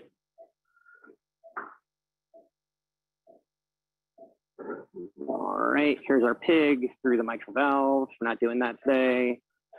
All right, so that in the appendage? Yep, sure. Wonderful. So we'll just walk our sheath right over there. So we typically don't do much in the way of contrast injection here, but we will for this procedure. Um, yep, I'll take contrast. And then we'll also take uh, an ACT syringe. ACT syringe. And uh, do me like uh, 20, um, yeah, 20 full strength. Yeah, that was fine. Yep, and that little recess, yeah. That would be great. Hemal, I see that your imager there went to an X-plane modality, and I think that's really helpful. This is one of those areas where our, our interventionists and, and our EP docs who may not pick up a TE probe in their life know this Here's view. our ECT. It's always interesting when they say, you know, give me the X. All right, we'll do a contrast. ID. Absolutely critical. Nice. So it definitely lays out the um, ostium of the appendage quite well in this cranial view. Um, the thing that we lack, obviously, is discrimination uh, anterior posterior. So we, we know that there's like an anterior wing component to this. Uh, but what we can make out really very nicely here is the ostium of the appendage uh, coming down to the contour of the left atrium. So this is a pretty good view. So we've already uh, examined our TE parameters uh, as we already walked through, and we're going to pick a 25 millimeter device to deploy here.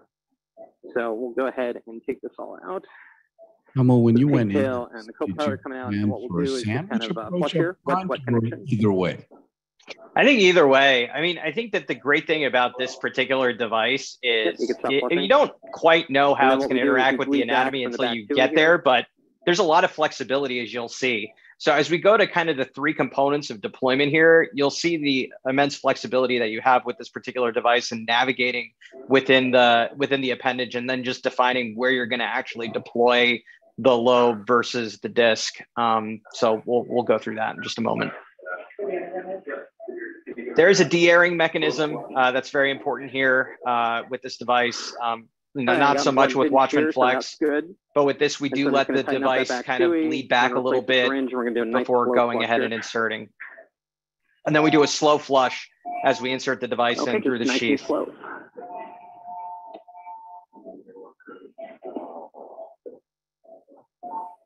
So we're coming up to the distal edge of the sheath right there. Good place to pause. Excellent. We could stop flushing and take the syringe off.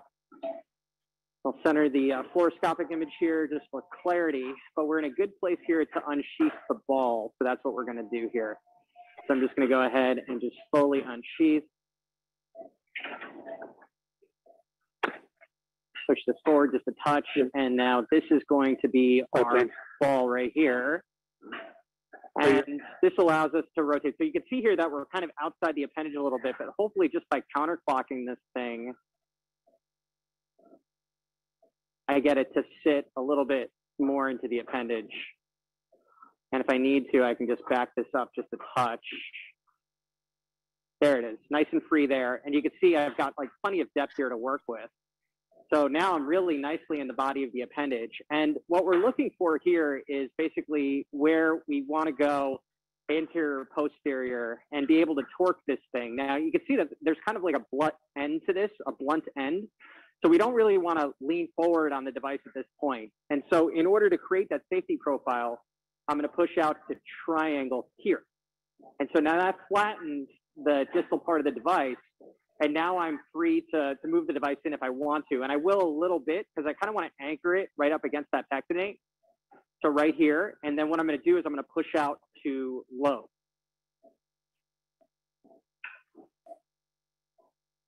And that's lobe right there.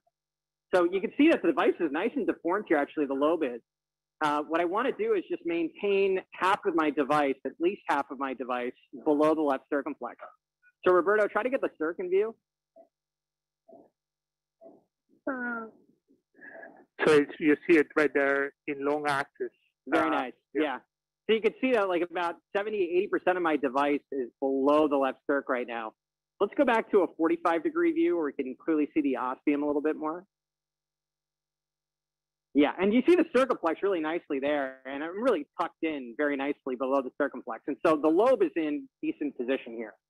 And so now what I'm going to do is I'm going to unsheath that disc. Um, and you can see again, the lobe is nicely deformed, so we'll pay attention to that. But I'm just going to go ahead and unsheath the disc of the device here.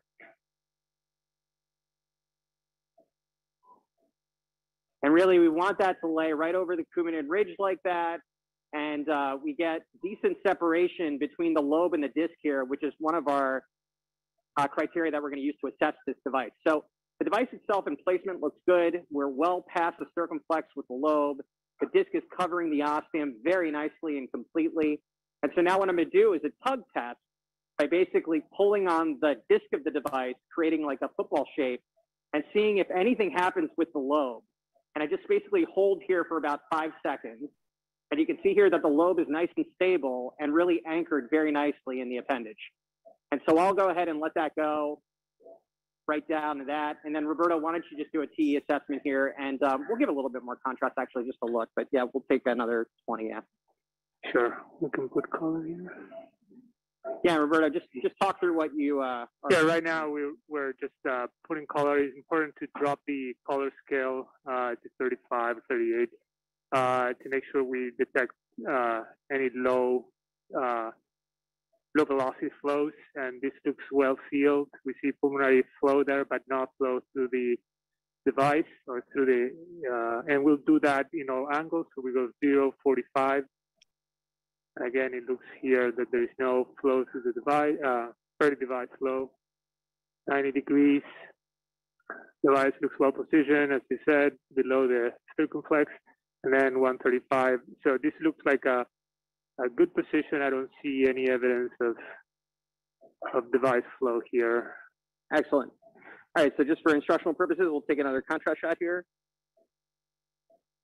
In that same um, over the shoulder fluoroscopic view, again, we'll be able to see like the true ostium of the appendage. And the great thing about this device is that that disc is really going to hug the ostium with no protrusion into the left atrium, as you see right there. So really just complete coverage of the ostium of the LAA. Uh, you can see the nice separation between the lobe and the disc, and uh, this looks really good. So we'll, we'll go for release. Now, the release here is very akin to um, ASD PFO devices made by Abbott. And so basically what we're gonna do is just counterclock the, uh, the cord um, that, that is basically attaching the device right now, just counterclocking, and that's it. Roberto, why don't you take another look? Sure. Let's put color here again. I'll take the figure of eight. And we're gonna go again on this view. And again, this is a, a very critical view, the 135 view. And I think there is some gutter flow there, but there's no flow through the device, as you can see on this view. Uh, I don't see any flow getting inside the appendage there.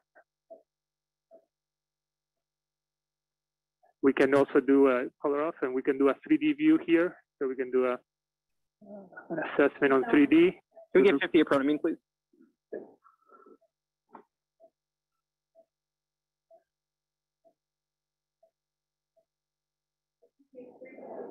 Thank you. Good. And we can put color here again. Uh, it looks very good here on this one. Good. Very good. And we look at the intraocular septum. We, we went through the previous So Hemal, you- morphology worked sure out really well for amulet here with the, the wing. Roberto, What's- after you do that, just show the What's your relationship between anticoagulation the plan? You've got a really good seal here. Is the here. disc. Is this a Yeah. DAP patient? Is this looks good. a DOAC patient? So another, you know, kind of For us, this would be device, DAP given the disc, for a month, respect, but, or um, sorry, the for, yeah, for about a month, vein, actually. as well What about the for you? What would you be doing? And we definitely don't want the disc to interact uh, in any meaningful way I uh, with think a those lot of particular times structures. And you can see here that we're on all what they may have come in on. If the mitral valve tolerating quite uh. DOAC So really not this, impairing any uh, kind I'll of uh, continue mitral it six weeks or two months Yeah, and the mitral valve had the follow-up trivial to MR and and there's also If they've been on nothing because it's No been change. prohibitive. All right, uh, perfect. And then the other thing, obviously, we be doing assessed that. for, uh, given the clinical trial data, is the presence of a pericardial effusion. Um, and we typically do get transthoracic echoes routinely on these patients later on in the day. But as you see here, uh, there's no evidence of effusion um, after the deployment. And we'll do Are that you sending these patients as home well, the same make day? sure. No. Um, so let me just, uh, yep, I think we're done with that. So yeah, I think that uh, the whole thing about this particular patient population right now is it is still coded, you know, underneath an inpatient DRG. So we are still keeping these folks overnight. Um, I think that in, in the COVID era or the peak of it, uh, we were putting that little uh, remind or that little note in the chart indicating that in the COVID era, you know, we are trying to move these patients out quicker just for bed capacity issues and whatnot. Um, but right now, we, we are keeping these folks overnight. We have a couple of minutes uh, for discussion here. So, um, uh, Sandeep, Dustin, Matt, Amber, any comments about the device selection here, the deployment, and and and kind of your insights onto left atrial appendage occlusion in general? I mean, I'll just start. You, you had a great result. Back to Dustin's original point of how do you choose up front? I think ideally down the road, this should be the type of thing that we can choose on the fly. That that you you uh, because I've at least gone away from routine CT because I don't think the measurements are helping me much. I, I'm relying on the TE more and more and my angiogram if I need it. And uh, I think 90%, 95% we can treat with either device. We just need to decide over time which one is, is going to serve us better. Uh, one question I'll, I'll leave with uh, for you though is how often have you run into um, any issues with the disc and the mitral apparatus? So it's always there in theory. We're almost never looking at that number. We're sizing everything on the lobe. I've never seen it where it's gotten too big, but at least in theory, we start discussing it. Have you had that? Yeah, I, I- guess I try to screen those out, right? And so, like, you know, because we have both devices and we're kind of a splitter account, those are the devices that I mean, those are the cases where we are getting the pre imaging up front. And on CT and TE, I can be pretty kind of methodical about understanding what my clearance is. And so, if it's not like five millimeters, then I definitely pause. And there are some minority of cases where I can just do measurement quick from that inferior board of the appendage down to the mitral valve annulus. And if it's ringing up five, seven millimeters, I kind of shy away from an amulet in those cases. But I personally have not seen any disc interaction with the mitral valve. So as somebody relatively new in the space, let me ask this question. Uh, going back to my pre-procedure planning with imaging, if it's not an imaging criteria that you're looking for, and you have a very broad size range and the success rates in the trials as or they are, what is not a flex case, right? I mean, why, why do Yeah. you need a second device? What is not Yeah. a first device? I'd say, I'd say broadly speaking. So what I do look for now, in a little bit more nuanced way, is ostial pectinate right? So complexity that's more proximal in the left atrial appendage contour, that's going to shy me away from flex because I'll either end up with a large shoulder or I won't cover something, or in some cases, both. And I think it, you'll be surprised how many anatomies, if you do pre screen, you'll find like that. And those definitely swim you towards amulet. I think the other case, large funnel shaped appendages where you're going to end up probably placing a Watchman device deep and then worry about these caked on DVTs, uh, DRTs. Uh, we, you know, we've had a couple where they were failed on Watchman 2.5 that you can come back and very smoothly do a do a do an amulet. Yeah, and I think the procedural planning here is key. And so, uh, you know, understanding that measurement that you would make kind of interprocedurally, a centimeter down, choosing the right device size, which obviously gain with experience. I think this is as efficient as a flex procedure. um, you know, most of the time. And I haven't I haven't encountered any inefficiencies because of bringing Amulet in to be a sizable percentage of our left atrial appendage occlusions. Emma, last year when I had spent some time with you, you were starting to incorporate intracardiac echo uh, Yep. in Watchman placement. Do you feel like there's a future for that with Amulet, or is it too nuanced for that? No, I think that there's a future there also, Amber. I think that right now, I mean, obviously, it's just economically prohibitive for us to be throwing it out there for every single case. Our shop runs pretty efficiently with the TE algorithm that we've employed um, or, or use utilization of TE. Like we're able to, you know, crank out seven cases and be done usually by about two thirty, three o'clock in the one room. And so, you know, I think like the procedural planning up front matters. Um, you know, having a really great team to turn over the room matters. Uh, but I I do see ICE as being, you know, obviously a future component that we'd like to employ. Uh, it's just economically prohibitive right now, given the margins that we have on this device. I thought- Excellent. oh, yeah. I thought that the, the, the way that the disc sat in that case was really, really nice. And sometimes we haven't quite achieved that. We have this kind of radar dish type look. And, and I'd like to think that probably that the effort you took at the beginning of the case to really tuck your ball underneath that pectinate, really get a Yeah. deep, you make sure you had, you know, what you estimated, I think seventy-eight percent of your device, the, the, the, the cake part of the device below the, uh, the, the circumflex made a difference. And it sat really beautifully. I was wondering, I was wondering how it was going to do with the mitral annulus uh, when the disc came out, but it looked good. You just you just summarized the entire procedure, Matt. And I mean that that's really it. It's just really getting that ball to sit right where you want the lobe to end up. And then hopefully you don't get that kind of recoil out. And if you do, trying to position the ball in a different in different place. And, and that's kind of the nuance uh, that it takes to deploy this device, I think, uh, effectively. Uh, but I, we'll close this uh, this component of of our uh, symposium. Just a couple minute break here, and then go on to the most intriguing section: heart valve disease. What does the future look like? So, thanks again. Appreciate it.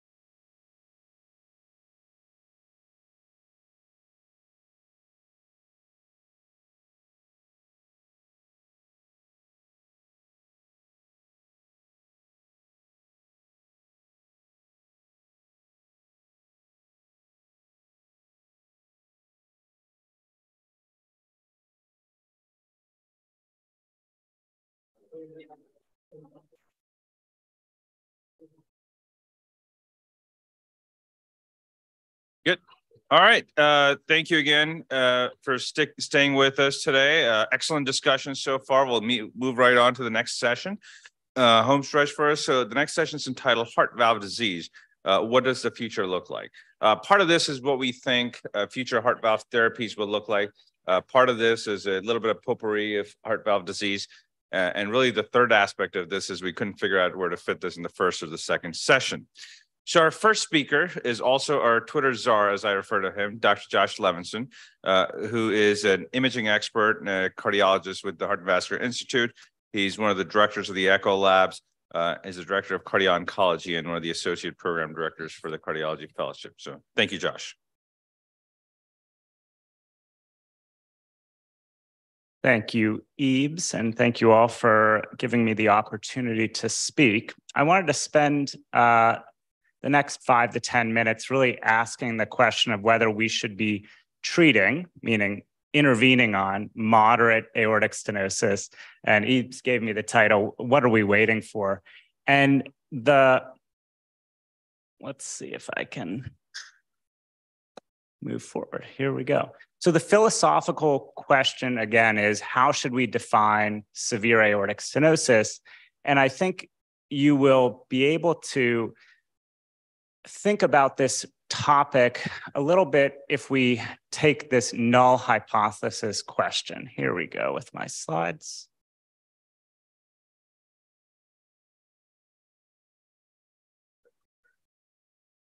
Thank you. There we go. Go back. So the null hypothesis here is that severe aortic stenosis has been traditionally defined correctly as an aortic valve area less than one centimeter squared and a mean gradient by uh, echo uh, as more than 40 millimeters of mercury.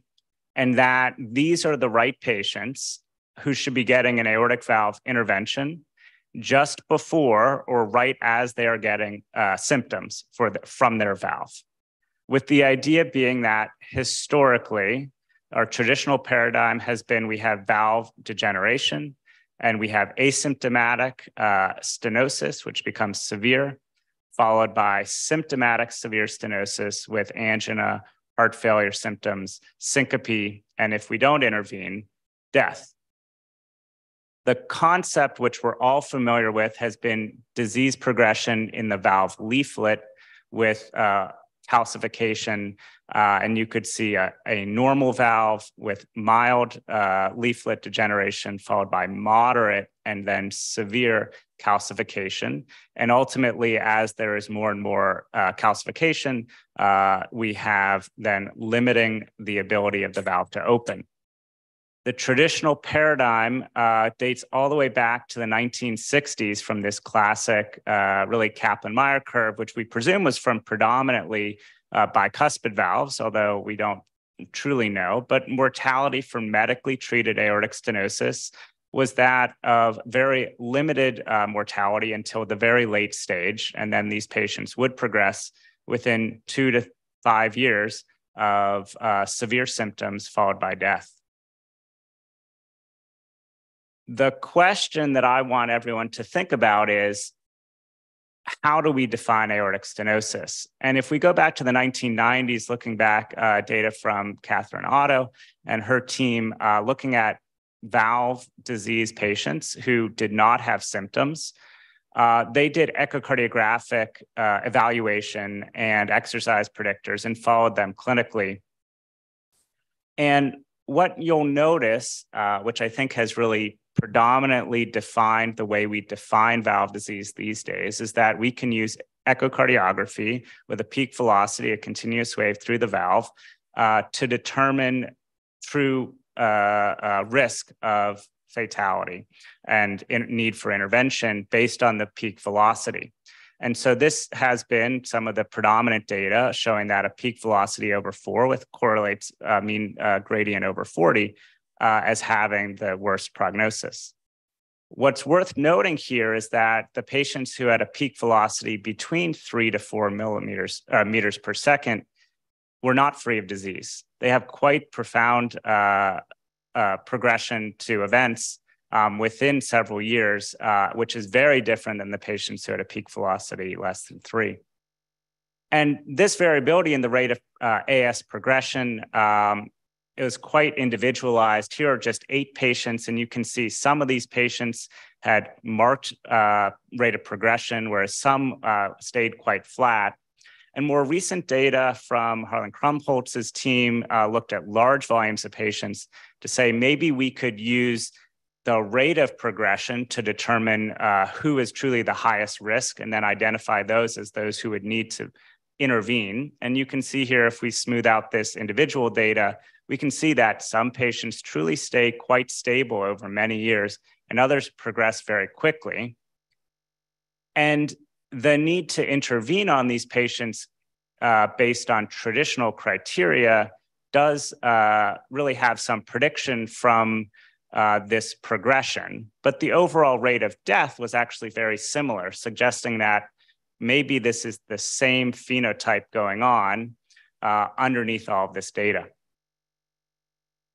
In addition, it's worth noting that the outcomes for these patients uh, in other cohorts really is predicted uh, based on the valve velocity. But if you notice, even in these patients with aortic valve disease from a large number of international clinics, there's not a freedom from uh, severe symptomatic uh, disease or death, uh, despite having a valve velocity less than four, suggesting that there may be severe pathology going on underneath all of this.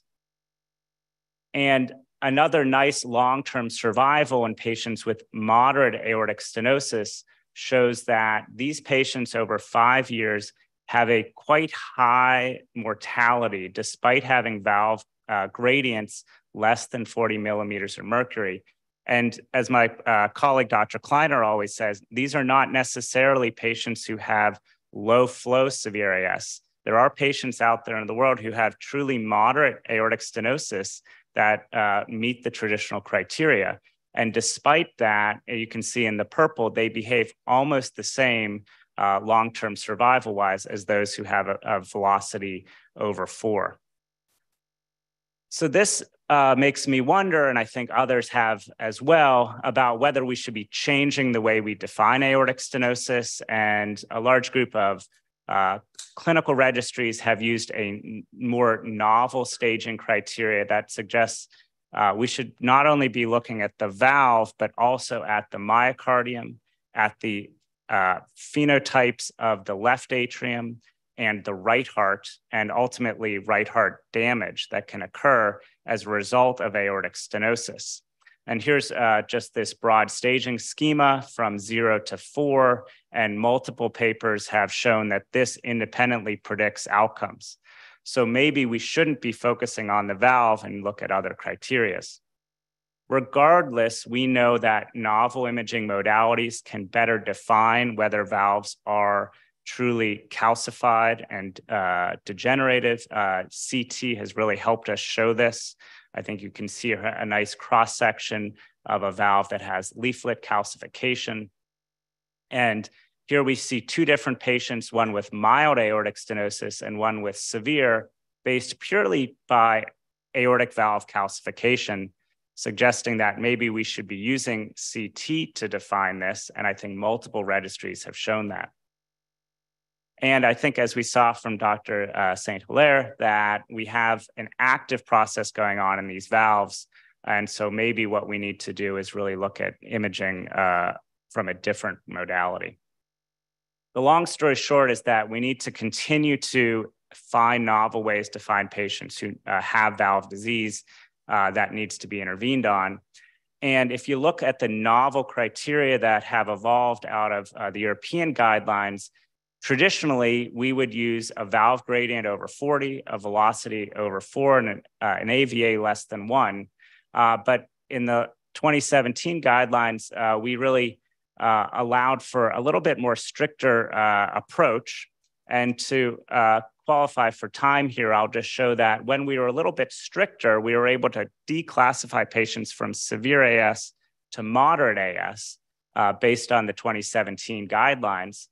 And the, uh, that actually took a large number of patients here, almost 25 to 30% were reclassified. Yet despite reclassifying those, uh, they did still uh, behave as if they had higher risk, saying maybe these are patients who really aren't moderate and need to intervene on. Uh, and for the sake of time, I'll say there are ways to risk stratify these patients, but it's leaving me wonder whether we should be treating these patients with moderate aortic stenosis. And the answer is we need data, and we don't have a data set that I think answers this with a randomized trial. And so this is a plug that I don't have uh, a true financial bias in this, but I am inquisitive and wondering whether uh, these are the right patients we should be doing TAVR on. And this uh, trial, the PROGRESS trial, is going to answer that question. Um, nationwide, this is uh, actively randomizing, and we're excited to be part of that uh, trial here locally. And you can see we will be taking traditional moderate aortic stenosis patients and uh, randomizing them to, try, to TAVR to see whether that this, these are the right patients who will benefit. Thank you all.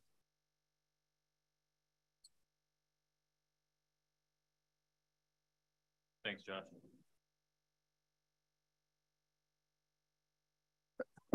Excuse me. Uh, next up is uh, Dr. Agnes uh, Koczo. Uh, she's very kind to share with us some knowledge, what we need to know uh, regarding heart valve disease in pregnancy. Dr. Koczo is an assistant professor of medicine and division of cardiology and part of the women's health program. Thank you so much, Agnes.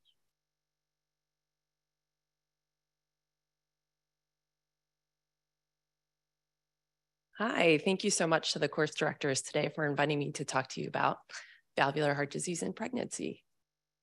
All right.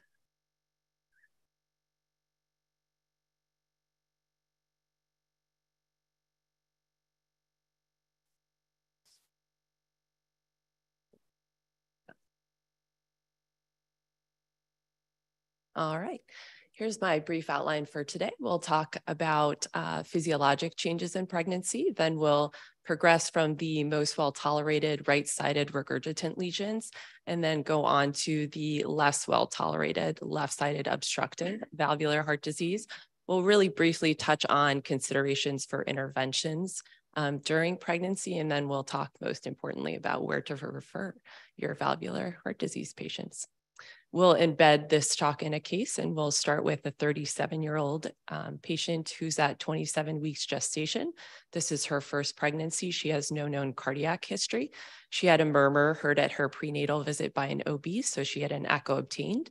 And she was found to have severe pulmonic stenosis with a mean gradient of 77 millimeters of mercury. She had an estimated RVSP of 99 millimeters of mercury. Her RV was noted to be dilated with a flattened IV septum, and she was referred to the cardio OB clinic for recommendations for pregnancy and delivery. So let's progress to physiologic considerations in pregnancy. So from a hematologic perspective, really starting in the second trimester of pregnancy, we'll see about a 30 to 50% increase in cardiac output, which is really driven by an increase in plasma volume. There's uh, interestingly a drop in systemic vascular resistance, and there's a compensatory increase in heart rate um, that's really um, increases throughout pregnancy and really peaks right before delivery. And this really contributes to an increase in cardiac output as well. There's a number of different hematologic changes, which really um, culminate in a hemodilutional effect that we see as a relative anemia in these patients, and a number of different uh, hematologic changes that also result in a high risk of thrombosis that's realized really throughout pregnancy and all the way out to about 12 weeks postpartum. There's a number of different metabolic changes, including an increase in GFR that translates to a lot of renal clearance considerations when we think about medications, as well as some inconsistent hepatic clearance um, when we think about medication changes as well. So how does this all uh, impact physiologic changes with consideration of valvular heart disease? Well, really throughout pregnancy, we're expecting to see increased flow and gradients, um, really due to this increased cardiac output and somewhat due to this relative anemia that we see that starts in second trimester and really continues throughout, um, peaking sort of at delivery. Um, what do we do to intervene on this? We try and um, control heart rate with medications and often give diuresis to these patients. There's a extreme predisposition to thrombosis that continues into the postpartum period, often due to increased coagulation factors. And we think a lot about anticoagulation for these patients. The nuances we sort of don't have time for in this talk. Um, and then there's an increased clearance to medications, often due to the increased GFR and some inconsistent hepatic clearance. And so oftentimes we'll take medications that we do daily and we'll increase those to BID. And we often monitor anti-XA for our anticoagulation. So let's move on to right-sided valve disease. So regarding tricuspid and pulmonic valve disease, so regurgitant lesions, we see tricuspid regurgitation extremely commonly in these women, and it's for the most part really well tolerated. For our patients that have a lot of issues with right-sided heart failure, we do prescribe diuretics. Furosemide um, is, we have the most safety um, information for. For obstructive lesions, we do see pulmonic stenosis more commonly than tricuspid stenosis. And for the most part, as you'll see in this case, even severe pulmonic stenosis is pretty well tolerated in pregnancy. We do do serial echoes. Again, we will see that um, gradient increase um, throughout pregnancy. We're really monitoring for right heart function in these patients. Um, we're also looking to see with serial clinic visits if they're symptomatic, and we will consider uh, balloon valvuloplasty for these patients. There's a number of different pregnancy risk scores that we use for these patients. The Zahara risk score um, particularly deals with valvular heart disease.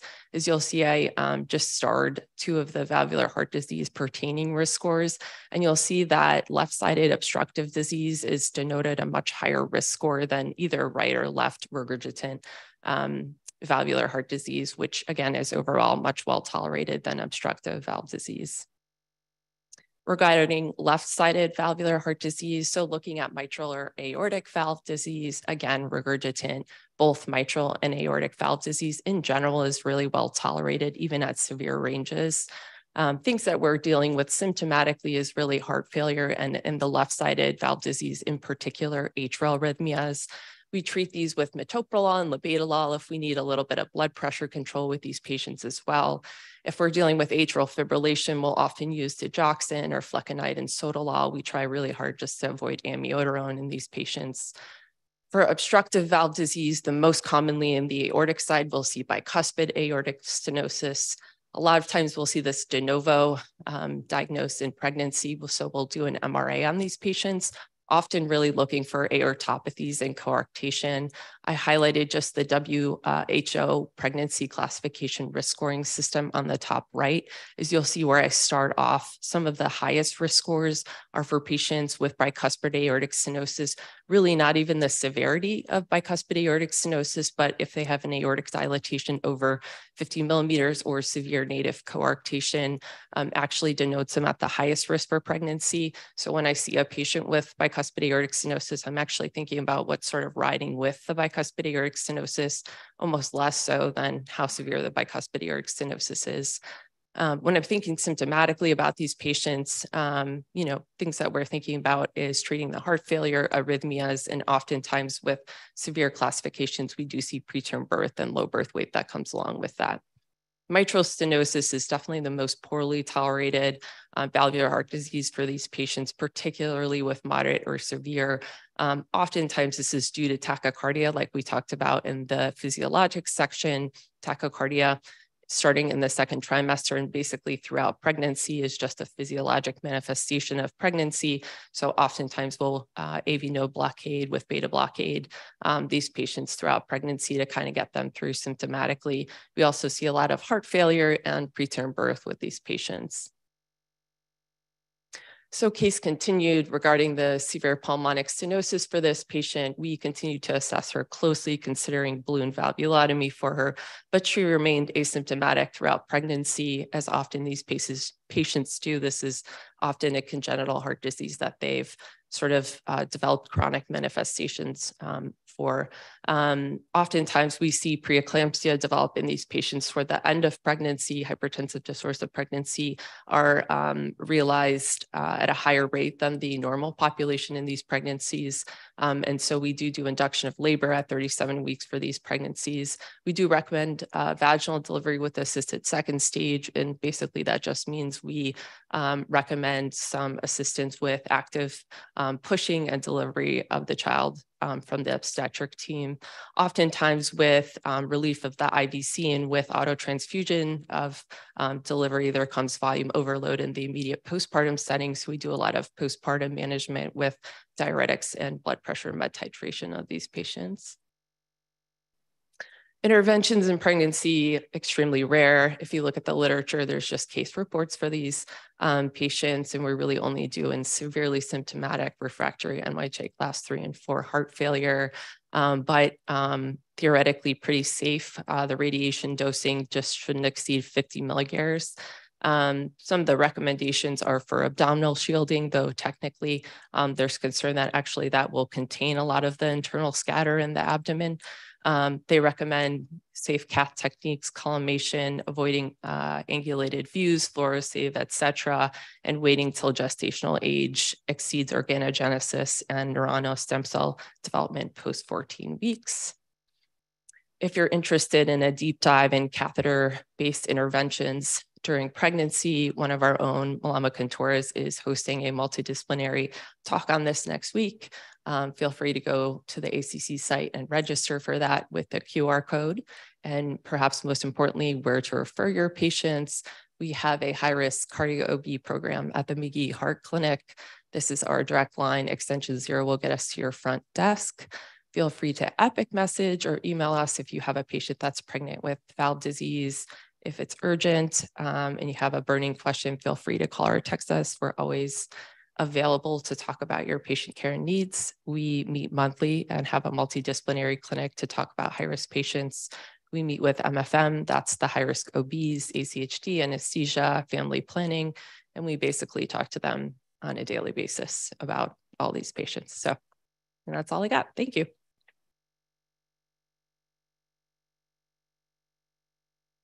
Thank you so much, Agnes. That was very illuminating, and and I really think we have such a robust uh, cardiobstetrics program. We're, we're very fortunate at UPMC. Uh, next up is uh, Dr. Bill Katz, who's the director of one of the directors of our Echo Lab, senior uh, structural uh, imager, who has taught us a lot uh, locally and is about to teach you a lot with respect to referral for valvular heart disease. Should we lower the threshold? Thank you. Okay. All right. Thank you for the invitation.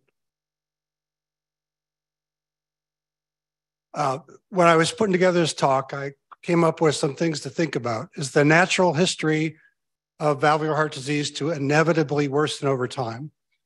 Are there identifiable and modifiable risk factors that we should be thinking about?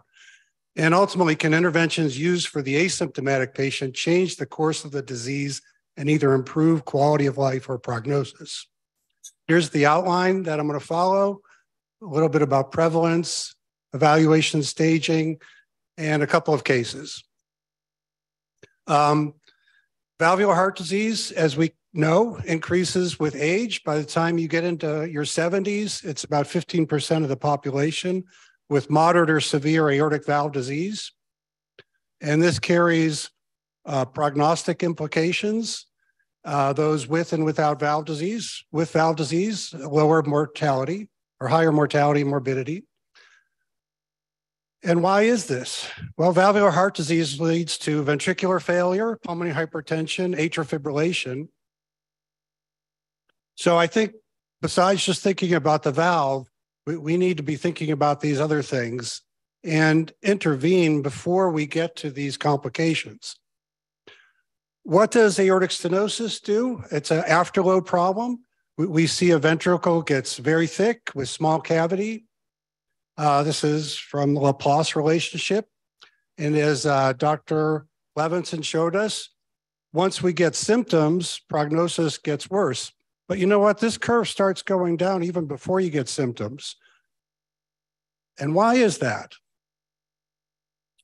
Um, there's an asymptomatic stage, and we looked at uh, velocities as a predictor, even less than four meters on the right-hand side uh, showed poor prognosis. But with valve replacement, we, we get back on the, the curve. Well, one thing about these lower velocity patients is we, we have to wonder, are they truly asymptomatic? Were their Doppler measurements actually done adequately? There's a entity we're all getting familiar with, low flow, low gradient AS. This wasn't really recognized based when we, these studies were presented. So maybe we should be th thinking about an earlier threshold for treating. And I want to go a little bit into the role of imaging. Um, I just popped up a little image of a strain uh, for somebody with low flow, low gradient AS. And this strain was a, abnormal despite the patient being asymptomatic. What about volume overload? Well, we can use mitral regurg as a uh, model, um, leads to LV dilatation, which in turn leads to left atrial enlargement, pulmonary hypertension. And if you wait too long, you're going to not get recovery of LV function if you do an intervention. So we have to be thinking earlier. What are the resources that we have? Starts with our primary care physicians, primary cardiologists, having expert imaging and imagers, uh, ultimately a multidisciplinary heart team, and we have a lot of guidelines that can help us decide where to go. Uh, the guidelines um, are evidence-based, and one, one thing that I took away from preparation from this is that we, we always talk about GDMT. Well, in this um, the M is not medical, although it includes that, it's the management. So GDMT is management. So what, what does this uh, lead us to? Clinical evaluation, diagnosis, medical therapy, and procedural treatments with the goal to improve symptoms and prolong survival and trying to avoid irreversible LV dysfunction, pulmonary hypertension, and atrial fibrillation. So how do we evaluate the patients? patients may present with symptoms, or they may have a heart murmur, or it may be a totally incidental finding on an non-invasive test. These patients, to start off, should have meticulous history and exam, EKG for heart rhythm, chest x-ray, and a comprehensive transthoracic echo. The echo should include, obviously, looking at the valve and being very accurate with your quantitation for the stenosis and severity, looking at the LV size and function, looking at things like volume index, stroke volume index, global longitudinal strain, associated abnormalities, LA, LA size by volume index, not AP diameter, sending aorta, PA pressures, other valves, and have the ability to compare to prior studies. The, the lab has to be a high quality lab. Uh, valvular heart disease can be staged into uh, basically asymptomatic, A, B, and C, or symptomatic, stage D. Now, A basically is your uh, mild, B, moderate disease, C, severe disease, but asymptomatic. And they break it, they break it down into C1 with normal LV function and C2 with abnormal LV function. Finally, D, symptomatic.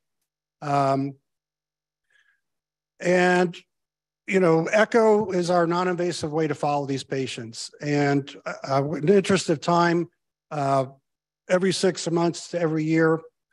Um, other modalities that we have, TE, very important, especially now that we have 3D for valve imaging, CMR for a lot of the things that the echo does, but also look at the myocardium for fibrosis. Very importantly, stress testing can give us an, an objective measure of whether somebody's really symptomatic or not. So why do we do exercise testing? Again, to uncover whether somebody's symptomatic. And um, we look primarily at their exercise capacity, blood pressure response. These potentially are high risk procedures, so they need to be very carefully done. And if you add echo to it, you can also look at the valve response to exercise, the ventricular response, the hemodynamics, and this may assist you in your management. So let, us take a case here. um, 62 year old woman with known MVP, last echo four years ago. She has some mild dyspnea on exertion, no other symptoms. She's sedentary, non smoker. She has a little bit of ankle edema. Echo was done at the primary care office that said LV size and function normal, posterior MVP with mild to moderate MR, normal left atrial size by AP diameter, normal PA pressure. EKG, some PVCs. If you classified this mitral regurg, you'd say stage B. The PCP, though, was a little bit nervous and said um, surgery may ultimately be required at some point. That is a possibility. But we want to have the experts on board before that is an emergent situation and with heart failure. Never want to say, I wish we looked into this more previously. So the patient was referred and on presentation was hypertensive on no meds, a little bit overweight, BMI 30, had a mid systolic click, and an increased P2, suggesting some pulmonary hypertension. The outside echo images were reviewed to make sure that it was interpreted correctly, and we, we didn't think it was. So now we had some questions. Was this patient really actually symptomatic? Maybe this MR is more severe than we think. What stage is she, B, C, or D? So we did a treadmill test, and she only went four minutes Bruce protocol, which is abnormal. She had dyspnea, her baseline echo showed left atrial enlargement, pulmonary hypertension. Her, her exercise test, not, nothing that came from that to show ischemia. So now we're thinking maybe she's stage D, symptomatic with severe MR. We started some blood pressure medicines. And uh, for primary MR, some other things you look at for staging is whether the left atrium's big, whether you have pulmonary hypertension. So we went on, did a TEE, she has a very severe posterior leaflet prolapse with severe regurgitation. This was done on blood pressure medications with quantitation.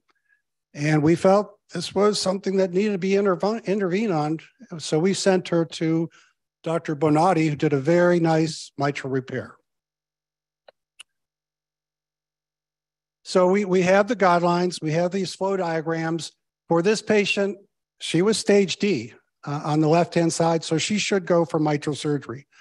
Or maybe you might argue, well, she was not medically management, a little overweight. Maybe she wasn't really that symptomatic from the valve. But even with that, this was a repairable valve. So uh, the dotted line uh, flow could also apply to her. So let me show you uh, one other quick case.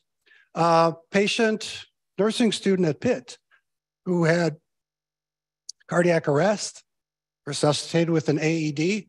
Her echo showed she has mitral valve prolapse, which she didn't know she had, with mitral annular disjunction.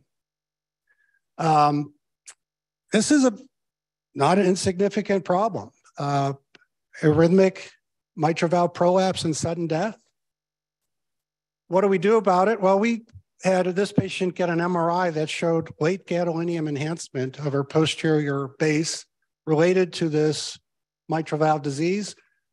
How do you stage somebody like this? Where, where do they fit into the guidelines? They don't really. This is how this patient presented. Uh, she received an AICD and is now being followed in our heart team clinic. And also, there was just recently a law passed in Congress to support valvular heart disease uh, research. And this comes from a congressman uh, who lost his wife from sudden death. Okay. Um, to finish up, some final words from Ben Franklin an ounce of prevention is worth more than a pound of cure. So, again, we got to be thinking earlier. And uh, also, Thomas Edison said the doctor of the future will give no medicines, but will assist in patients in the cure of the human frame and diet and the cause of prevention of disease. We probably don't hope this is true. Otherwise, we won't be here doing, talking about all the things we're talking about. Um, so in summary, um, our goals intervene before ventricular failure, pulmonary hypertension, AFib. GDMT includes the management, not just medicines. We, we need to identify who's truly asymptomatic. And um, thank, thank you for your attention. Thank you, Bill. Thanks, Bill. That was great. Uh, please. Um, next up is Bryan Goldstein, uh, who will talk to us about transcatheter pulmonary valve replacements in adults with congenital heart disease. Uh, this is uh, occasionally, even though the tricuspid valve is famous for this, this tends to be the forgotten valve in adult uh, symposia. So, so Bryan, please refresh your memory. Great. Thanks very much uh, for the invitation uh, from you, Yves, and the other program leaders. It's really an honor to be here at this really important symposium today. Um, I do have some disclosures. I think most importantly, uh, we'll focus on patients with congenital heart disease, which is a, a little unusual, but I think important. Uh, as many folks in the room will interact with these patients uh, rarely, but at times, and knowledge and access to folks with more knowledge will be helpful. So it's worth a, a, brief refresher on the history of transcatheter valve replacement. This is Philipp Bonhoeffer, who in Paris in the year 2000 implanted the first successful transcatheter heart valve, which was a pulmonary valve in a child with congenital heart disease. It wasn't for two more years that Alain Cribier implanted the first transcatheter aortic valve successfully uh, in the same institution.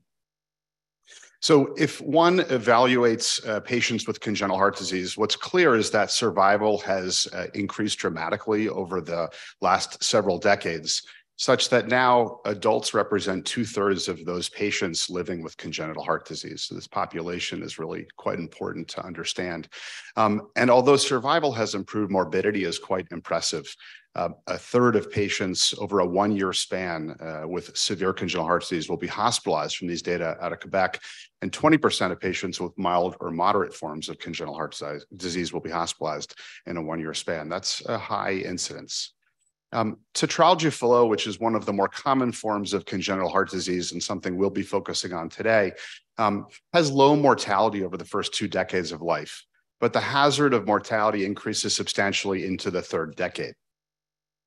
Uh, and if one evaluates uh, tetralogy Fallot versus other forms of congenital heart disease, the median uh, survival is less than 40 years of age. That's impressive. So why does this happen? Uh, if we start at time zero, which is transannular patch repair of tetralogy, the most common uh, type of repair, this happens early in childhood.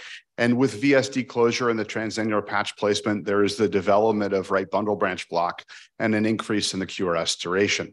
There's also the presence of pulmonary insufficiency. Over the first two decades, with progressive pulmonary insufficiency and the resultant dilation of the right ventricle, there's further increase in the duration of the QRS complex. At about 180 milliseconds, there's a significant increase in the risk of ventricular tachycardia and sudden cardiac death. If we overlay the survival curve of tetralogy, it becomes clear what ma the manifestation of sudden death is really all about the underlying physiology and its progression over the first couple of decades. Moreover, in addition to the QRS changes, there's substantial right and left ventricular interdependence such that LV function reduces substantially with RV dilation.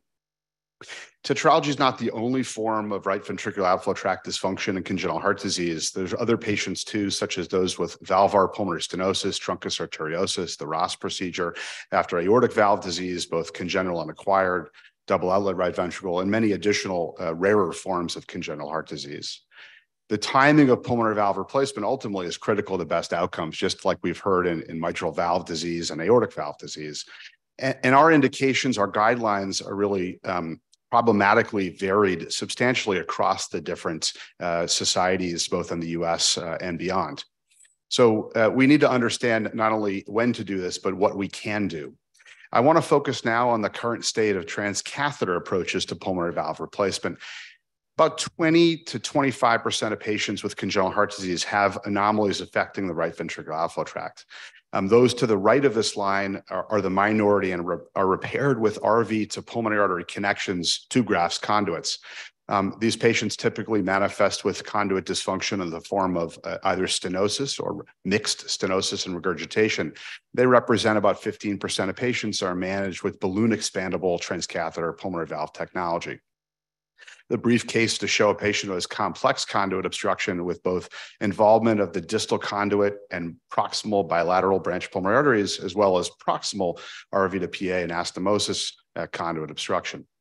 This patient was managed with placement of a unilateral pulmonary artery stent, a dilation through the side cells of that stent to open up a connection to the contralateral pulmonary, pulmonary artery, second stent placement to form a bifurcation stent, treating the distal conduit and PA stenosis.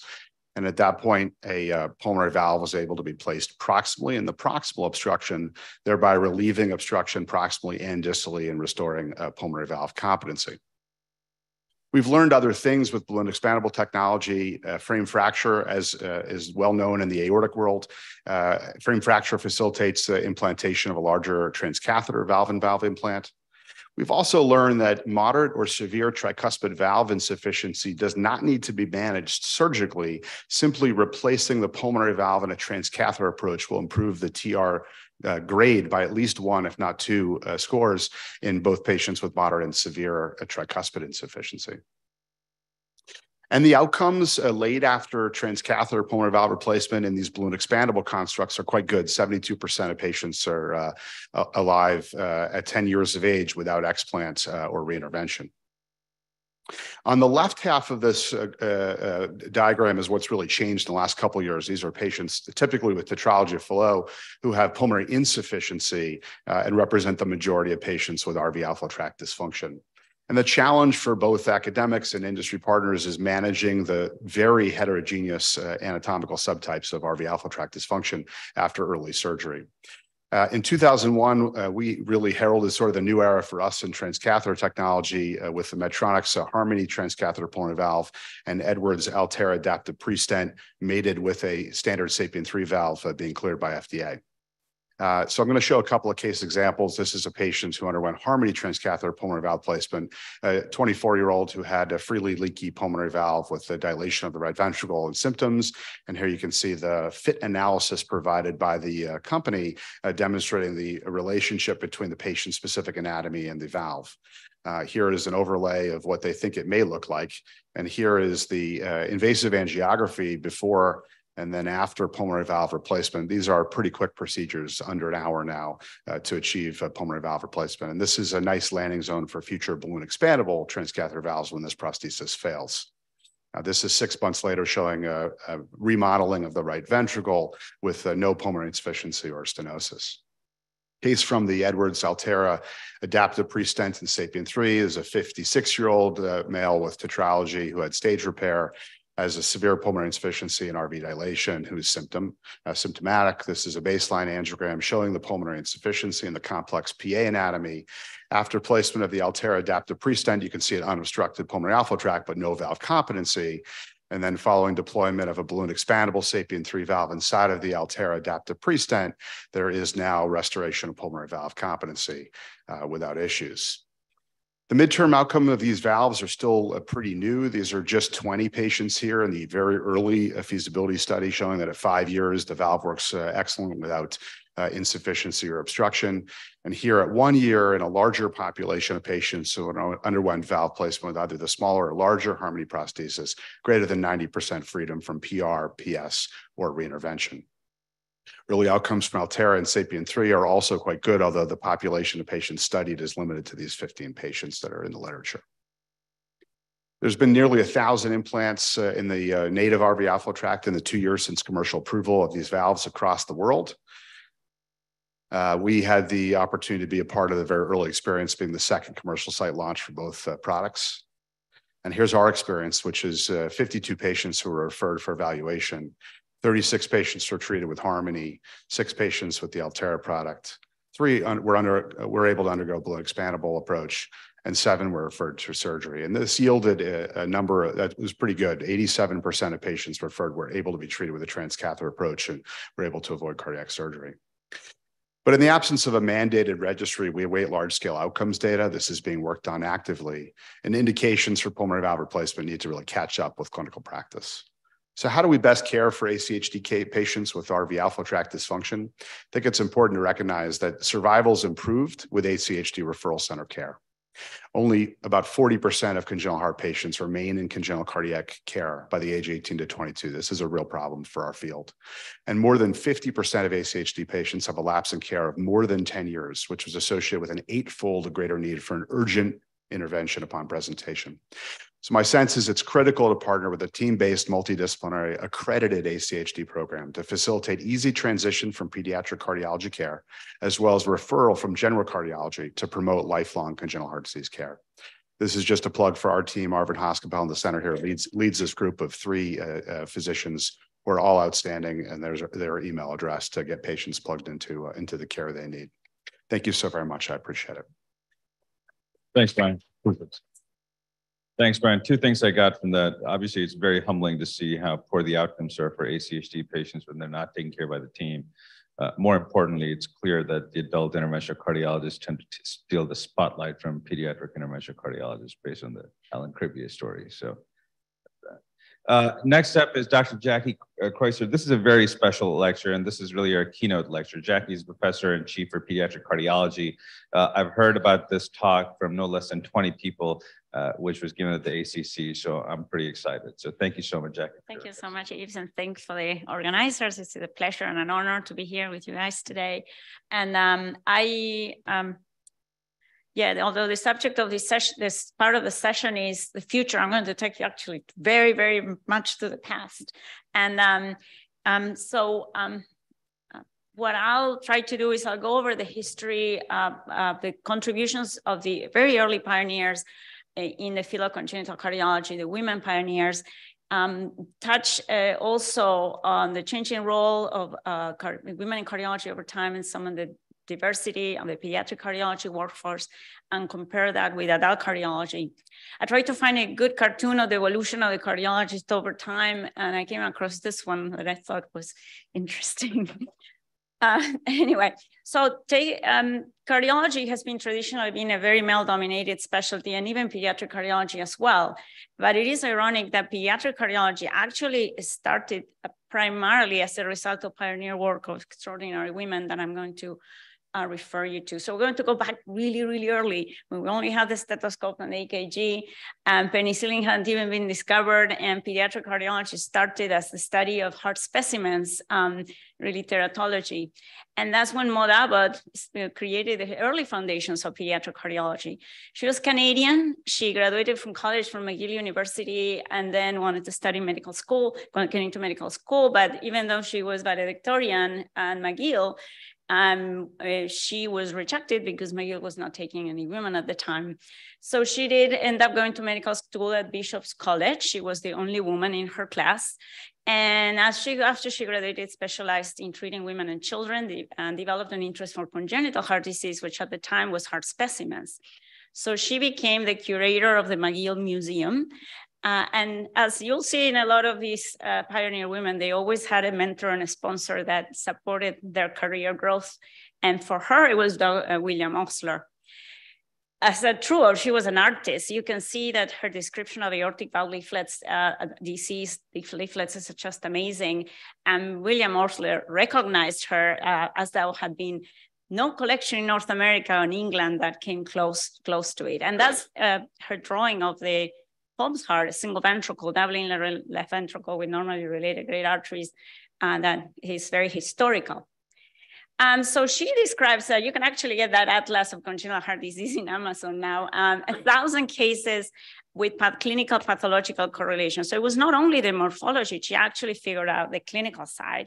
And she also tried to uh, interpret why those malformations happened and broad ideas such as uh, incomplete torsion of the conotruncus could uh, result in heart defects and had these uh, pretty advanced thoughts on developmental and comparative anatomy studying other species, the heart in other species as well. These are some of the valve descriptions. Uh, they're beautiful. This is a quadricuspid pulmonary valve and then some aortic valves, diseased aortic valves. And she actually described uh, a case with a spontaneous dissection of the aorta in a bicuspid valve, and she's recognized in the Bicuspid Aortic Foundation for her contributions uh, in their website. The clinical classification is just amazing. So she had acyanotic, cyanotic early, and cyanotic late, and you can see here a beautiful description of coarctation with all the collateralization, vascular rings, and then totally understood the trilogy of Fallot. You can see the nice diagram showing the overriding aorta, right to left shunting, and the implication of chronic cyanosis with clubbing. She even figured out that if you patients with a single ventricle who had an envelope heart, so soleus atrium and ventricles inverted, were at risk of heart block, and she figured that out. And um, I totally understood Eisenmenger syndrome. So here's the VSD left to right, and then cyanotic late. There were those who converted because of the high PVR to right to left shunting. So pretty brilliant. Now you can see how tough the times were in those days. This is a clinic um, in Montreal. Uh, Dr. Osler is conducting um, in the surgical theater an autopsy, and you can see there's not a single woman. However, she was there, um, but where was she? You can see she's up there. she's probably this the only the only face that is not illuminated probably wearing a veil because um, to cover her face but that's that's that's how it was those days uh, so pretty courageous to to succeed in those days was she recognized she did end up getting an honorary medical degree from mcgill in 1910 and she was inducted into the canadian medical hall of fame and they had a um, stamp with her name uh, it's called the heart of the matter and she was also recognized by Paul, uh, Dr. Paul Dudley White as the world's authority in congenital heart disease and a living force in medicine of her generation. So she did get some recognition. The ACHD program in Montreal also is carries her name. Um, so we all have heard the true mother of pediatric cardiology is Helen Brooke Taussig. So she uh, has also has a in, very interesting story. Uh, she was born in, uh, in Massachusetts, and her father was an economics professor at Harvard. And she um, um, wanted to study medicine, of course. Now um, she went and spoke to the dean of the medical school, um, and he said, "Well, I you can study medicine, but you can't get a degree. To which say, well, who would be such a fool to spend four, year, four years studying and not getting a degree? And he said, no one, I hope. so she said, well, I will not be the first one to disappoint you. And, uh, and that's when she went to Johns Hopkins. Now, John Hopkins was taking women, uh, but the, it's very interesting, the history. The reason why Johns Hopkins was taking women is because in, uh, in 1890, when the medical school opened up, they they had run out of money. And, uh, and it was embarrassing because they had all the professors lined up to start working at the Hopkins Medical School, but they don't have they didn't have money for the building. And so the board of trust, the, the daughter, four daughters of the board, um, uh, Johns Hopkins, made this proposal. We can raise the funds as long as you accept women. And that was where Johns Hopkins accepted women. So they reluctantly agreed. And uh, essentially, that's, that's why that happened. So she did terrific, what got a fellowship in the heart station and, uh, and then became in charge of the cardiac clinic. She was fascinated by the blue baby, the blue babies and figured out that those that had a continuous murmur did better. And that when the continuous murmur went away, they pretty much ended up dead. So that that was fatal. And that's where the thought came about, you know, building a ductus and reestablishing blood flow could treat these cyanotic babies.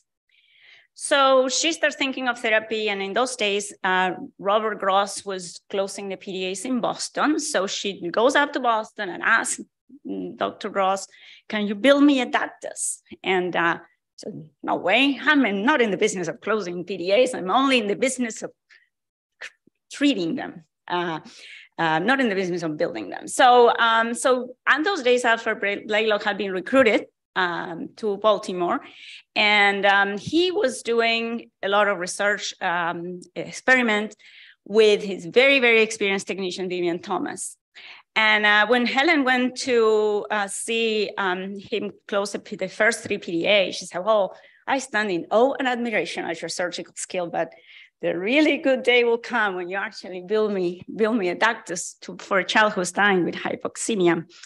Uh, and that's how it ended up um, as he was doing experiments anastomosing the subclavian artery to the pulmonary artery to develop a model of pulmonary hypertension, which actually never succeeded. Um, that, that surgical skill, especially with a Vivian Thomas skill, uh, ended up being the basis for the shunt that saved so many lives. Eileen Saxon was an 11 month old, very severely cyanotic cachectic child who was dying. And she, uh, with permission of the parents, had the first operation that was successful in 1944. And that was like a boom of you know therapeutic interventions in congenital heart disease um, and treating cyanotic kids. It became obviously news all over the world. And that's what we call now the Blalock uh, Taussig Thomas shunt, BTT shunt. Um, so that led to an influx of patients and people to come and learn. Uh, she started a fellowship program, uh, and a lot of the future pioneers in our field actually ended up going through uh, Dr. Taussig's uh, training. Um, textbooks of congenital heart disease, and she did get some recognition, no question. Um, you can see some of some stuff here. She even got the Medal of Freedom from President Lyndon Johnson for her work on thalidomide. Um, and um, I think something that she's often not, not recognized for, but if you read um, Bill Rashkind, who is you know the father of interventional cardiology, recognizes that her words were very inspiring after he presented the original cases of the balloon septostomy, which were in animals. Um, Helen Taussig actually wrote to him and said, it would be wonderful if we can do some of the simpler operations without opening the chest. I think that's a real advance and a real look into the future. And he accepts that that inspired him to keep going because in the beginning, it wasn't very encouraging that that would work in a baby. So, and truly, if you look at this, this is really an example of a partnership between cardiology and CT surgery that has really been the theme for our field ever since. Um, that started then. With regards to recognition, these were her words. Over the years, I've gotten recognition for what I did, I did, but I didn't at the time. It hurt for a while. It hurt when Dr. Blaylock, uh, Blalock was elected to the National Academy of Arts and Sciences, and I didn't even get promoted from assistant to associate professor. Um, so the next generation, I'm going to go a little quick over these. I could to talk a little more, but um, Mary Allen Engle uh, in, in, New York, she had incredible number of contributions, more than 400 publications in all different, very, very pivotal um, um, subjects in congenital heart disease and also leadership role. And she essentially developed um, within the American Academy of Pediatrics, pediatric cardiology being a subspecialty. She was also a fellow of Dr. Taussig have to talk about Stella Van Praagh because she's almost like a mother to me. And she was a very renowned uh, pediatric cardiologist and pathologist who came from, from Athens to the US for training under Dr. Helen Taussig. And then also John Keith in Toronto, married to Dr. Van Praagh. And he says, we got engaged over right-heartedness and married over single ventricle. And then they moved to Boston where they created the cardiac registry where people from all over the world went to learn about congenital heart disease and she had that ability to make the most complex heart defects seem very simple and comprehensible to everyone. And especially in those days, the cardiac surgical team who came coming down to figure out what went wrong, because in those days mortality was really high. And that's how, how you would learn, you know, the, the future. She also made you love congenital heart defects because of her cooking. So there was the homemade bread in the back of the lab and the smell of homemade bread and then the formalin at times, but then uh, and then sometimes some baklava. And in the end, you ended up, for some reason, loving congenital heart disease. Um, she was a proof that a woman can be, a woman cardiologist can be complete, a well-rounded human being, an excellent clinician, great mother, a teacher, wife, you know, and an amazing cook. So she's truly an inspiration to all of us. Across the Atlantic, we have Jane Somerville. So Jane, um, she tough. Many of you know the tough time for the they, she went to an all boys school during the World War II, and the story is, is very interesting. But she did have mentorship from Dr. Paul Wood. She was fascinated by Alfred Blalock and wanted to be a surgeon, but she tells you she had no surgical skills. And, and she uh, truly was appalled by, by the disasters of surgery and was a very, very big advocate to detail accurate diagnosis, had significant contributions in terms of anatomic understanding and clinical correlates she really started talking about adult congenital as a subspecialty. Now she she called it GUCH, grown-up congenital heart disease. That's how it started in the UK. Uh, and we're very much an advocate of bringing all these subspecialties within the uh, cardiac together. So CT surgery and cardiology in the World Congress and train people all over the world. You can see this pretty historical picture. Jane Somerville, Mary Allen Engle, Helen Taussig, and Denton Cooley all together in the World Congress. So uh, and that's how things moved there on in terms of collaborative with CT surgery. Roberta Williams, I have to mention, mention her at least briefly. She was truly a mother of imaging and echocardiography. All the initial correlates of cardiac pathology with images by um, echo and geography, You can see there transposition. Those, those kids in those days, you came in, had no idea what was going on, went to a cath lab and shoot the high pressure chamber and tried to figure out what was the congenital heart defect. So bringing this with uh, to the echo to try to understand the, the view to mimic was, was just amazing accomplishment. And indeed, she was uh, the first director of, the, of an echo lab, pediatric echo lab and at Boston Children's. And interestingly, also the first medical director of a cardiac, dedicated cardiac ICU. So that was obviously very, very novel. Uh, and that was really Dr. Nada who, who made that happen. But um, and she has, you know, she still goes to, to conferences. She has a passion of continuous comprehensive care from congenital heart disease from fetal life to the adult. Jackie Noonan with her Noonan syndrome and contributions such as hypoplastic left heart syndrome. Uh, Jean Kan, the first pulmonary balloon valvotomy uh, that led that when she was 37 years old, so the groundbreaking paper. Uh, and then there's many others. Uh, Maria Victoria La Cruz with heart development uh, and I probably can't go to all, all of these pioneers because of the time constraints. These women had a lot of things in common. They had vision, they had curiosity, they had strength and resilience.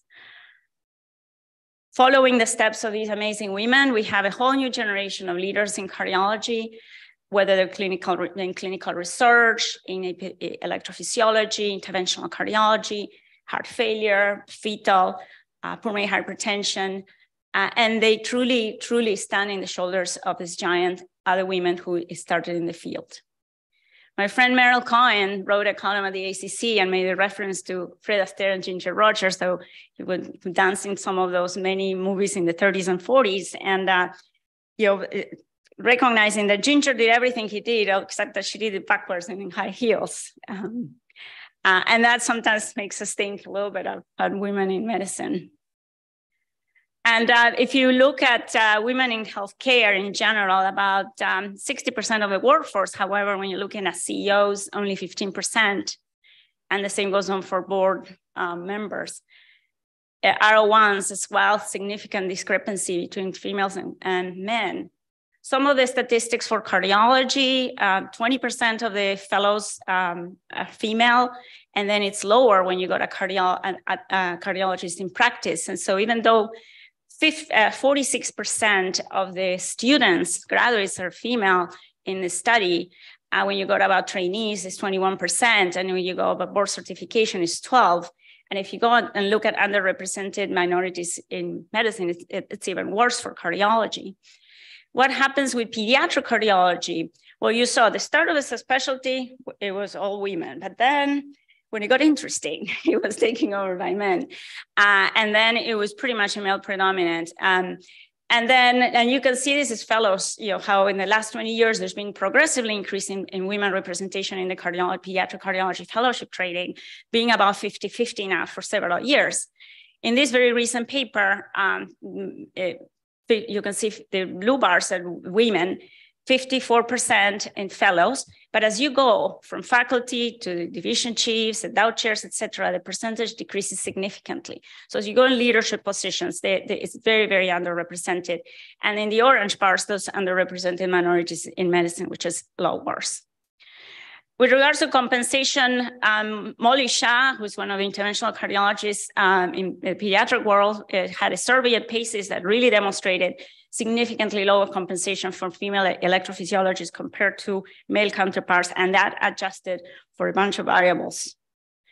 We don't really have a lot of other data. Um, it, so about 50% of trainees, much, much lower representation in terms of leadership. Does not talk about CT surgery, that's even worse. Um, promotion delays, low compensation.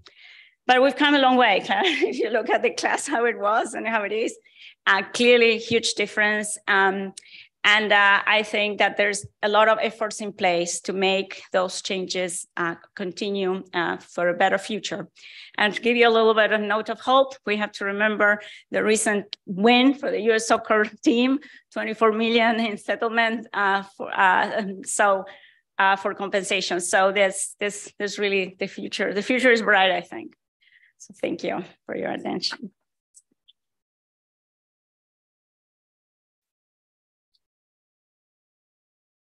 Thank you, Jack. That was that was incredible.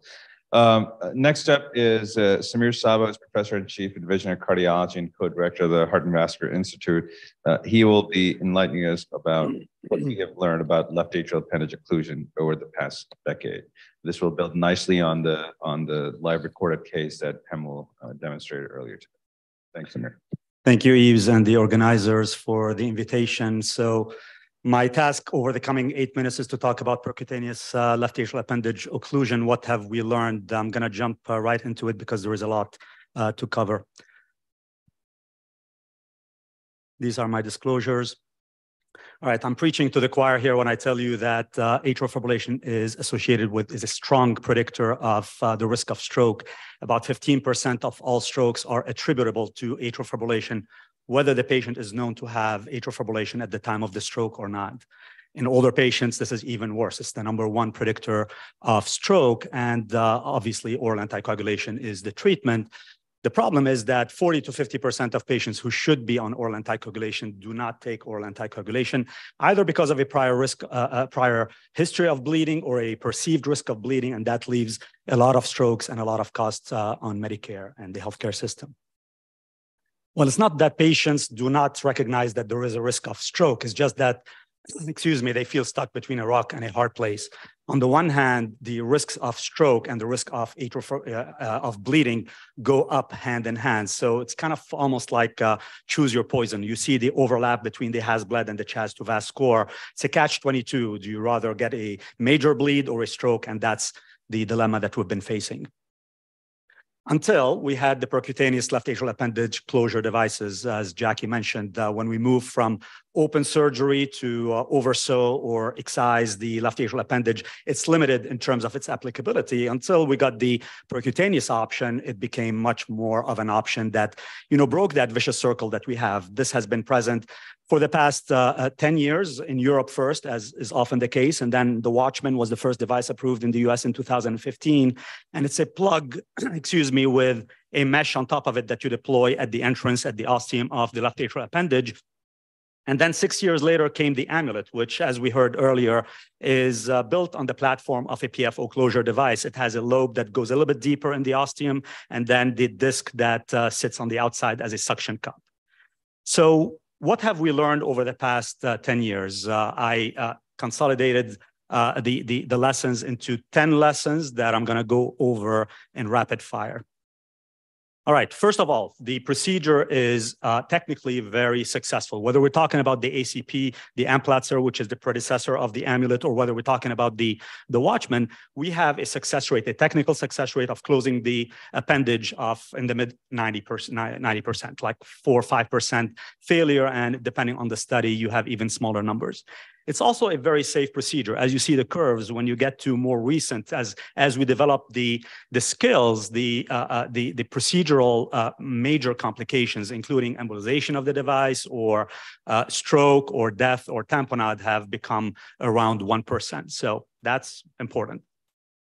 Lesson number two is that these devices really help, and over the long term, they do protect against uh, uh, stroke or thromboembolic events. These data are from the PREVAIL and PROTECT AF trials, which are the Watchman. Those are the two trials that form the basis of the approval uh, uh by the FDA. And when you look at the five-year outcome between Coumadin and the uh, uh, left atrial appendage closure, you, you see that there is no, it's non-inferior. It's equivalent in terms of the protection. Needless to say, the patient that had the device had less bleeding, uh, uh hemorrhagic stroke, and what have you, which accounts for a lower all-cause mortality, at least in this analysis.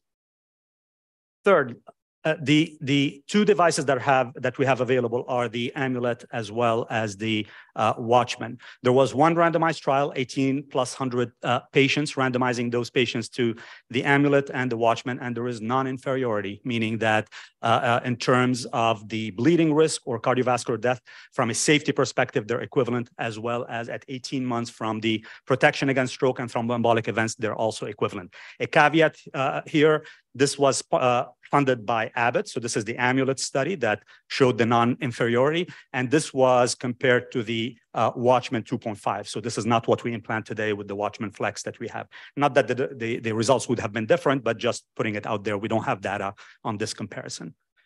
Lesson number four, the things that are complicated have fallen as they should by the wayside. What, is, what does that mean? The lariat, you may, some of you may remember, it's a complicated procedure where we would go transeptal into the left atrial appendage, and then we connect through the subxiphoid, through the pericardium, and the two wires are magnetic. We connect them together, and then we we advance a uh, stitch to the ostium and we cinch it down, not only closing the uh, left atrial appendage, but also killing the muscle and uh, you know, most of the places that have done a lot of these procedures have had close encounters with complications. And uh, most importantly, we have better options that are much, much simpler. The last attempt at reviving this, uh, uh, this technology was the AMAZE trial, which said, well, by killing the muscle, you reduce the likelihood of recurrence of atrial fibrillation. So the AMAZE trial basically uh, randomized patients to AFib ablation alone or AFib ablation with the Lariat device and did not show any difference in the recurrence of atrial fibrillation. So that was the last nail in the coffin of this technology. Okay, lesson uh, number five, anatomy, anatomy, anatomy. The left atrial appendage varies in size and morphology. We used to use a lot of those uh, uh, food uh, analogies, the chicken wing and the broccoli and the uh, what have you. Needless to say, the, the devices have to adapt to the varying uh, uh, anatomies. And the two devices that we have today in the US are the Watchman Flex and the Amulet. But there are other devices elsewhere in the world, in Asia, the Lambre, et cetera, uh, that uh, so far they're not available to us. And on the anatomy and the things, uh, we guide ourselves with uh, mainly TEEs and fluoroscopy and sometimes CT scans ahead of time to, to plan the procedure. And sometimes you have a very wide ostium and very uh, shallow. Uh, the second, this, the small ostium, this was a case that I uh, aborted earlier this week because the, uh, the ostium was four millimeters. There is no device that closes a four millimeter ostium. And you see here the five sizes of the Watchman Flex going from 20 millimeters up and then from for the uh, the eight sizes for the amulet going from 16 millimeters up, and uh, the for the for the amulet, by the way, it's the size of the uh, lobe, not the size of the disc that we're talking about. Lesson number six: imaging is very important. Uh, number one, we need to rule clots, correct? You know, if you have a clot in the left atrial appendage, we're not going to be doing anything for it. This image on the left is the biggest clot that I've seen in the left atrial appendage sent to me by Madhur Singh from our group in, uh, in Hamot.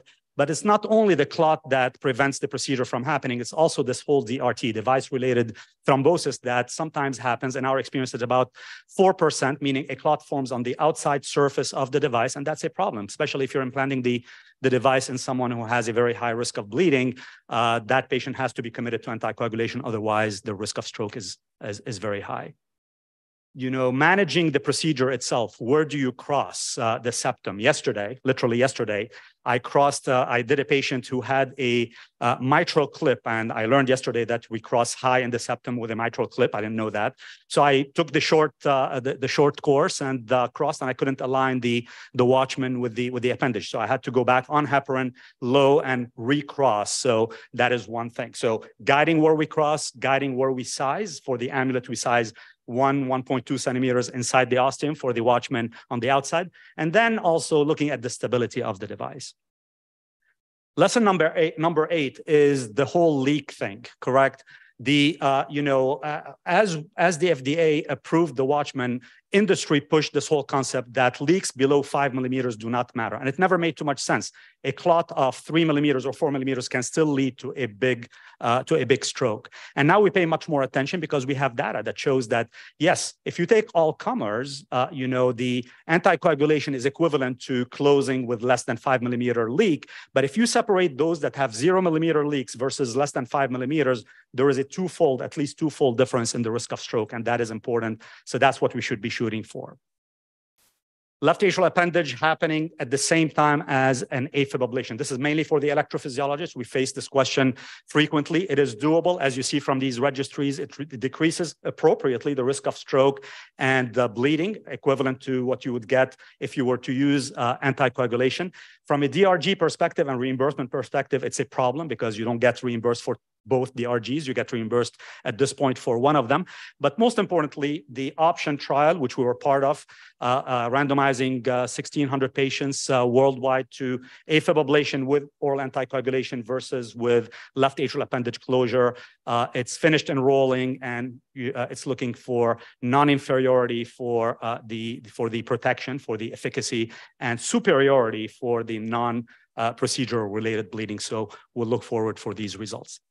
Lesson number 10, you know, we can both use both the Watchman today as well as the amulet with dual antiplatelets. It used to be that the Watchman, you had to use it with at least 45 days of anticoagulation. The reality is that we had a lot of patients bleeding a lot in the first 45 days. So that is a good thing. Not that they don't bleed on Plavix and aspirin, but that's, that's an important, uh, uh you know, contribution.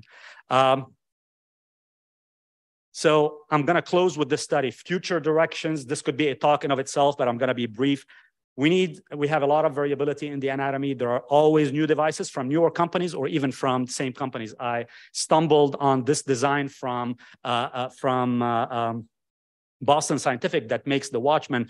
Looking at this is uh, from from a uh, an IP from a uh, patent application that looks like they're doing also a lobe and a disc. So will we see this device uh, coming down the pike? Who knows? But uh, but at least there are those uh, those plans as you know, the Watchman Pinnacle is about to come, which is the next generation for the Watchman. Physicians and patients and referring physicians primarily are voting with their feet they, to get the option of giving the left atrial appendage device as opposed to oral anticoagulation.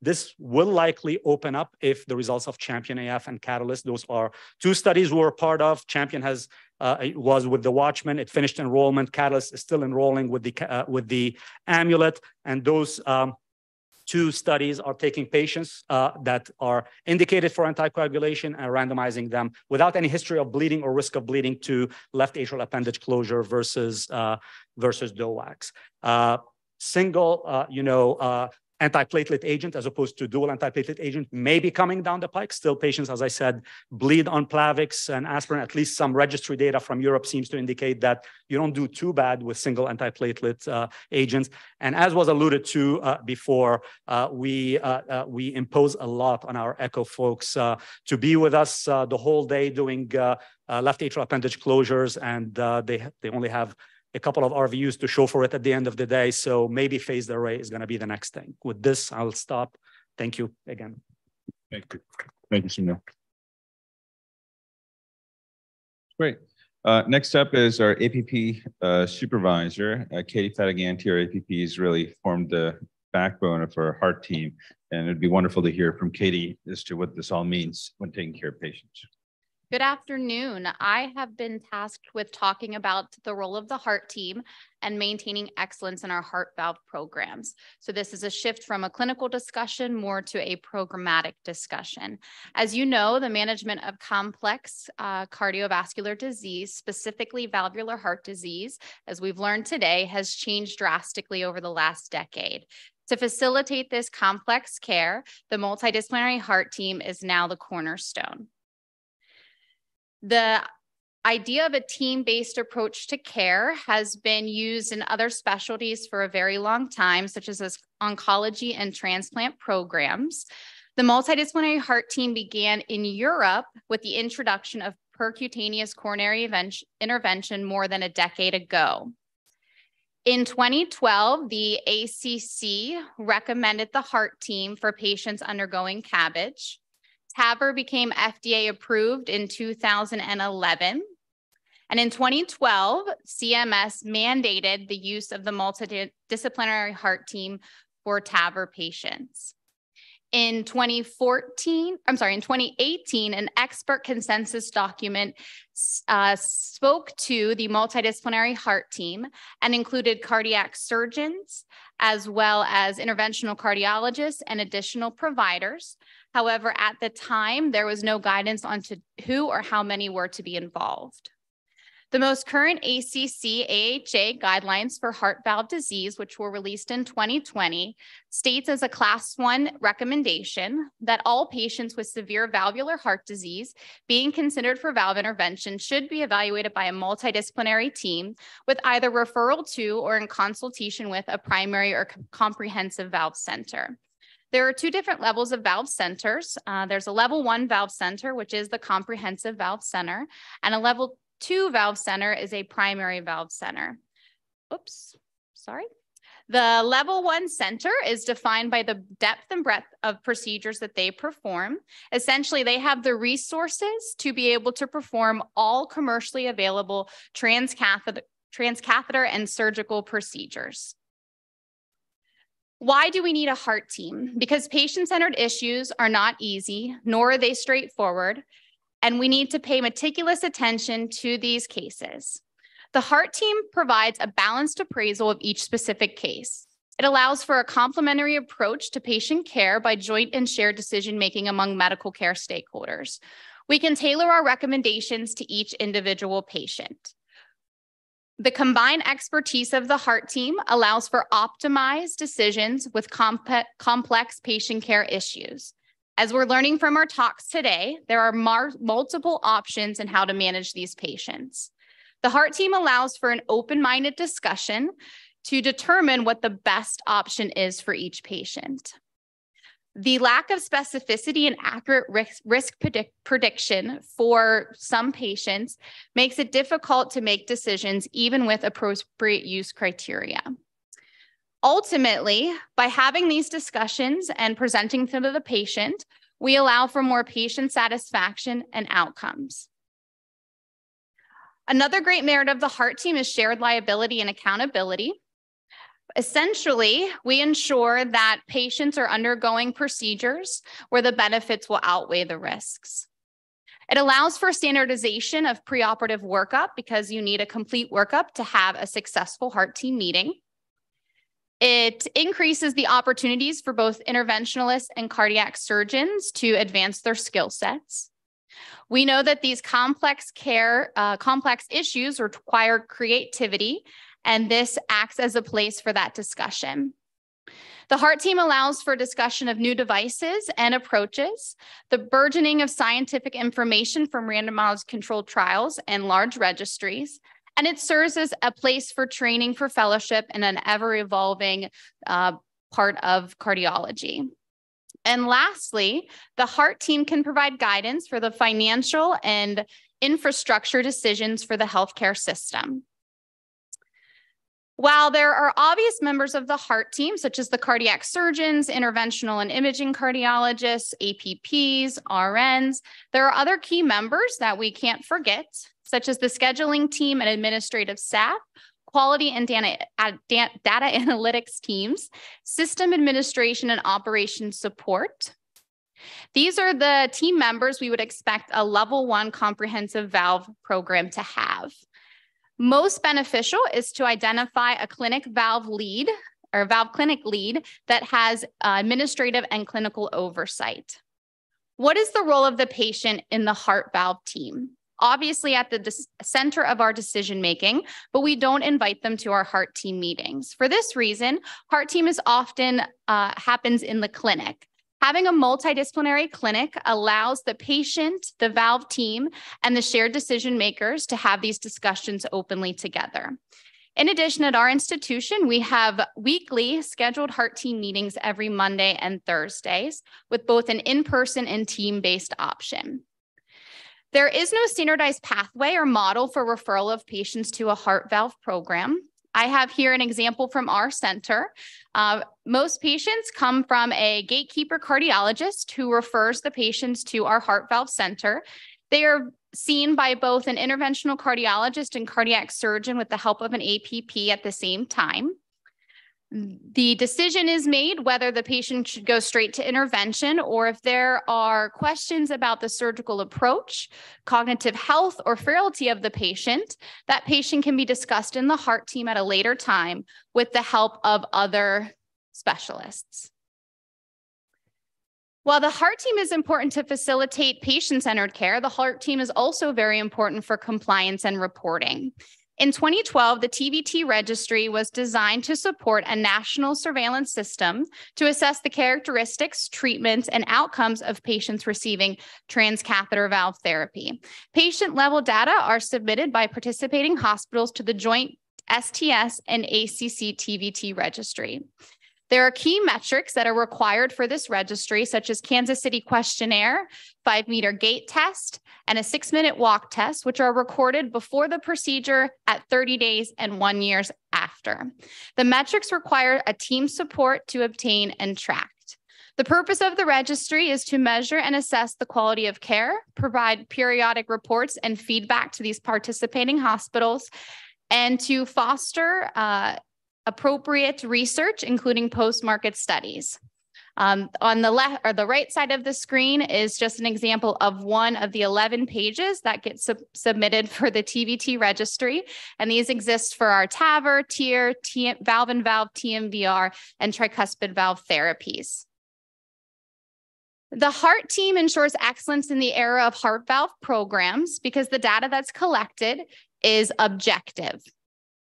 There are key metrics for TVT that you can see here, such as 30 day mortality, stroke, life threatening or major bleed, and AKI. Each individual procedure has additional different endpoints. We get quarterly reports of this tracked patient and site level data, which is given to us in a whisker plot, as you see on the screen. The final score indicates whether a person is better off going to your hospital versus the average.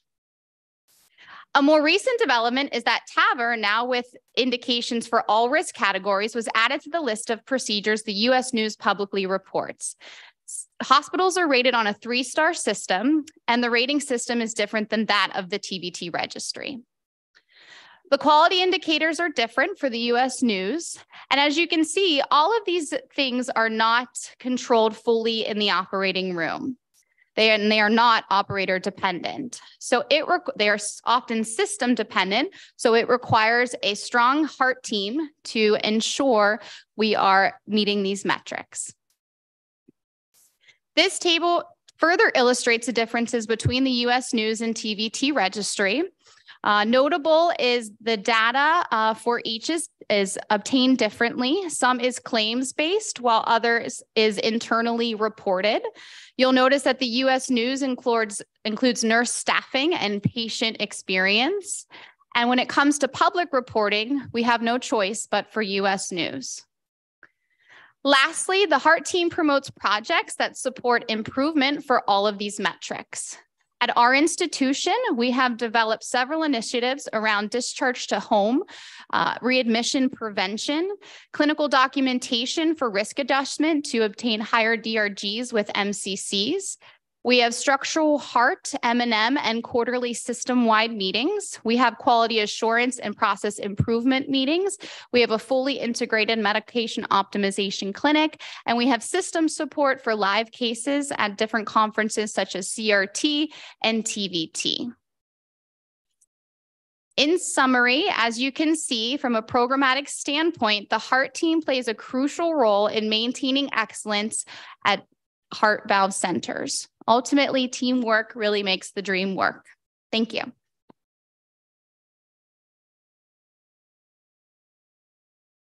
Thank you, Katie.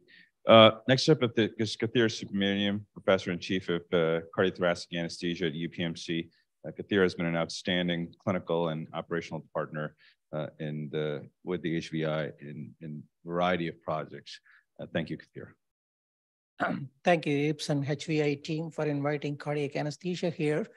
Um, well, life of cardiac anesthesia was so predictable. It is general endotracheal anesthesia, muscle paralysis, transport the patient to ICU at the end of the case, it's over. But it has changed so much nowadays after invention of these transcatheter procedures. Look at the list. You can give local anesthesia only. You can give local anesthesia with mild sedation, which is called conscious sedation. Uh, the local anesthesia with deep sedation, which is general, with a, basically a general anesthesia without endotracheal tube.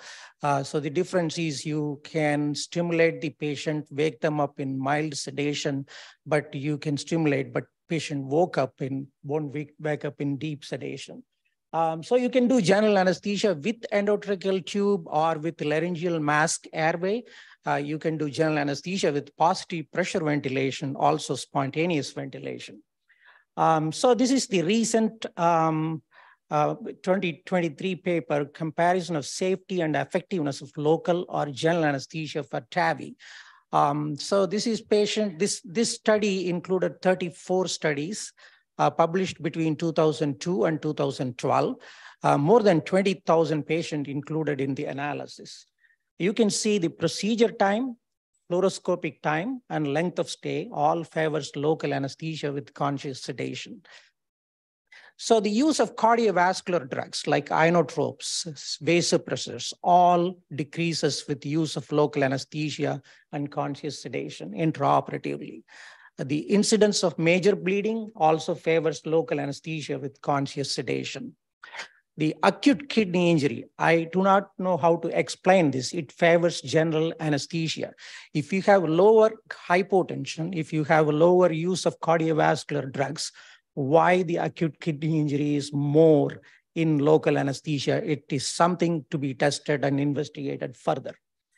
Uh, there is no difference between general anesthesia and local anesthesia in 30-day mortality, procedural success, shock, myocardial infarction, cerebrovascular accident, pacemaker rate, or perivalve leak.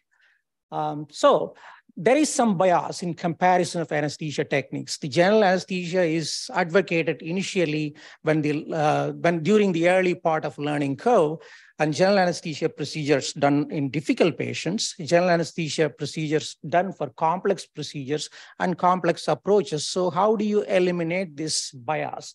So one randomized clinical trial was published between general anesthesia and local anesthesia SOLVE TAVI trial, 447 patients. The primary outcome was 30-day uh, composite uh, morbidity and mortality. Um, so what they found is there is equivalence uh, between general anesthesia and local anesthesia in terms of uh, primary endpoints. So you take the less invasive option, which is the local anesthesia with conscious sedation.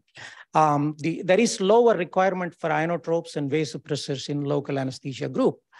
So the proponents of general anesthesia will say the patient is immobile, patient respiratory motion is controlled. It is ideal for an interventional procedure.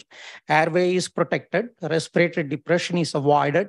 Uh, you can use TEE whenever you want under general anesthesia. If a procedural complication happens, it is easier to manage under general anesthesia. However, local anesthesia proponents will say that hemodynamic disturbances, mechanical ventilation significantly increase perioperative risk. Longer recovery, longer hospitalization increase the risk of infection before discharge. Uh, if you have a general anesthesia with delayed recovery, neurodysfunction is delayed, delayed detection and delaying treatment. So general anesthesia is unavoidable if the patient is failing to maintain proper position, like Parkinson's disease or neurologic disorders. You are not able to lie flat in a bed in an interventional table. Patients with severe back pain, failed back syndrome, patients with severe orthopnea, constantly coughing. Um, we encounter this patient quite often. Patients with morbid obesity, more than 35 BMI, or the patient that doesn't want local anesthesia, patient wants general anesthesia. Um, and then surgical approaches, transaxillary, transaortic, or transapical uh, requires general anesthesia. Peri-procedural conversion from local to general anesthesia is not ideal. Uh, this is a registry from Germany and Stanford. Uh, the conversion rate reported was 3.3%. Uh, procedural complication, respiratory distress, cardiovascular decompensation, and the patient is restless on the table. So those are all the common reasons for the conversion. Um, they compared the converted patient versus non-converted patients. You can see the 11% 30-day uh, safety in non-converted patient compared to 37 patient had some complication at 30, uh, 30 days. So the conversion of local anesthesia to general anesthesia is not ideal during the procedure at all. Um, so, so you want to predict which patient will tolerate general anesthesia, will tolerate local anesthesia with conscious sedation carefully and plan it accordingly. So these are all the patients where there is a possibility of hemodynamic instability during the procedure, impaired LV systolic function, impaired diastolic function, grade three, uh, if you have a patient with collateral dependent coronary circulation, untreated coronary artery disease, pulmonary hypertension, right heart dysfunction, significant other valve disease, patients with significant other system disorders like pulmonary disease or renal disease or frailty. So these patients, you can predict these patients are going to behave differently, so act accordingly in the uh, intraoperative period. Preoperative optimization in the preoperative clinic has a significant role. Anemia increases the transfusion. Anemia by itself an independent predictor. Transfusion itself is an independent predictor of bad outcomes. So avoid these two combined together. Nutritional status can be improved as much as possible. Frailty assessment is a part of TAVR workup. Pulmonary disease is very common in patients undergoing TAVI and other invasive procedures. Optimization of pulmonary disease goes long way to avoid complications. Vulnerability to postoperative neurodysfunction like aortic disease, carotid disease, previous stroke, previous TIA has to be uh, worked up before the patient comes to the operating room. So other transcatheter procedures other than TAVI. Uh, so there are several procedures we do only under local anesthesia nowadays, like atrial septal device closure with a minimum sedation uh, except some patients will require general anesthesia and TEE. As we are talking about these uh, Watchman procedures in future, maybe when the ICE picks up, we may do those cases also with sedation, now general anesthesia. Rest of the procedures in the list, like mitral clip, mm, TriClip, transcatheter mitral valve replacement, all these procedures are nowadays done under general anesthesia, endotracheal tube, muscle paralysis, invasive monitoring, TEE, but there are several centers who do it under sedation also. Um, so, but majority of the centers do under general anesthesia. So to conclude, the principles of anesthesia management, preoperative optimization is important. Selection of anesthetic technique tailored to the procedure and the patient. Early detection of complications intraoperatively and postoperative by anesthesia and perioperative team is very important common theme. The type of anesthesia or anesthesia technique or type of medication administered is less important than the manner in which the anesthesia is conducted or a drug is administered. So type A versus type B doesn't make a lot of difference. Drug A versus drug B doesn't make a lot of difference. But the way you administer type A technique or drug A techniques is very important. Most anesthetic technique reduce sympathetic tone leading to vasodilation, reduction in systemic pressure. This anesthetic management must ensure the proper maintenance of organ perfusion pressure. Thank you very much. Thank you, Kathir. That was great. Um, and and for the first time, anesthesia did not delay us today. So, our, our our last, our, it's okay, we're friends, it'll work. So our last talk for today is another special one. Uh, Paul Mahoney, uh, who uh, really requires no introduction, is an internationally renowned interventional cardiologist with expertise in, in coronary, structural, and, and God knows how many more uh, interventional and transcatheter techniques. Uh, the, the, the exciting part for us uh, that we are incredibly blessed uh, that Paul will be joining uh, UPMC Harrisburg, uh, joining Hemal and his team. Uh, so we're absolutely delighted to have Paul and would love to hear Paul's version of what he thinks the future will look like for structural heart therapies and heart valve therapies. Welcome, Paul. Well, thank you very much, Yves. And um, first of all, I hope you can hear me. And secondly, thank you for the kind introduction. I'm very excited uh, about what the next few months hold. Let me share my screen here. Are you seeing this? Excellent. All right.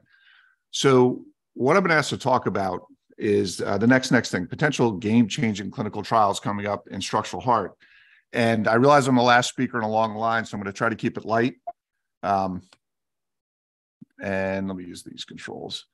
So um, what are the the critical clinical trials in 2023. So my goal is to identify current clinical trials that could change the standard of care of treatment of patients with valvular heart disease. The criteria I used was I looked at all the structural heart trials that are enrolling or in follow-up, but not yet completed or published. And I looked at things that might be potentially changing the standard of care, new indications, new techniques, and novel technology.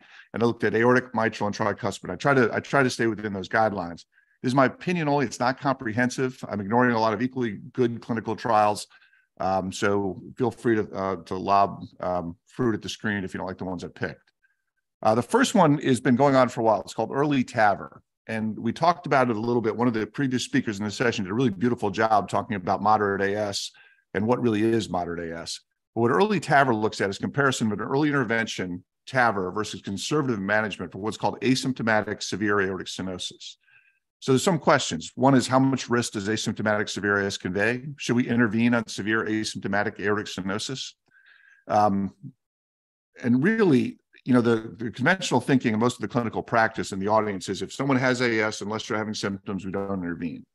But what does that really mean? Is it is there no risk to having asymptomatic aortic stenosis? And when we look at data uh, from control arms of medical therapy versus AVR and asymptomatic AS, we find over a threefold increase in all-cause mortality in this group. Um, if you do stress testing, and again, when we trained, uh, stress testing of severe AS was was considered contraindicated. However, it's very useful. And our clinical practice now is asymptomatic severe AS as we do stress testing. And the reason for that is if you have an abnormal stress test in the presence of quote unquote asymptomatic severe aortic stenosis, you have a six-fold increase in cardiac death. So what the early TAVR trial is, is doing is, and it's completed enrollment, it looks at asymptomatic severe AS, does a screening st stress test. If you if you don't pass the stress test, if you have a positive stress test, you're excluded and you go to uh, the most appropriate therapy, TAVR, clinical trial, surgical AVR. If you're asymptomatic, you get in the trial and you're randomized one to one to transfemoral TAVR versus clinical surveillance. And this is going to answer a very important clinical question and really change the way we take care of these patients. It's already in a lot of ways, and one of the reasons I want to start and highlight it in clinical practice, and it sounds like most of the speakers today are on board. Everybody who is quote unquote asymptomatic with moderate severe stenosis, a low level stress test can be very helpful in risk stratifying patients who either uh, ignore or not fully aware of the symptoms they're having. All right. The next trial is also going to be an stenosis trial. It's a SMART trial. All right. This is sponsored by Medtronic, and it's the first head-to-head comparison of an intraannular balloon expandable valve, SAPIEN, versus supraannular self-expanding TAVR platform, Evolut. And it's designed for patients with small annuli. Hemodynamic differences will be the most apparent. And the idea is, are the more favorable hemodynamics of a self-expanding platform, does this translate to clinical outcomes versus balloon expandable patients with small annuli? Now, Medtronic sponsoring it, they feel very strongly they have a better product. But this is the first head-to-head comparison. We're going to get a ton of data out of this, including pacemaker rates, stroke rates, vascular complication, death, and valve durability. It's randomized one to one. They have to be eligible for both valves by, by trial. I was on the screening committee. We were very careful about that. And we're looking at co-primary endpoints at 12 months of death, disabling stroke, and heart failure hospitalization, and also bioprosthetic valve dysfunction. We are, for the first time, going to get a clean look at a head-to-head comparison and, and really be able to analyze these two good platforms against each other. So keep keep your eyes out on that. And the last one under aortic stenosis I want to talk about was a little bit of a blue sky project. It's uh, this is currently a surgical trial, but it's a biopolymer, life polymer, Foldax valve, and this is a this is a um, non non mechanical valve with leaflets that are polymers. So think about if we can get a polymer valve that lasts indefinitely, we can get rid of mechanical valves. We can, we can do a single operation or a single TAVR implant, and we'd be fine um, for life. And this this is currently being looked at. It's very early on. We've only seen early feasibility in surgical arms, and we have data out to 365 days that shows at least in the short term the valve is durable. Um, and that was a small trial. It's now going to a pivotal trial. Um, and there is a TAVR platform to follow. This again hasn't started yet, but they will have a, a transcatheter polymer based uh, implantable valve. And these are obviously potential game changers. If either of these platforms stick, we don't have to worry about valve and valve. We don't have to worry about uh, valve failure. It'd be it'd be very interesting and revolutionary in the field. Uh, more to follow on that. So changing gears over to mitral intervention.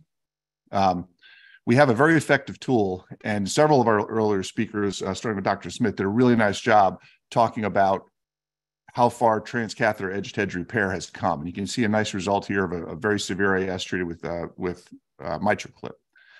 When we look at the EXPAND registry, which is a contemporary registry, um, we published this data. We are, uh, my former site was number one enroller in the G4 registry, and we looked at it um, and we found that we were able to reduce MR to in 90% of the patients to one plus or less. This is a very effective tool. We see a durable and immediate improvement in functional status and MitraClip has matured to the point we can treat most patients at very low risk with, with a 90 plus percent uh, chance of getting MR reduction of mild or less, and about a 98, 99% chance of getting less than two plus MR. And this is going to lead us, uh, uh, we, uh, we saw the uh, device times are shorter. The functional capacity QOL is, is good at 30 days. And we now have four clip sizes, as previous uh, speakers mentioned. So, and I'm really glad that an earlier speaker brought up the repair MR trial because if TEER has entered, is swimming in the deep end of the pool, and we're claiming surgical like results, we need a head to head comparison with open surgical repair, which remains the gold standard. We need a, we need a surgeon to think they have a 95% confidence in the success of a valve repair, and that's going to be randomized one to one surgical repair versus transcatheter, looking at uh, short and intermediate term outcomes. This is ongoing enrollment, and I'm very excited to see if this uh, how this falls out, and this will either um, re- keep TEER in the high and, and, operable risk patients, or it'll expand it down to intermediate risk and then potentially even low risk patients. And we'll see what the results of that. The um, there's been a lot of discussion, a lot of good discussion about transcatheter mitral valve replacement. This becomes much more complex, and the challenges are greater here than in TAVR. We're not putting a valve in a tube. We've got a saddle-shaped annulus versus a circle annulus. We have apical and transeptal approaches that have their merits, and we have a wide variety of sizes. And importantly, we have the risk of LVOT obstruction, with which is a life-threatening complication, which currently requires a lot of off-label maneuvering to, to address. I'm going to talk specifically about the trial Tendyne. I think it's a pretty critical one right now for a couple of reasons. This is an, uh, uh, and we saw a nice case. I think uh, uh one of the earlier speakers showed a Tendyne case done at UPMC, and it was a beautiful result. Here you see the valve, it's placed apically. You get an immediate good result. It has a tether, which is what requires the transapical approach most importantly about Tendyne, and why I think this is a, a, a, critical trial for our field, is that it's the only TMVR trial that's randomized to transcatheter edge-edge repair, which has become the gold standard, is approved, and is an option for a lot of these patients. So we're going to get a direct head-to-head comparison of TMVR versus TEER. All right. And um, so it's pretty critical trial for you to know about for a couple reasons. One, it's going to be the first to an endpoint. We're going to hear about this one first. Number two, it's randomized. So we'll have a, a, a, a transeptal component for edge edge repair versus replacement. We will have to look at this within the context that it's transapical, however, because we have a lot of good platforms coming right before, right after this that will be transeptal. But this will be a critical one to look at the results of the Summit trial when we see this.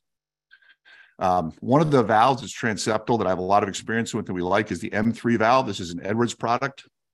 With TMVR, one of the critical issues is how to anchor the valve. So the concept is you place a dock or an anchor this will function, if you will, like a mitral valve ring or valve, and you'll put a sapien-like valve in this, and using the the ring valve and leaflets of the of the uh, the native valve, you'll deliver a competent valve. And this is currently uh, late stages, and we're about halfway through the pivotal trial. It's a 25 French septal system. It's got two parts. It's got a dock and it's got a valve. You can see here as a patient with um, uh, critical air, uh, with critical mitral regurgitation. Okay, uh, a, a, loop is formed in the atrium using a ton of guidance. We access the medial commissure. Once you've accessed the medial commissure, you drive you drive the circular ring around the anterior and the posterior mitral valve leaflets. You form this dock or circle that you can see in the left panel, and then you simply implant valve and valve, which we're all familiar with and have a lot of competency with. Uh, and the results uh, so far have been good. We expect this trial to complete enrollment probably within about eight or nine months. And uh, this is a low profile transeptal uh, system um, with a with a relatively low rate of screen failure. It's got about a 50% screen failure rate, with others are 90 or 95%. So keep your eye out for M3. Um, Hemal showed a, a, a, case. I know that we have Intrepid TMVR is now a transeptal system. It's still 35 French. There's an iteration coming right behind it. It's going to be 29 French. I think it's going to be a little bit more competitive. Intrepid is still bogged down by a very high screen failure rate in the appropriate patients, and I put a bunch of them in, uh, we do get good results, but the LVOT risk remains a, uh, a problem one with this valve platform. Uh, one mitral platform that takes kind of a unique approach to this is the Alta valve. And the Alta valve eliminates the question of LVOT obstruction entirely by putting nothing in the LVOT. The entire valve is contained in the left atrium. It fills the left atrium with a valve facing the uh, um, uh, facing the patient's native valve and allows flow that way. Um, it's conceptually very exciting. It's a transeptal system.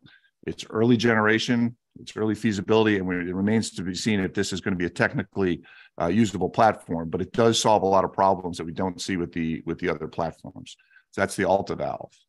And here are some of the features of that. It's an open cage.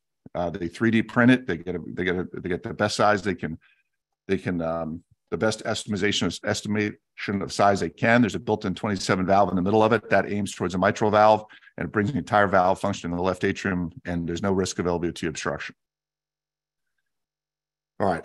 Lastly, moving on to uh, tricuspid, we saw we heard a couple of really good talks earlier about both edge-to-edge repair and valve replacement. I wanted to touch on these. Um, edge-to-edge repair is um, you can see here a patient with severe TR. This, this can be treated. It can be treated percutaneously with a modified MitraClip system. Uh, both Pascal, which is an Edwards product, and MitraClip have versions for the tricuspid valve, and they both are, are effective. You can get leaflet grasp, and you can reduce the amount of MR. Uh, as some of the previous speakers have said, we've changed our grading of MR to show that you can go from torrential down to just severe, and that's a clinical improvement. Um, the Triluminate data was presented only last month at the ACC, and we saw the primary endpoint was in favor of intervention, but it was driven entirely by quality of life changes. Um, surprisingly, um, heart failure hospitalization rate was not better in this group, although the, the TR reduction was significant, and death did not show an endpoint yet. Uh, however, these are desperately ill patients. Anybody who's done these patients and gotten a good result is very gratified by the clinical improvement that the patients see. And virtually all of them would say, if you don't affect my survival, I really want to feel better. So I think this is a, a breakthrough technology. What is what is also really exciting, and one I think you need to uh, bear uh, pay close attention to, is the Evoque valve. This is an Edwards product. It's a transcatheter tricuspid valve replacement for severe TR. Uh, uh, we've done 15 or 20 of these at my prior institution. Um, the early data from TRISCEND 1 shows survival and freedom from heart failure hospitalization to be very favorable. Okay. And the functional improvement mimics that we're seeing in Triluminate. With it, with it one year, we had significant improvement in KCCQ12 and, and um, six minute walk test was all uh, much improved. Uh, one of the things I will say, having done a lot of Triluminate and a lot of TRISCEND, is that this is a 30 minute procedure, not a three hour procedure. It remains heavily imaging dependent. You have to be a symbiotic with your imagers. You use multiplanar reconstruction. Um, you simply access the RV apex through a, a, venous stick, bring the valve across the tricuspid valve. You notice in this patient, this patient has pacemaker leads. This valve can work around pacemaker leads. Uh, there's a previous surgical valve replacement, a previous CABG. The valve uh, is very, very carefully simply unrolled. It's a very calm procedure. Uh, the patients are hemodynamically extremely stable. You have a lot of time to fine tune this. The delivery system is excellent. And you can deliver a valve uh, usually in about 25 to 35 minutes. And there's no TR when you're done. Uh, it, the, the amount of TR at the end is, is usually trivial, and the patients are usually discharged the next morning. Um, and then lastly, a little bit more blue sky. There's new systems out there. This is one of them called the TricValve that avoid the tricuspid annulus entirely, and they put a valve in the SVC and the IVC as a novel approach to treat right-sided uh, right-sided problems. And this uh, very nicely takes care of any anchoring or pacemaker problems. So I'll leave you with that. I know it's the end of the day, and everyone's been very patient. Um, and I want to thank everybody for their time. I just wanted to run through what I thought were some interesting trials that most people should be aware of. So thank you very much for your time. Thanks, Paul. That was great. Let me ask uh, you and and maybe uh, Hemal and Conrad and comment on this a little bit. You know, based on what we see, whether it's data, results, uh, and and competency, perhaps. You know, one of the things that we all feel or think is that tricuspid percutaneous replacement is likely to be approved before percutaneous mitral valve replacement. Yeah. Is that I mean, despite a big, obviously, lag in, in starting the two different uh, different strategies, right? T- tell us a little bit about that in your opinion on. Yeah, I think, well, I mean, you know, the data from Triluminate came out first. We're going to have follow up. It'll probably go to the FDA first and will probably be approved first. I think it's going to be fairly quickly followed by, um, you know, we, we don't have the Evoque data. So I'm, you know, assuming we see similar results with Evoque. Um, certainly the safety profile appears to be favorable. Um, if that happens, um, I think we're going to then try to figure out which patients are best treated with edge edge repair and which patients are best treated with TMVR. Um, the reduction in TR between the two is dramatically different. It's much better with a valve replacement than it is with repair, and they both seem to be well tolerated. So um, I think we need more data to answer that question. Um, but I think uh, these patients are desperately sick. Anybody who takes care of patients with recurrent heart failure with severe TR, they're looking for something, and feeling better is a very solid endpoint. So I think we'll be we'll be busy with both. Yeah, and this again, this may be a little bit controversial, but but imagine if if tricuspid valve replacement was perhaps uh, the data was perhaps available at the same time as as repair, and perhaps the data, the data was more convincing than just pure quality of life it's it's hard for me to imagine the FDA would approve. I mean, tricuspid regurgitation, we all know they're sick patients. We just didn't find out about them till now. So they've existed for a long time. So it, it's just, you know, food for thought, something to think about whether or not FDA would readily approve those and whether these would be paid for, uh, quite frankly, down the line. Yeah.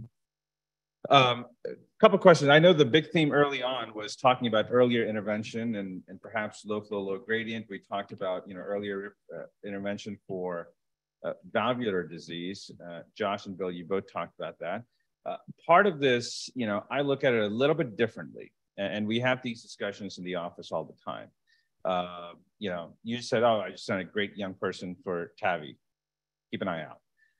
That usually means that that patient's probably not straightforward. Uh, that's why you're giving us a heads up. But more importantly, here's the conversation that you know Dustin and I often have with patients in clinic. If you if we put a valve in somebody who has moderate AS, or is perhaps asymptomatic, not critical, not severe, moderate AS, uh, or low flow, low gradient, severe AS. Two components of that. You put a bioprosthetic valve in that person, they're not getting a mechanical valve, right? Uh, you're resetting the clock, right? So they're barely feeling crappy now, and all of a sudden you're going to reset the clock. They're going to be back sooner now to get their valve and valve, tab and tap down the line, right? Yeah, I mean, I, clearly, I think you're worried about these valves failing in seven to 15 years. And if they're only moderate AS, then uh, obviously we have to worry about late failure and then needing valve and valve. That's a theoretical and I think appropriate viewpoint. And the the bigger theme that I see here with all these talks is sort of the concept of how do we figure out a state where we're going to create a good environment as an institution and internationally for asking this question in a fair way, meaning you may be 100% right that intervening on uh, patients in the short term may be helpful, but in the long term may hurt the patient. But I think when we've done these uh, intervention trials for TAVR, uh, we saw a very early stroke signal, and we were worried TAVR was going to be worse for patients. And in the long term, we've seen TAVR has been a huge success story. So I think the broader concept of we need to do the RCT, we need to enroll patients to find out, I think is more important because I don't know the answer. Um, but it may be that uh, it, the clearly intervening uh, is the right thing to do. And then we need to put uh, the pressures on the companies to get a better valve that lasts, has better tissue, to know that intervening early is right. We just need to get a better valve. But uh, your point's well well taken. Yeah, I mean, it, there's no data to suggest that somebody has moderate AS, they're going to decalcify their prosthetic valve also slower. I mean, likely not the same, right? Bill, thoughts? I'll, I'll just add, you have to have the right diagnostics. You know, make sure it's only moderate, or maybe it's really severe and I think the exercise testing can help. So uh, that's a great point. And I think low flow, low grade uh, AS is probably one of the most abused diagnoses. Yeah, and you know, looking more thoroughly at the ventricles, is there a lot of fibrosis developing? Is the strain abnormal? No, that's that's a great point. Um, and the, the, calcium burden can be helpful as well in the CT, looking at the calcium burden oh, that comes with that. No, absolutely. I think I think those are all great points. Uh, Brian or Jackie, when you guys focus on transcatheter uh, pulmonic valve replacements, tell us a little bit about anticoagulation, gradient issues, low flow systems. Um, is that something that you talk to them in children, adolescents? Very challenging. ACHD patients, probably different issue. Uh, yeah, this is a great question, Ebes. I, I appreciate it. Um, the challenge for us right now is the volume is not comparable to your volume. So we see a small signal of some early leaflet thrombosis in a small percentage of patients, but most patients are being managed with aspirin alone varying from pediatric population all the way through adult population. So 60-year-old patient who gets a transcatheter pulmonary valve replacement is going home on aspirin alone. The same with a 15-year-old patient. We follow early and often for the development of gradient. And if that happens, they end up on uh, usually a DOAC as a, as a strategy for three to six months. Yeah, that's a good point. Great. Times that on ice, after the procedure, we see little fiber strands and the antibody yeah, that's, that's a good point. I think having a you know having a right side of circulation is different. And this is the other point. I would not not that I'm beating on Josh right yeah, now, but please. you know Brian can do can say, oh, you know what, I can do five more of these uh, if they continue to fail. We can't say the same thing for TAVI, right? So so so a different concept, uh, uh, you know, uh, different anatomy. So anyway, that's why I perseverate. Um, Agnes, you know, we've, I think I've been on multiple email chains with, with you, uh, Katie, and others that talk about, you know, patients who are high risk from the cardio B team. Uh, how often do you do invasive measurements, right heart cancer? Are they ever helpful from a management perspective, or is it virtually all, well, let's get a CMR, let's get a TTE, and, and go from there? I think we rarely, but do do right heart caths. I think um, we collaborate a lot with our anesthesia team, and I think if during delivery there's a question of, you know, will their hemodynamics, particularly in active pushing, um, be you know compromise their cardiac output? I think oftentimes a right heart cath will be helpful, um, and we will do that um, if that will be helpful in answering the question, um, but not often. Great, that's good to know. Samir, you, you alluded briefly to to Champion Catalyst AF. Uh, you know, the the Prevail data, Protect AF data, all that you talked about, the difference comes up when it comes to hemorrhagic stroke, not ischemic stroke. Uh, you know, the and and that probably all goes down to mortality. How do you think this will be looked at from that perspective? I know obviously the endpoints are different. I mean, this was controversial when approved, likely going to be controversial, but uh, give us your view on this. Yeah. So the the uh, Prevail and uh, uh Protect AF uh, went up to five years. And obviously, some of those patients that have atrial fibrillation have a longer longevity. So we need uh, longer data.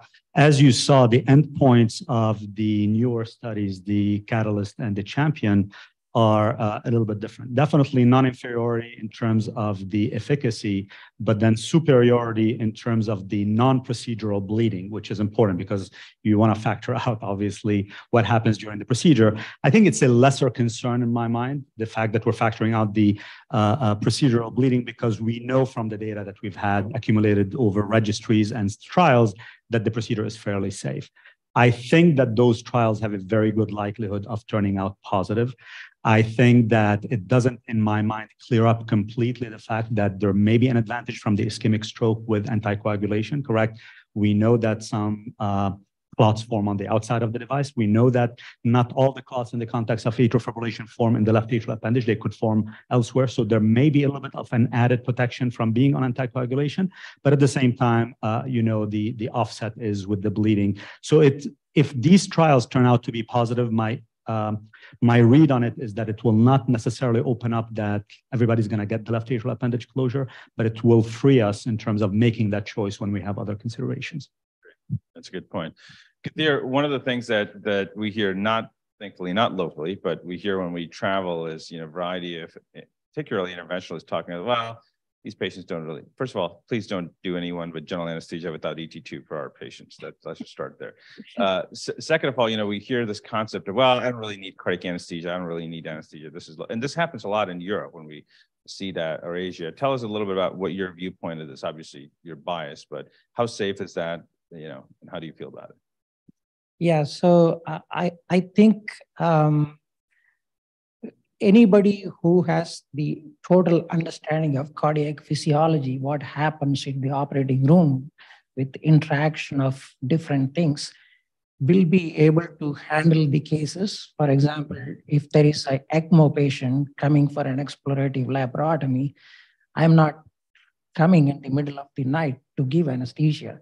So it is a very sensitive matter between cardiac anesthesia and non-cardiac anesthesia, but I believe that um, with proper teaching, we typical example is a bad patient coming for non-cardiac surgery. If I have to do all bad patients anesthesia, so I have to be there 24 seven, you know, so that's not going to happen. So what we do is we conduct CME courses for non-cardiac anesthesiologists to educate them what is right ventricle, what is pulmonary hypertension, what is interaction. With the close interaction, close teaching, close um, uh, coordination, that we will be able to get some non-cardiac anesthesiologists to do cardiac cases coming for such procedures. So it's not totally nil, but uh, they, the cardiac anesthesia has to be on phone, uh, has to be consulted before um, you know, anesthetizing such patients. So it is more of a, um, you know, cardiac anesthesia is only 10 people in the system. So, but there are more patients with cardiac diseases. So we have to involve other people. That's a great point. Katie, you want to close us up? Any final comments? Apart from telling everyone that the heart team is very much alive in Pittsburgh and Harrisburg and everywhere else in the UPMC system? No, I just want to thank all the organizers for organizing this uh, valve symposium. I think it will be tremendously helpful for not only physicians, but as an uh, advanced practice provider. I know that I learned a lot today. So thank you. Great. Uh, thank you, And I, and I learned a lot today too, multiple uh, obviously fantastic talks. Uh, thank you again, uh, really, to uh, Hemal and, and Conrad uh, for helping us really put this together, and the expert faculty who are all here took time off on Saturday to uh, spend time with us and and and and with the virtual audience. Uh, James Ferris and the massive media team, uh, uh Drew Burkhardt and Shelly Miller for uh, traveling from Harrisburg. Appreciate all your help with putting the program together, uh, and of course Angie Kanunen, without whom really nothing happens at UPMC HVI. So thank you everyone, and thank you all. Appreciate it.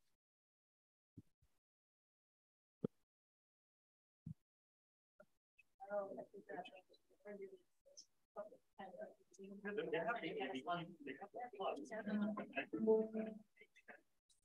you.